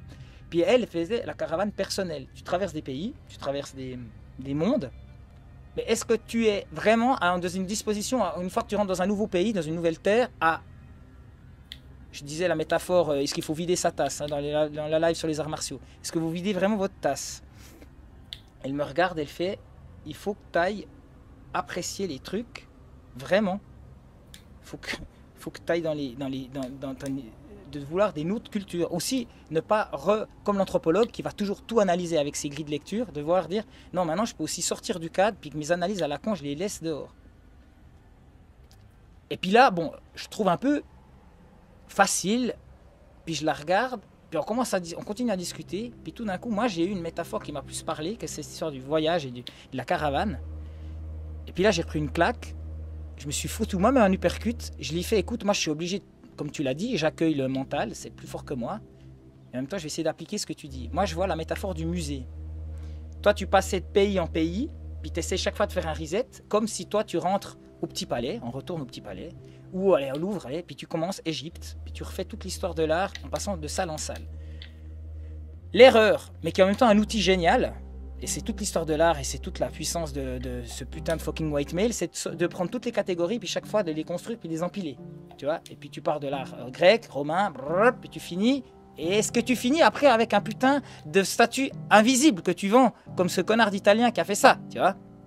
Est-ce que tu tombes dans ce piège-là à chaque fois? Est-ce que de salle en salle, tu prends toute cette merde pour en finir à empiler le caca et puis euh, au final tu fais un beffroi, quoi. Tu vois, les beffrois, ce que c'est? C'est ce que c'est un beffroi? C'est ce qu'il y a sur les campaniles pour structurer la, tour, pour pas que la cloche, quand elle sonne, il y a tout qui parte. Bah, tu fais un beffroi de tes tours de caca, quoi. Tellement que t'en es à, aller loin dans la vibration de ta merde. Puis moi, j'ai dit, mais à un moment, il faut arrêter le musée. Il faut, arrêter le musée. C'est-à-dire que tu t'observes des tableaux, tu peux avoir de plus en plus grands les tableaux, hein, exactement comme au 19e, peinture d'histoire gigantesque. Puis à un moment, bon, tu peux aller changer la salle, puis tu continues, puis tu vas faire art moderne, machin. Puis non, tu sors du musée. Puis c'est pas que tu vas prendre du plaisir à regarder des putains de connards qui ont fait des, paysages de rivière et des malades. Tu vas aller dans le parc du musée, puis tu vas vraiment aller écouter maintenant la rivière. Ça paraît complètement nunuche ce que je dis, mais essayez de comprendre. Druyet, le dessinateur le plus génial qui, existe, euh, donc le fondateur de Métal Hurlant, il disait Putain, les gars au 19e, ils avaient des trains, ils prenaient le train, ils se cassaient, ils avaient accès à la nature parfaite encore. Là, ça commençait à partir en couille avec l'industrie, mais tu pouvais encore accéder à la nature encore interne, à- à- à- à- à- comment dire, euh, intacte. Ces cons, ils se foutaient dans des musées pour voir ce qu'on appelle les dioramas. hein. Donc ces espèces de petits. Quand, quand vous voyez un- dans des musées d'histoire naturelle, vous avez le héron, puis ils font un fond dans une petite cage d'un mètre cube. Le fond décor avec le fond, le, mur, il est peint, puis t'as les fausses feuilles, machin. Le truc, il est stabilisé pour pas que ça crève. Tout est fake. Puis tu vois le héron dans son diorama. Mais il faisait des dioramas de tout. De l'Égypte, des dioramas du monde entier, de- de- de- des maquettes, à à l'échelle. Puis il disait, mais c'est quand même hallucinant. Pourquoi Alors qu'on avait accès à ce, à ce monde-là, c'était aller en Égypte. C'était les bourgeois, ils allaient en Égypte voir des trucs de dingue. Tu pouvais, c'était pas l'Égypte du Caire que j'ai connu euh, touristique, même si euh, en printemps arabe, des touristes, il n'y en avait pas beaucoup quand j'y étais. Mais vous avez compris, les mecs, ils avaient accès au vrai monde, encore pas bouffé. Et pourtant, ils allaient voir des dioramas. Bah pourquoi? Parce que ce qu'on aime chez les artistes, et peut-être qu'on répond à la question de notre sens des mots, c'est qu'on aime l'interprétation des choses. La mort, c'est glauque au final, ça pue, c'est deg. Mais la mort de Tim Burton, allongée, très, très inspirée de l'expressionnisme allemand, les spirales, les damiers, tous ces trucs qu'il a pompés dans l'expressionnisme allemand, tapez expressionnisme allemand cinéma, c'est du Tim, vous avez l'impression que c'est du Tim Burton. Ben c'est ça qu'on aime, c'est l'interprétation de. Puis au final, au lieu d'apprécier les choses, les vraies choses, on va voir un artiste qui les interprète. Puis c'est son interprétation qu'on retrouve en toi qui allume quelque chose. Puis moi je me suis dit, mais putain, faut arrêter ce bordel, faut sortir du musée, on veut plus voir du diorama, mais on veut voir la vraie expo. C'est celle, c'est le parc, quoi. Après le parc, il est, c'est un putain de portugais qui coupe les arbres et puis qui fait que le truc soit beau pour les bobos et qu'ils aiment bien. Il faut sortir du parc et aller de nouveau. Là, je vais avoir tous mes potes païens qui vont m'écrire en privé et me dire Ah ouais, on a tout à fait compris ce que tu as dit. Mais il faut vraiment aller dans la forêt, quoi. Voilà, j'ai fait une immense homélie. Je vous laisse. euh, Mais je sais pas, je, je- je suis allé dans plein de sens. Donc, si je résume, caravane, caravane paysage. Moi, j'ai fait plutôt la métaphore musée. Puis au final, tout ce que j'ai fait là, de nouveau, j'ai fait que du mental. Donc je me réjouis, puis c'est pas contre vous que je dis ça. Façon, demain, je dois aller bosser à l'usine. Mais je me réjouis de me coucher, puis de sentir vraiment le contact euh, de ma cage thoracique euh, sur mon putain de duvet. Même si je fais chaud comme j'ai, j'en aurais pas besoin. Mais de me rancrer, tu vois. Contact, sol. Qu'est-ce qui touche le sol? Ok, il y a les talons, il y a le mollet. Enfin, tous les trucs qu'on fait un peu en sophrologie euh, QQ. Mais de l'appliquer en vrai, de manière notre force que nous, parce que là on, on- est contre mecs, de manière vraiment euh, tonique, juste, vrai, feu. Mais pas oublier qu'on ondoie, quoi. Donc voilà, j'en ai fini. Ondoyer, flui- euh, fluidité et réceptivité. Et c'est la, le, petit, la petite pique que je donne à mes amis guénoniens. C'est pour ça d'ailleurs qu'on n'entend plus trop Apollo, c'est pas ça vous avez remarqué. J'ai rien contre lui, je l'a- je l'aime tout plein. Mais moi, je veux aussi qu'on soit tous réceptifs. Là, d'ailleurs, vous avez été hyper cool, vous m'avez laissé parler pendant un quart d'heure, alors que moi, j'ai plutôt écouté avant. Mais c'est ça. Et le problème chez les traditionalistes, c'est qu'ils écoutent rien.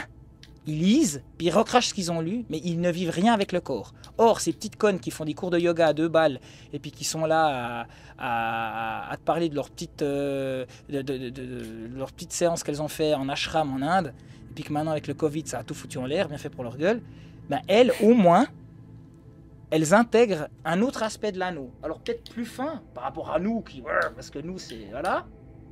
Nous, ça va de Wittgenstein euh, de merde à euh, les pères de l'Église, à Clément d'Alexandrie. C'est génial, niveau philo. Mais on est tout le temps dans le piège du mental, quoi. Alors même quand je dessine, je fais toujours du mental.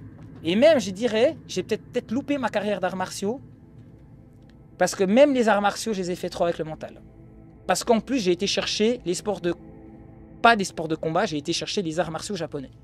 Moi, je vois la nouvelle génération des espèces de petits. euh, bah, euh, dans l'école où je sais, j'avais fait venir Nelson Carvalho dans mon, dans mon live, là, sur les arts martiaux. Je vois des petits Marocains, des petits Français qui viennent s'entraîner chez nous euh, en Suisse parce que c'est pas interdit le MMA. Alors, ok, ça écoute Booba, ça machin, c'est. Voilà. Mais il faut leur laisser le fait qu'au moins, sur l'anneau, là, ils sont vraiment dans le ressenti et dans le vrai. Alors, nous, peut-être, on devient. C'est peut-être la force de l'âge c'est qu'on a peut-être juste avant 50 piges. Parce qu'après à 50 piges, il y a quand même une destruction du corps où ça vient. Donc euh, t'as encore une année, euh, notre ami là. t'as 49, je crois qu'il est parti d'ailleurs. Euh, Non, non, on je a- suis là. Ah super. Euh, on a encore, on a encore la possibilité d'essayer de tout reset quoi. C'est pas le great reset du Covid, c'est le great reset de tout. Et ça s'applique à des potes guénoniens qui sont vraiment super bons, ça s'applique à des gars qui font des arts martiaux super bons, ça s'applique à n'importe quel gars entre 20 et 45 ans, je vous le dis. Euh, les gars, notre, je crois que notre, notre grand but de notre génération, c'est d'arriver, alors qu'on nous l'impose, le Great Reset, de faire nous-mêmes le vrai reset. Quoi. Puis c'est comme je dis toujours, euh, il y, y a toujours le vrai et l'instant du faux, il y a l'aspect qu'on nous impose, le multiculturalisme et tout, alors que c'est exactement ce qu'il faut pas pour être, pour être sûr d'arriver dans un tunnel, enfin dans un tunnel, dans un mur, il faut aller plutôt aller chercher l'inverse de ce qu'on nous, de ce que nous, dans ce que- de ce qu'on nous euh, impose. Tu vois, la fausse écologie, la vraie écologie, le faux féminisme, le Mhm. vrai féminisme, Ouais, la, ouais. la mauvaise bouffe, la vraie bouffe. Toujours ce que- comme le système nous le balance, puis en fait comme il est juste au final, parce qu'il il essaye de, de- de- de jouer sur ce principe, qu'on voit très bien pourquoi. Moi je vois tous ces connards qui sont à, à- à chier sur... euh, euh, comment dire, à, à investir à fond le LGBT. Là, il y a eu une manifestation à Neuch pour le droit des femmes et les trucs. Les gonzesses, elles étaient en train d'hurler. Non. Le voile, c'est la liberté. L'obésité, c'est la pleine santé. Donc tout est inversé. C'est le grand monde des inversions. C'est Orwell. C'est Orwell. On en avait parlé avec, euh, bah, on en avait parlé ensemble, Gilou, parce que je t'avais appelé juste après cette manifestation. Mais en même temps, je vois très bien ce qu'elles essayent de dire. Parce que oui, il y a un problème de la liberté, mais il n'est pas sous ce plan-là, mais il faudra se battre. Et puis oui, il y a un problème du corps aussi. Euh, mais c'est clair que c'est... Alors moi j'ai vu, j'avais balancé sur Insta, tu vois une obèse de 150 kilos, black, comme ça, vergéturé dégueulasse, prof de yoga, avec écrit euh, il est temps d'arrêter le, suprématisme blanc, enfin le- la, la surprésentation euh, et le, le- je sais plus comment c'était en anglais. Les blancs dénaturent le yoga. euh, Ouais, les, les occidentaux ont dénaturé le yoga, un truc comme ça, je l'avais, je l'avais vu. ouais. Les blanches, euh, tu, vois, tu vois, effectivement, toutes ces petites gonzesses là qui sont issues de la danse classique, qui se refoutent au yoga, puis après qui, qui ouvrent leur chaîne de fitness là, comme tu prends Pam Reef, euh, Alexia Clark ou Caroline Givran, c'est toutes des meufs que je suis qui font des, workouts de dingue. hein. Euh, Pendant le confinement, moi je suivais que des meufs euh, comme un con avec mes kettlebells sur YouTube, et franchement j'en ai chié ma race parce qu'elles elles bossent vraiment bien, mouvement parfait tout, parce qu'elles sont issues du yoga et de la danse classique, la plupart. Alors c'est vrai que l'indigéniste de 150 kilos, elle voit du fucking white girl, quoi. Et ils en ont. le vrai est un instant du faux, ça, faut laisser à cousin, il a raison. Mais on a un sacré, on a un sacré bordel de reset. Et ça en revient, donc la boucle est bouclée par rapport à tout ce qu'on disait avec euh, Papacito, Raptor, ou tous ces gars qui font du spectacle critique plutôt que du critique du spectacle. Bah, il faut faire un reset, quoi. Il faut pas pour autant jeter l'eau du, enfin, l'eau puis le, enfin, le bébé puis l'eau du bain, mais il- faut pas euh, patauger, quoi. On sait, on n'est pas trop con. Merci Soral, merci Dieudo, merci. Oui, merci, reset. Puis il faut. hein, Totalement d'accord. ouais. Parce que ça va aller très vite. hein. Moi, je la sens là, 2021, ça va aller très vite.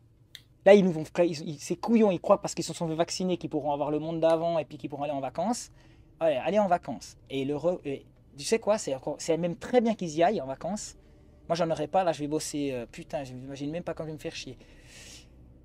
Mais au moins, quand ils reviendront de leurs vacances de merde, entre, entre vaccinés, la claque pour eux va être encore plus forte. Tu vois ce que je veux dire? Parce qu'à la limite, moi, bon, bah, ça changera pas grand chose.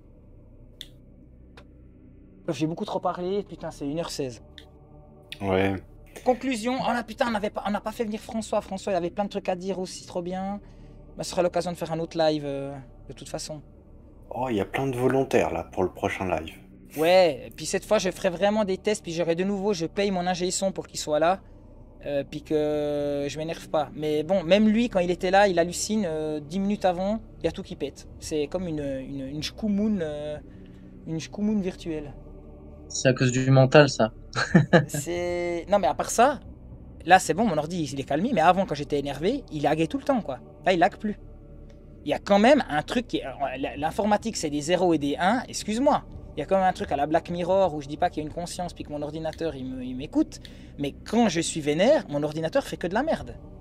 Il y a quand même un truc, je sais pas si qui sait, c'est de l'électricité, ton cerveau aussi. hein. Peut-être que ça peut euh, le perturber. euh. Alors moi j'ai un souvenir, et bon mon frère, euh, paix à son âme, ne peut pas confirmer, mais ma mère a vu la scène après coup parce que la télé a...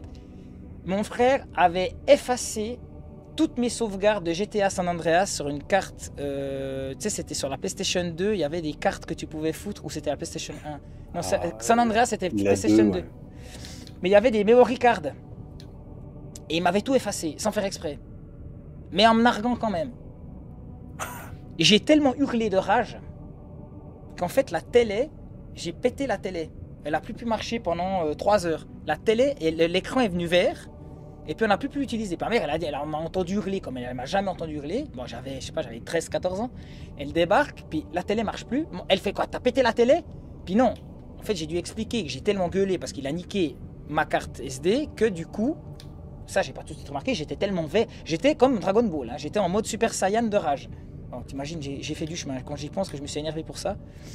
Euh, bon, je me suis bien énervé avant euh, pour. euh, mais bon, parce que j'avais des potes qui m'attendaient, c'était vous, donc voilà, c'est différent. Mais je pense que j'ai aussi un pouvoir télékinésique que je n'ai jamais exploité. Mais je, je pense que je pense réellement qu'on l'a tous. Hein. On l'a tous. Mais moi, je te jure, Surtout l'informatique, si un- t'es bien dans le mental. hein. Mais il y a les deux extrêmes. Je vois des gens complètement euh, incroyables, des profs de. Justement, des profs de, de yoga ou de machin, sans être des bobos, hein, des gens vraiment bien euh, qui qui sont pas forcément des, dégénérés, euh, euh, qui eux euh, ne touchent pas à un ordinateur, et puis les peu de fois où ils touchent, ils sont, il y a tout qui leur arrive. Et puis j'ai des potes qui sont effectivement, qui en ont rien à foutre du, de ce qui nous intéresse. Et il y a aussi tous des trucs qui leur arrivent. Donc c'est pas que plus t'es pur, plus tu débranches pas d'ordi, tu vois. Je veux dire, je sais pas si tu vois ce que je veux dire. Il y a des gens qui, c'est indépendamment de la pureté du mental. C'est que ça, c'est aléatoire. C'est des 0 et des 1, mais c'est aléatoire. J'arrive pas. J'aimerais trouver des informations sur ces histoires d'ordinateurs qui, qui, qui, bug. Plus bah, t'as la loi de Murphy, quoi. Plus t'es pressé, plus t'as un machin, plus ton ordi il va te faire chier, quoi. Ou ton ordi ou tout appareil informatique. Ouais, ou même ça existait, on, pouvait dire ça aussi pour les appareils mécaniques, euh, les voitures ou quoi, une sorte de, de, de, de- on peut dire que c'est l'inverse peut-être de la synchronicité, peut-être sur d'autres plans, mais des fois des choses arrivent au moment où ça doit arriver, pas et pas à un autre moment, tu vois. Donc c'est une corrélation quelque part. euh, le- les liens entre toutes choses sont tellement des fois subtils que euh, on peut pas non plus les balayer d'un revers de la main comme si dire ouais non mais ça a aucun lien parce que finalement tout est lié. Après ça va au-delà de Pour moi, c'est mais- c'est complè- c'est complètement de la synchronicité, au contraire. hein. C'est exactement ça, quoi. Ouais, mais fait, je voulais dire, oui, je suis d'accord, mais je voulais quand même le séparer parce que c'est pas le même état. C'est comme l'amour et la haine, tu vois. Je veux dire que c'est peut-être la même force, mais dans deux, c'est les deux faces d'une même pièce. C'est ce que je voulais dire. Mais je suis d'accord avec toi. Mmh. Il y a un truc qui est super bien. euh, je fais, euh, je- il y a quand même des fois dans l'entertainment deux trois trucs rigolos. Moi, j'avais vu cet épisode, j'étais sorti de là, je l'avais trouvé très étrange. Euh, dans I Love Robot là, ou comment c'est ce truc sur Netflix Euh, C'est que des petits courts métrages les uns après les autres là. Ah, c'est Love, Sex and Robot. Ouais, un truc du genre, ouais, c'est ça. Il y a un épisode avec un vaisseau euh, de l'armée euh, qui, à la fin d'ailleurs, je veux pas vous le spoiler, mais sauve toute son équipe parce que c'est le. Lui, est- oui, oui, oui. Et il est incroyable cet épisode. Parce que c'est un peu de l'animisme high-tech. Je sais pas si. Rematez-le. Ouais, c'est beau. Et je l'ai trouvé hyper bien. Et après, je, te- je te jure, suivant cet épisode, moi qui, qui, ré- qui résonne toujours en scénario de BD, parce que toujours le mental, pendant deux jours, j'ai maté mon téléphone, ma palette graphique, euh, ce putain de micro, et tout ce que j'ai. d'un autre œil. Tu vois? Toujours avec cette histoire d'aller chercher d'autres niveaux d'information et d'autres portes d'information sur ce cercle. Parce que bien sûr, l'utilité, et je reviens avec Jacques Ellul, l'efficacité, c'est un truc super accessible dans les objets. Mais tous ces autres objets qu'on a, il y a peut-être aussi d'autres niveaux de sensibilité. Et puis quand ton ordi il bug, quand toi-même t'es énervé, alors je parle pas de compassion virtuelle, mais euh, il y a peut-être des trucs qui se passent vraiment où nous on n'arrive pas à analyser, on n'a pas les codes qui expliquent pourquoi l'ordi il pète quand toi-même t'es énervé. Et c'est la même chose pourquoi on n'explique pas que euh, euh, tapis euh, quand tu fais l'expérience de. En nous on croit que c'est du hasard, mais les, allumettes qui tombent perpendiculaires sur un damier, puis que tu les comptes, le nombre qui sont parallèles par rapport au nombre de, qui sont aléatoirement mis sur le damier. Euh, plus tu as d'allumettes, plus tu es proche du chiffre pi, tu vois, c'est l'expérience. On n'arrive toujours pas à l'expliquer. On a le chiffre pi dans, dans une expérience qui est liée au hasard. Bah, peut-être qu'avec les informatiques, enfin avec l'informatique, tous ces bugs, tous ces trucs, c'est encore un autre aspect qu'on n'arrive pas à comprendre de. euh, C'est qui qui tape? C'est dans la musique, j'entends quelqu'un qui tape euh, sur un clavier. Euh, C'est moi, je, je t'inquiète pas, je Ah, réponds aux gens, euh, je me coupe quand je le fais. Ah non, non, pas de problème. Bah, de toute façon, eh, moi je dois bosser demain, j'ai une grosse journée. Demain je me lève à 6h. Hein. Puis je dois aller porter, je pense que demain je fais 2 tonnes, enfin 2 tonnes. Je fais 5 tonnes de, De gaz. de gaz. Ça me vend du rêve. Hein. Mandrill, c'est un dessinateur qui produit beaucoup de gaz. D'ailleurs, vous voyez, on a derrière moi la, la- la vapeur, là, derrière mon, petit, mon petit truc d'apothicaire. En tout cas, ça m'a été un plaisir. Heureusement, j'ai failli tout racheter. J'en ai perdu la voix. Mais j'ai bien fait de me remettre euh, sur le vélo. Tout ça, c'est grâce à Gilou. hein. C'est Gilou qui m'a dit Mais Mandrill, vas-y, hop. J'ai réteint quatre fois mon ordi de suite. Et tout d'un coup, tout marchait. Il n'y avait plus l'écho. Il y avait de nouveau tout qui marchait. Et puis c'était Quelle belle âme, euh, ce, ce Gilou. non, il y a deux personnes que j'aimerais remercier ce soir vraiment spécialement. C'est Katsugun. Parce que c'est l'aventure Apocadril, c'est lui qui me motive à faire ses génériques. Et puis euh, lui, il me propose des idées. Puis après, moi, je les rebooste. Puis après, lui, il les rebooste. Puis c'est ce ping-pong. Gilou. François, parce que François m'a fait un putain de texte. L'Apocadril que je vais faire sur la Trinité. Euh, je pense que au final, j'avais fait un. Ouais. Grâce à lui, ça m'évite de faire trop de tunnels. Il a une structure, il m'a envoyé un truc. Le mec a 21 ans, il redonne l'espoir à l'humanité. Donc merci euh, François, on va faire un apocadrille sur la Trinité euh, que je vais coupler avec la Trinité dans le taoïsme avec Louis. Ça c'est ma petite partie, Euh, ça va être génial. Donc on va apprendre plein de trucs. Et puis oui, justement, ce qui est cool, c'est que j'ai tout monté, j'ai toutes les vidéos déjà, j'ai tous les textes. Il faut juste que je monte. Ça tombe bien, de toute façon, j'aurai plus le temps d'aller filmer, vu que je suis un prolo qui va aller bosser. Donc voilà.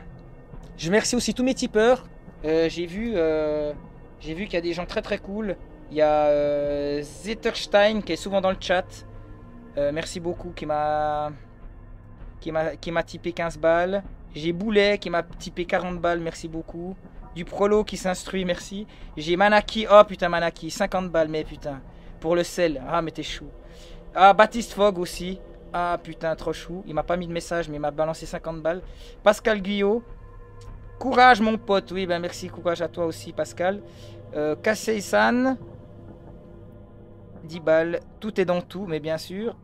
Et puis euh, Kula qui m'a dit live de facture triple S pour accompagner le bidouillage. Blender, merci de ton travail euh, et bonsoir à tous. Cool. Et puis aussi, non mais t'es pas vrai, tu veux pas me dire que Katsugun. Ah non, c'était le 2 juin. Mais je te remercie quand même, Katsugun. Tu es le même, t'es le seul gars qui donne de la thune au live où tu fais des visuels. Ah putain. Ouais, je me paye moi-même. mais c'est moi qui devrais te filer de cette thune, putain. Putain, t'es trop chou. Moi, j'ai un pote qui est au sauce, qui a, qui a tout balancé, qui a tout envoyé chier. Je le salue. Il en a plus, il en a plus rien à foutre. Je l'ai filmé dans des de mes stories. C'est mon ancien galeriste. Il s'est foutu au sauce. Il les envoie tous chier. Il a bossé toute sa vie comme un gros connard. Donc, euh, il peut se permettre parce qu'il a, voilà, parce qu'on lui a tellement fait chier pour des histoires personnelles. Je vais pas rentrer dans les détails. Mais on l'a emmerdé. Puis maintenant, ah vous me faites chier. Ben tenez. Alors il va chez ses commerçants, chez ses amis, parce qu'il a toujours vécu aussi au centre-ville de Neuchâtel comme moi. puis il leur paye des trucs. Puis il fait Mais je vous les rends, je vous rends. Parce que vu que eux payent en impôts, ce qui permet de lui de vivre maintenant euh, l'équivalent du RSA en France, là, mais je vous les rends, je vous les rends. Il est génial. Donc Marcus, parce qu'il s'appelle aussi Marc, je te salue. Et puis euh, la fondue que tu as fait chez toi la dernière fois, euh, du, la meilleure de, ma vie, je crois. Donc voilà. Donc c'est ça aussi, ces aventures d'Apocadrille, c'est de faire des liens, se marrer, échanger. Et puis ben euh, voilà, j'étais tout vénère au début de soirée, et puis en même temps je suis tout bien maintenant. Alors je vais couper mon mental, me déconnecter, et puis euh, prier non pas pour demander, mais pour remercier. Parce que même si je vais en chier demain, je vous dis, et je vais en chier encore pendant un moment là, ben je sais pourquoi j'existe. Et puis je crois que c'est la meilleure, le meilleur pied de nez qu'on peut faire au chétan. Un petit mot tout le monde, d'accord? Quelqu'un? Gilou? Bah écoutez, euh, toujours vers le haut. Ayons une, euh, une sortie d'émission optimiste. Euh, Oui. Il y a- il y a toujours euh, la possibilité de redresser cette pyramide et on peut faire le choix de, de le faire. On a toujours moyen de le faire. Super. Merci à tous. On se retient au jus sur Discord. Là, j'avoue, je vais pas rester, je vais directement pioncer, mais le Discord, il est aussi cool et on a plein de liens, plein de trucs. Euh, ce que tu as cité là, le texte là sur les artistes de Gilou, tu as parlé avant. La- la- les trois arbres là. Ah, le cri. Le cri de Solzhenitsyn, vous le Solzhenitsyn. trouvez partout sur Internet. Bah, mais la référence, juste, euh, à la limite même le résumé euh, Wikipédia qui nous permettra de partir après faire des recherches, quitte à trouver le bouquin en PDF. Dans le chat, dans... Non, sur Discord. Sur On va Discord, aller- je le mets. Bon courage, euh, Et puis salutations à Pierre-Yves Lenoble aussi, que j'apprécie beaucoup ses vidéos. Et puis, euh, puis à tout bientôt les amis. Et puis je vous fous Illis 31, c'est une honte, mais voilà, j'assume. Let's go. Ciao tout le monde. Espace, frontière de l'infini, vers laquelle voyage notre vaisseau spatial. Sa mission de cinq ans, explorer de nouveaux mondes étranges, découvrir de nouvelles vies, d'autres civilisations, et au mépris du danger, avancer vers l'inconnu. November 915 Link, what are you, go ahead.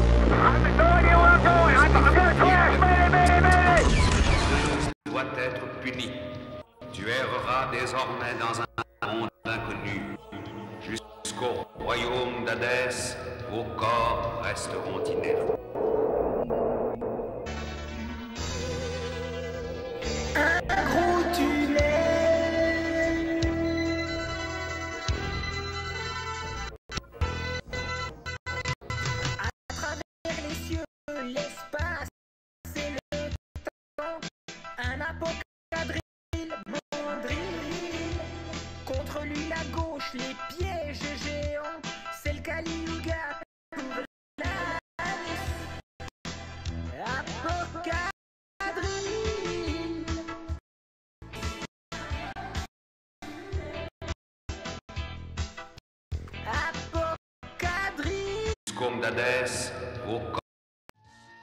Quiconque ose défier la puissance de Zeus doit être puni.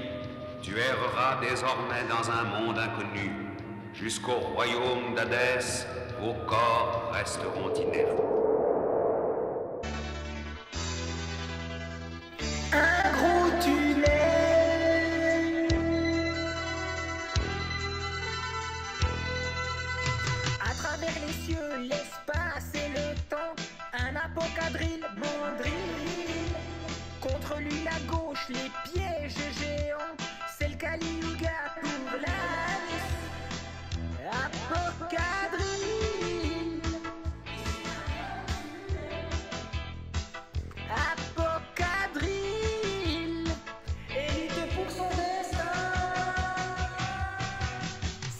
Moi le facho, j'ai été collabo, j'écoute mon drill, ici c'est Apocadrill. Je suis un gros facho, je suis sur les gauchos, universitaire, progressiste et très juif.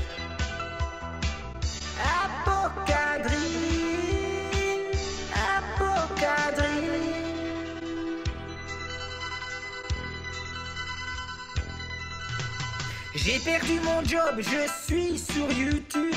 J'ai besoin de petite la moule à fric. Mandrine 31, tes cours de philo. On est